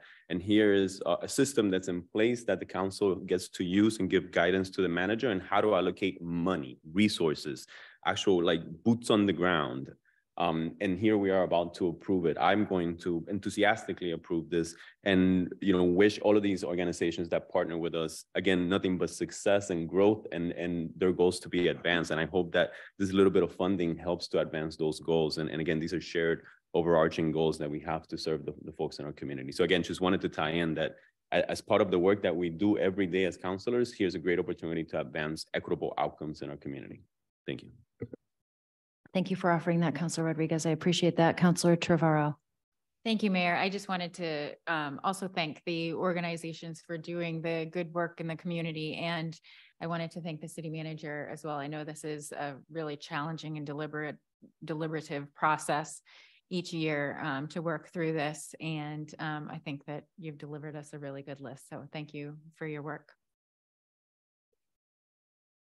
Thank you, Councilor, to both councilors. I just wanted to add, uh, Mary's on there. Mary, um, Mary's been and her staff uh, who help with this process and the CDBG allocation committee itself have been so helpful. Um, you know, really listening to them and hearing what their recommendations were. And, you know, we, they recommended and they've had recommended for the last uh, two years to move the community policing over to the general fund. I thought that was a good idea. So that did free up some some money to to be able to fund additional programs and then really working with Mary to try to find additional resources, which um, I'm sure she just loves spending that time with me and trying to figure that out. But being able to to really be a little, you know, creative because um, I have more creativity or ability to be creative than than the allocation committee does. So that I think that's been helpful. So um, appreciate those comments. But all the all the shout outs go out to Mary.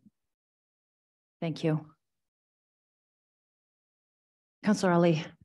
Uh, thank you, Mayor. I also want to thank all the uh, community uh, organizations, our partners who do some of the work that uh, uh, we may not be able to do uh, to support um, um, residents of the city. I think um, CBDG is almost always one of the difficult decisions that we have to make because we have um, um, this amount of money and then we have a twice more request from what we have. So thanks to everybody who work on this to bring it forward. And uh, congratulations to those that got the uh, request funded. Mm -hmm. Thank you, Councillor. So in addition to all those thanks and, and special recognition for Mary Davis, who has been serving in an interim capacity and really doing double duty, thank you, Mary, um, is to the, um, the, the folks who make up the CDBG Annual Allocation Committee. I know that those are volunteers in our community who help to do that work um, and sift through all the applications. So um, uh, always uh, appreciative of people who are willing to step forward and volunteer to help our city keep moving things forward. Mary, you have your hand up. I just I I feel uncomfortable taking all the accolades tonight because um, as you mentioned, I've been in the interim position, which meant that the housing and community st- development staff have taken on a lot of extra duties the last few years. And really, this whole process couldn't have happened last year or this year without um, Heidi McCarthy, who's our compliance officer. She stepped in, in in the interim when we did not have a program manager for CDBG, and just the rest of the the staff in the housing community development division. They've been rock stars, and I really wouldn't look half as good without them doing all the work behind me. So I appreciate their work. You stole my line, Mary. I wouldn't look half as good without you and all the department heads. So thank you. That's great. Thank you, Mary, for for letting us uh, share in your um, appreciation for those employees. Um, any other additional council discussion before we go ahead and vote? I don't see any, so we can take action on resolution seven. Councilor Rodriguez? Yes. Councilor Dion? Yes. Councilor Ali? Yes. Councilor Zarro? Yes. Councilor Trevorrow? Yes. Councilor Pelletier? Yes. Councilor Phillips? Yes. Mayor Snyder. Yes, resolution seven and all that it contains is passed unanimously of those present. Thank you, everybody. Again, thank you, Mary. I know you're going to stick around. Um, Just a few more things to, to, to go through here. Um, We move into our orders section. Will the clerk please read order one sixty-six? Order 166, 22, 23, approving the administrative fee increase for parking in the Ocean Gateway parking lot, sponsored by Danielle West, interim city manager. Thank you. This has been the fee uh, for the last few years, but we had um, adjusted the timeframe uh, that that it was applicable to. So we wanted to make sure that we um, uh, thought about that and looked at it specifically for this year. So um, I know John Peverada is here to answer any questions, but this would give us, I believe, an additional sixty-four thousand uh, dollars this year uh, for um, for our budget, uh, as well as looking into the next fiscal year, hundred and twenty thousand dollars as it indicates. And staff is requesting that this be passed as an emergency so we can implement it right away. Thank you very much. Is there any public comment on order one sixty-six? George Rowe, you have a hand up?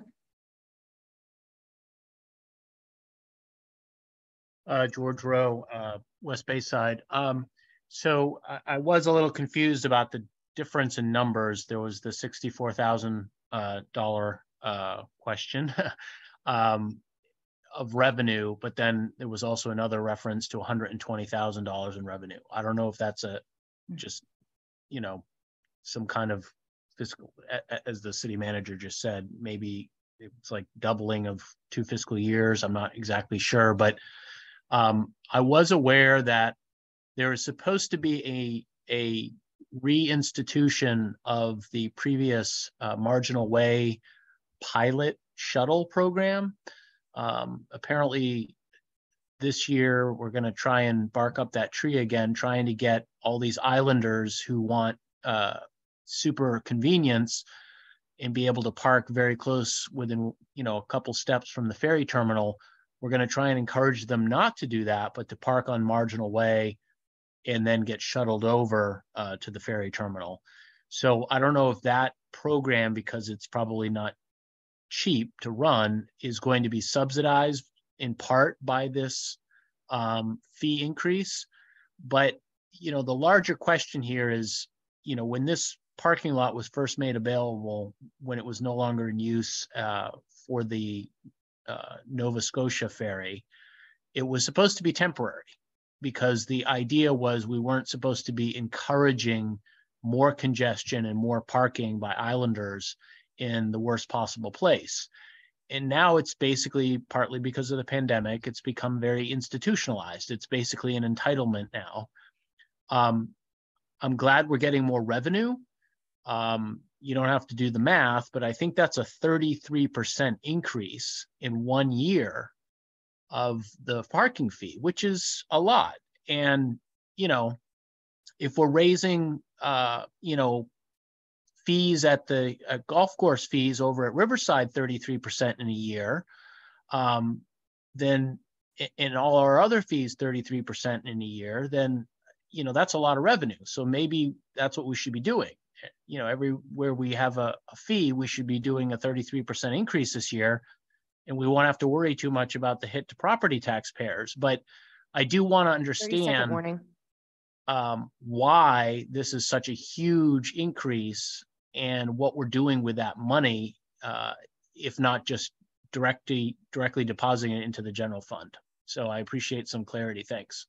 Thanks for your comment. Is there any additional public comment on Order 166? Okay, I don't see any, so I'll close public comment and come back to the council for a motion, please.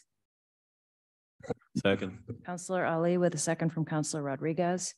And um, questions, discussion from the council. I, I see, I see Danielle ready to, to respond to those couple of questions that came to us from the public. So why don't we go there? Yeah, I was going to actually call on John, uh, John Peverada, our parking director. He is here. I think he can talk and speak to the the um, this fee increase and, and talk about past history. But I also just wanted to remind everyone that this This parking lot does have a very limited time frame. Um, we are just continuing to use this because as you all know, the Portland Harbor Common project, another park would be potentially in this space. Um, and so that would be coming soon, which is part of the reason why, as we look into this next fiscal year, we, we will be considering and looking at the shuttle that uh, Mr. Rowe just mentioned, uh, accessing that again, because we do have to find um, the ability to provide some alternative ways uh, for people to park. But John, why don't you jump in on the, on the increase specifically? Sure. Uh, when we put our budget together this year, we were looking at any opportunity could to raise fees, looking at everything, being competitive. And we felt that going up five dollars a day in this lot would be reasonable. It wouldn't put it out of price for the islanders. Majority of people are parking this lot are going to the islands. Uh, like uh, Mr. Rose said, it is a thirty-three percent increase, but it's relatively reasonable. Uh, the other lot across the street from us is getting fifteen, but they're getting ready to go to twenty dollars a day as well. Uh, as the council, as the city manager mentioned, uh, this rate will give us a sixty-four thousand dollar increase this year in fiscal year twenty-three, uh, ending June thirtieth. And if we go next year, it'll be another hundred and twenty thousand. Thank you, John. I appreciate the clarity. Questions, discussion from the council on this item before you? No, okay. I think we're ready to go ahead and vote. Oh, sorry. Oh, I'm so sorry, Councilor Phillips. Thank you. Um, I guess I, I, um, I, I certainly understand the reason why we're, um, increasing the fees. Uh, uh, for me, I just don't understand why we have to do it immediately. Um, and maybe I even do understand that. I just, you know, somebody, somebody went and parked in that garage today and paid fifteen dollars. Tomorrow they're gonna go and they're gonna park in that garage and it's an additional five dollars. So have we notified anybody that this, this amount is gonna go up? Um, and uh, is there any way that we could? I, I know sixty-four thousand dollars is a lot, but again, I'm just concerned about the regular old person who wants to park in that lot tomorrow and is gonna be shocked at the fact that it's now gone up twenty dollars. I mean, five dollars. So with this stress level and everything happening in Portland, I'm just wondering why this has to be an emergency. Yeah, I can address that. Uh, this lot basically has been closed for the winter months as we've been using the majority of the lot for a snow impoundment lot for the snow bands. We've only had about thirty-five spaces available during the winter months at fifteen dollars a day. We're looking to open the lot up for the season this week. And that's why we thought it'd be appropriate to do the rate increase before we open the whole lot up to the uh, general public for the season, rather than have a rate increase midway through. Plus, it gives us sixty-four thousand dollars between now and July first. Right now, there are a limited number of vehicles that are parking in this area. Thank you. So have those thirty-five people been notified that the fee's gonna go up? They have not. Okay. I, I certainly understand. Thank you, John. I, I really, I appreciate it. Um, thank you. Thank you for your question, Councilor.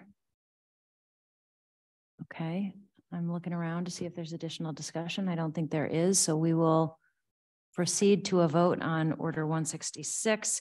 Um, But before we do, I just want to acknowledge that uh, we have been asked to pass this as an emergency. So Councilors Ali and Rodriguez, are you okay with your motion and second being uh, that to pass as an emergency, which would require seven affirmative votes of the council?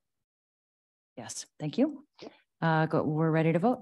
Councilor Rodriguez, Yes. Councilor Dion, Yes. Councilor Ali, Yes. Councilor Zarro? Yes. Councilor Trevorrow, Yes. Councilor Pelletier. Yes. Councilor Phillips, No, Mayor Snyder. Yes.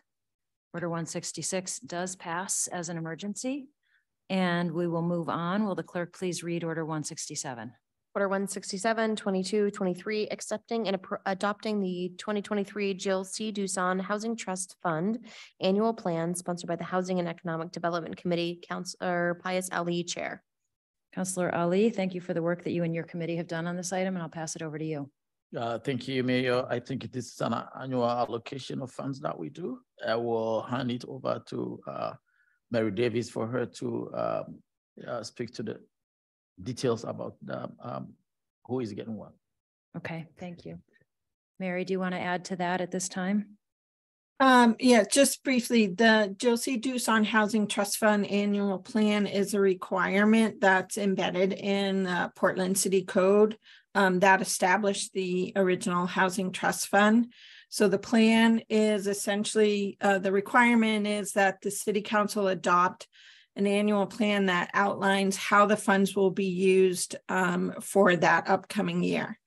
Um, this year, um, there's a lot of components of the plan that are the same from last year, but this year, uh, upon review by the Housing and Economic Development Committee, there are a few changes to the goals and priorities.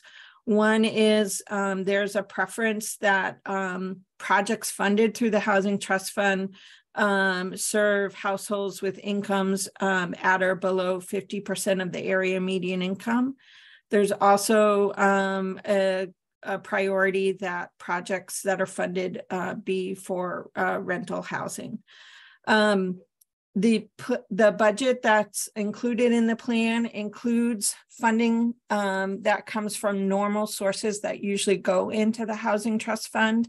Um, currently, those are primarily around inclusionary zoning fee and lieu payments. Um, last year, there were several reasons uh, why allocations were not made um, from the trust fund. So that means this year we have a considerable amount of money available, um, uh, over $3.7 million. Um, in addition, we have money that was uh, allocated by the city council through um, the ARPA funding. That's an additional 5.1 million. So we have funding available of um, over $8.8 million. Um, I just want to make the connection with the next item on the agenda, which is the Affordable Housing Development and Tax Increment Financing Application, which is the tool and mechanism we use to allocate funding from both the Jill C. Duson Housing Trust Fund as well as our home program funds. Um, and so that tool reflects um, the goals and priorities that are in the Housing Trust Fund plan as well. And I'm happy to answer any questions. Thank you. That's very helpful. Thank you, Mary.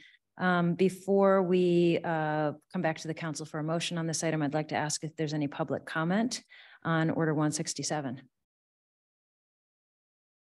And we will go to George Rowe.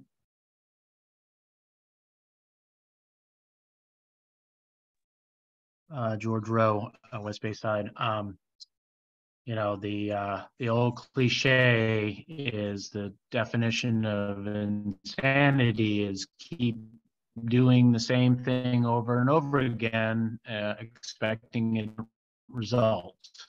And um, the cycling of the housing trust fund and the uh, application, which uh, Ms. Davis was referencing um, is exactly the problem. Is you guys have a wish list in this annual plan uh, and application stapled to that wish list that does not that almost guarantees you that you are not going to feasible projects um, and of course that was made even worse by the the quote unquote Green New Deal in 2020.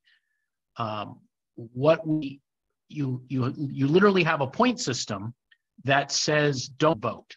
It literally, if you translate it, you get point doing projects that will not disturb the neighbors. Things like neighborhood char- character. Um, projects have to be only on transit nodes and corridors, which really, when you get down to it, and I'm not going to even mince words here, you literally are are going to tonight a plan that basically says don't bother the people with nice houses. And then you wonder why you have hundreds of families living in a gymnasium and and hundreds more people living in 10 Joe's. It's because you refuse to be courageous and fight the people in this town that refuse to let the neighborhoods change. Developers can't actually use or they do use it, it's absurd, absurdly expensive. But you won't let market 30 rate second warning. developers do anything except build shelters. Like Kevin Bunker's running around making huge amounts of money building homeless shelters for us because you won't let him or anybody else build large quantities of match those things up and say that you're meeting your equity slash progressive goals. Thank you for your Because they comment, won't George. work. Um, we had a little bit of difficulty. It sounded like your internet connection was a little bit in and out, but I think we got the gist of it. It just slowed down from time to time. Um, but thank you for your comment, and I'm looking to see if there's any other public comment on order one sixty-seven. Okay, I don't see any, so I'll close public comment and come back to the council for a motion, please. So move. Second. Councilor Rodriguez with a second from Councilor Dion. Do we have any questions or discussion from the council? Councilor Rodriguez. Thank you, Mayor. Um, Mary, um, thank you for, for the summary that you presented here to the council. Um, in our committee discussion, we, we spent quite a bit of time, um, talking about the, you know, the type of projects that we'd like to see advance. And I, I do agree with you that renting or rental, um, units was something that we highlighted, but we also had a pretty um, substantive discussion about what we can do to um, to encourage the co-op or in the equity building um, types of developments. Um, the discussion kind of centered around the fact that you know rental um, opportunities are you know by the by the way that things are working right now, the rental market is very predatory where ultimately your options are your rent goes up or you have to move out of town versus if you're in an equity acquisition you know call model you know at the end of the day you have advanced forward with an opportunity to then you know facilitate your own purchase of a house or some other you know means of housing. So i guess um i'm trying to find where that landed in the um uh you know in the in the memo and and also obviously in the way that the application will facilitate those sorts of um preferences that we stated In the um uh affordable housing development application, which is the next item, alternative housing models such as the cooperative housing or land trust mo- um models were encouraged to apply. Um in the um housing uh trust fund doing a quick search, um housing trust fund annual plan um under um one second. Um well the housing trust fund plan doesn't specifically call out those models itself but the affordable housing development application which is the tools that we allocate the funds do does include a preference for all those types of alternative housing models as well as um uh, encourages uh, projects that are, as I mentioned before, uh, for households earning uh, below 50% of the area median income. Um, and it also is encouraging or um, requiring and giving higher priority to projects that are more shovel ready so that they're under construction sooner um, rather than later. Uh, thank you, Mary, for that, um, for explaining where, where the preference is going to be indicated in, in the home fund. I guess I'm gonna, I'm gonna certainly vote in favor of this and, and pass it forward. I'm, you know, it's, it's, as Mr. Rowe mentioned, right, the fact that we've not seen these funds be heavily tapped into and we've not seen the production that we're trying to see. Um, you know, there's, there's, there's a lot for me yet to understand about what are the leverages we, we can, um, pull on to really facilitate the type of development that we're all discussing here. And, um, yeah, um, I guess I just wanted to acknowledge that, um, this is a little bit more complicated than just the council committee stating, you know, preferences and, um, I'll just leave it at that. Thank you. Thank you, Councilor. Other discussion from the council at this time? Okay, seeing none, we'll go ahead and take action on order one sixty-seven. Councilor Rodriguez? Councilor Dion? Yes. Councilor Ali? Yes. Councilor Zarro? Yes. Councilor Trevorrow? Yes. Councilor Pelletier? Yes. Councilor Phillips? Yes. Mayor Snyder? Yes, order one sixty-seven passes unanimously of those present. Will the clerk please read the next order, one sixty-eight? Order 168, 22, 23, approving the twenty twenty-three Affordable Housing Development and Tax Increment Financing Application sponsored by the Housing and Economic Development Committee, Councilor Pius Ali, Chair. And we'll head right back to you, Councilor Ali. Uh, thank you, Mayor. Once again, I'm going to refer it to, uh, Mary Davis. Thank you, Councilor. I don't really have that much more to add. Um, as I mentioned previously, the goals and priorities that we include in the application essentially mirror the goals and priorities that was in the Jill C. Duson Housing Trust Fund annual plan. The application does also, uh, is the application is also the mechanism by which we make decisions about how um, the home affordable housing development funds are invested, as well as the tool that project seeking, affordable housing tax increment finance credit enhancement agreements. They use the same application to apply for those funds. Happy to answer any questions. Thank you, Mary. I appreciate that. And at this point in time, we will see if there's any public comment on Order 168.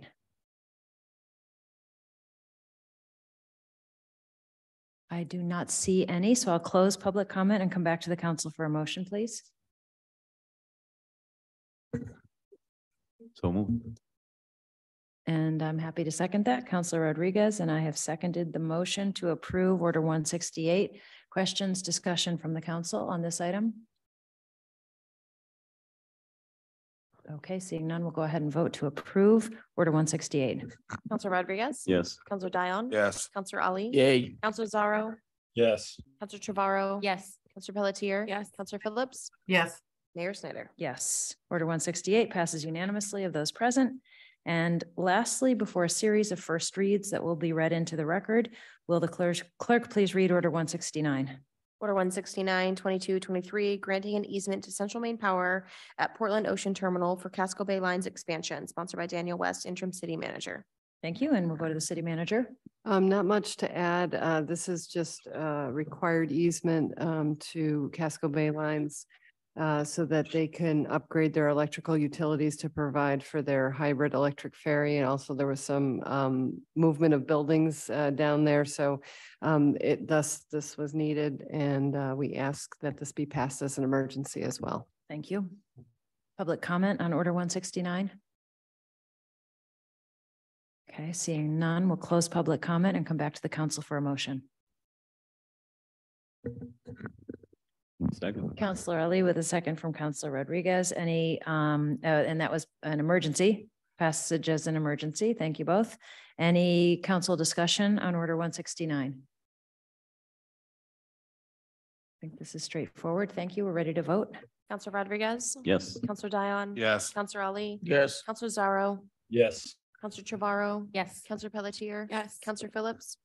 Yes. Mayor Snyder? Yes, order 169 passes unanimously of those present. And lastly, will the clerk please read um, into the record? We have several first readings tonight, starting with order 170, and we go through 174. Oh. Order 170, 22, 23, accepting and appropriating Federal Aviation Administration administered Airport Improvement Program and Airport Infrastructure Federal Fiscal Year 2023 grants, sponsored by Danielle West, Interim City Manager. Order 171, 22, 23, amendment to the Portland City Code, Chapter 9 regarding clean elections, sponsored by Kate Snyder, Mayor. Order 172, 22, 23, amendment to the zoning map regarding R6 residential 2B3 downtown business at two eleven Cumberland Ave, sponsored by the Planning Board, Maggie Stanley Chair. Order 173, 22, 23, amendment to downtown height overlay and overlay and Bayside height overlay map regarding two eleven Cumberland Ave, sponsored by Planning Board, Maggie Stanley Chair. Order 174, 22, 23, amendment to zoning map regarding repealing the C five conditional zone agreement at twenty-two Park Ave, sponsored by Planning Board Maggie Stanley Chair. And that is it. Okay, thank you so much. Is there a motion to adjourn? Councilor Ali? Second. Second from Councilor Trevorrow, thank goodness. Um, and we will go ahead and vote to adjourn. Councilor Rodriguez? Yes. Councilor Dion? Yes. Councilor Ali? Yay. Councilor Zarro? Yes. Councilor Trevorrow? Yes. Councilor Pelletier? Yes. Councilor Phillips? Yes. Mayor Snyder? Yes, we are adjourned. Thank you, everybody, and good night.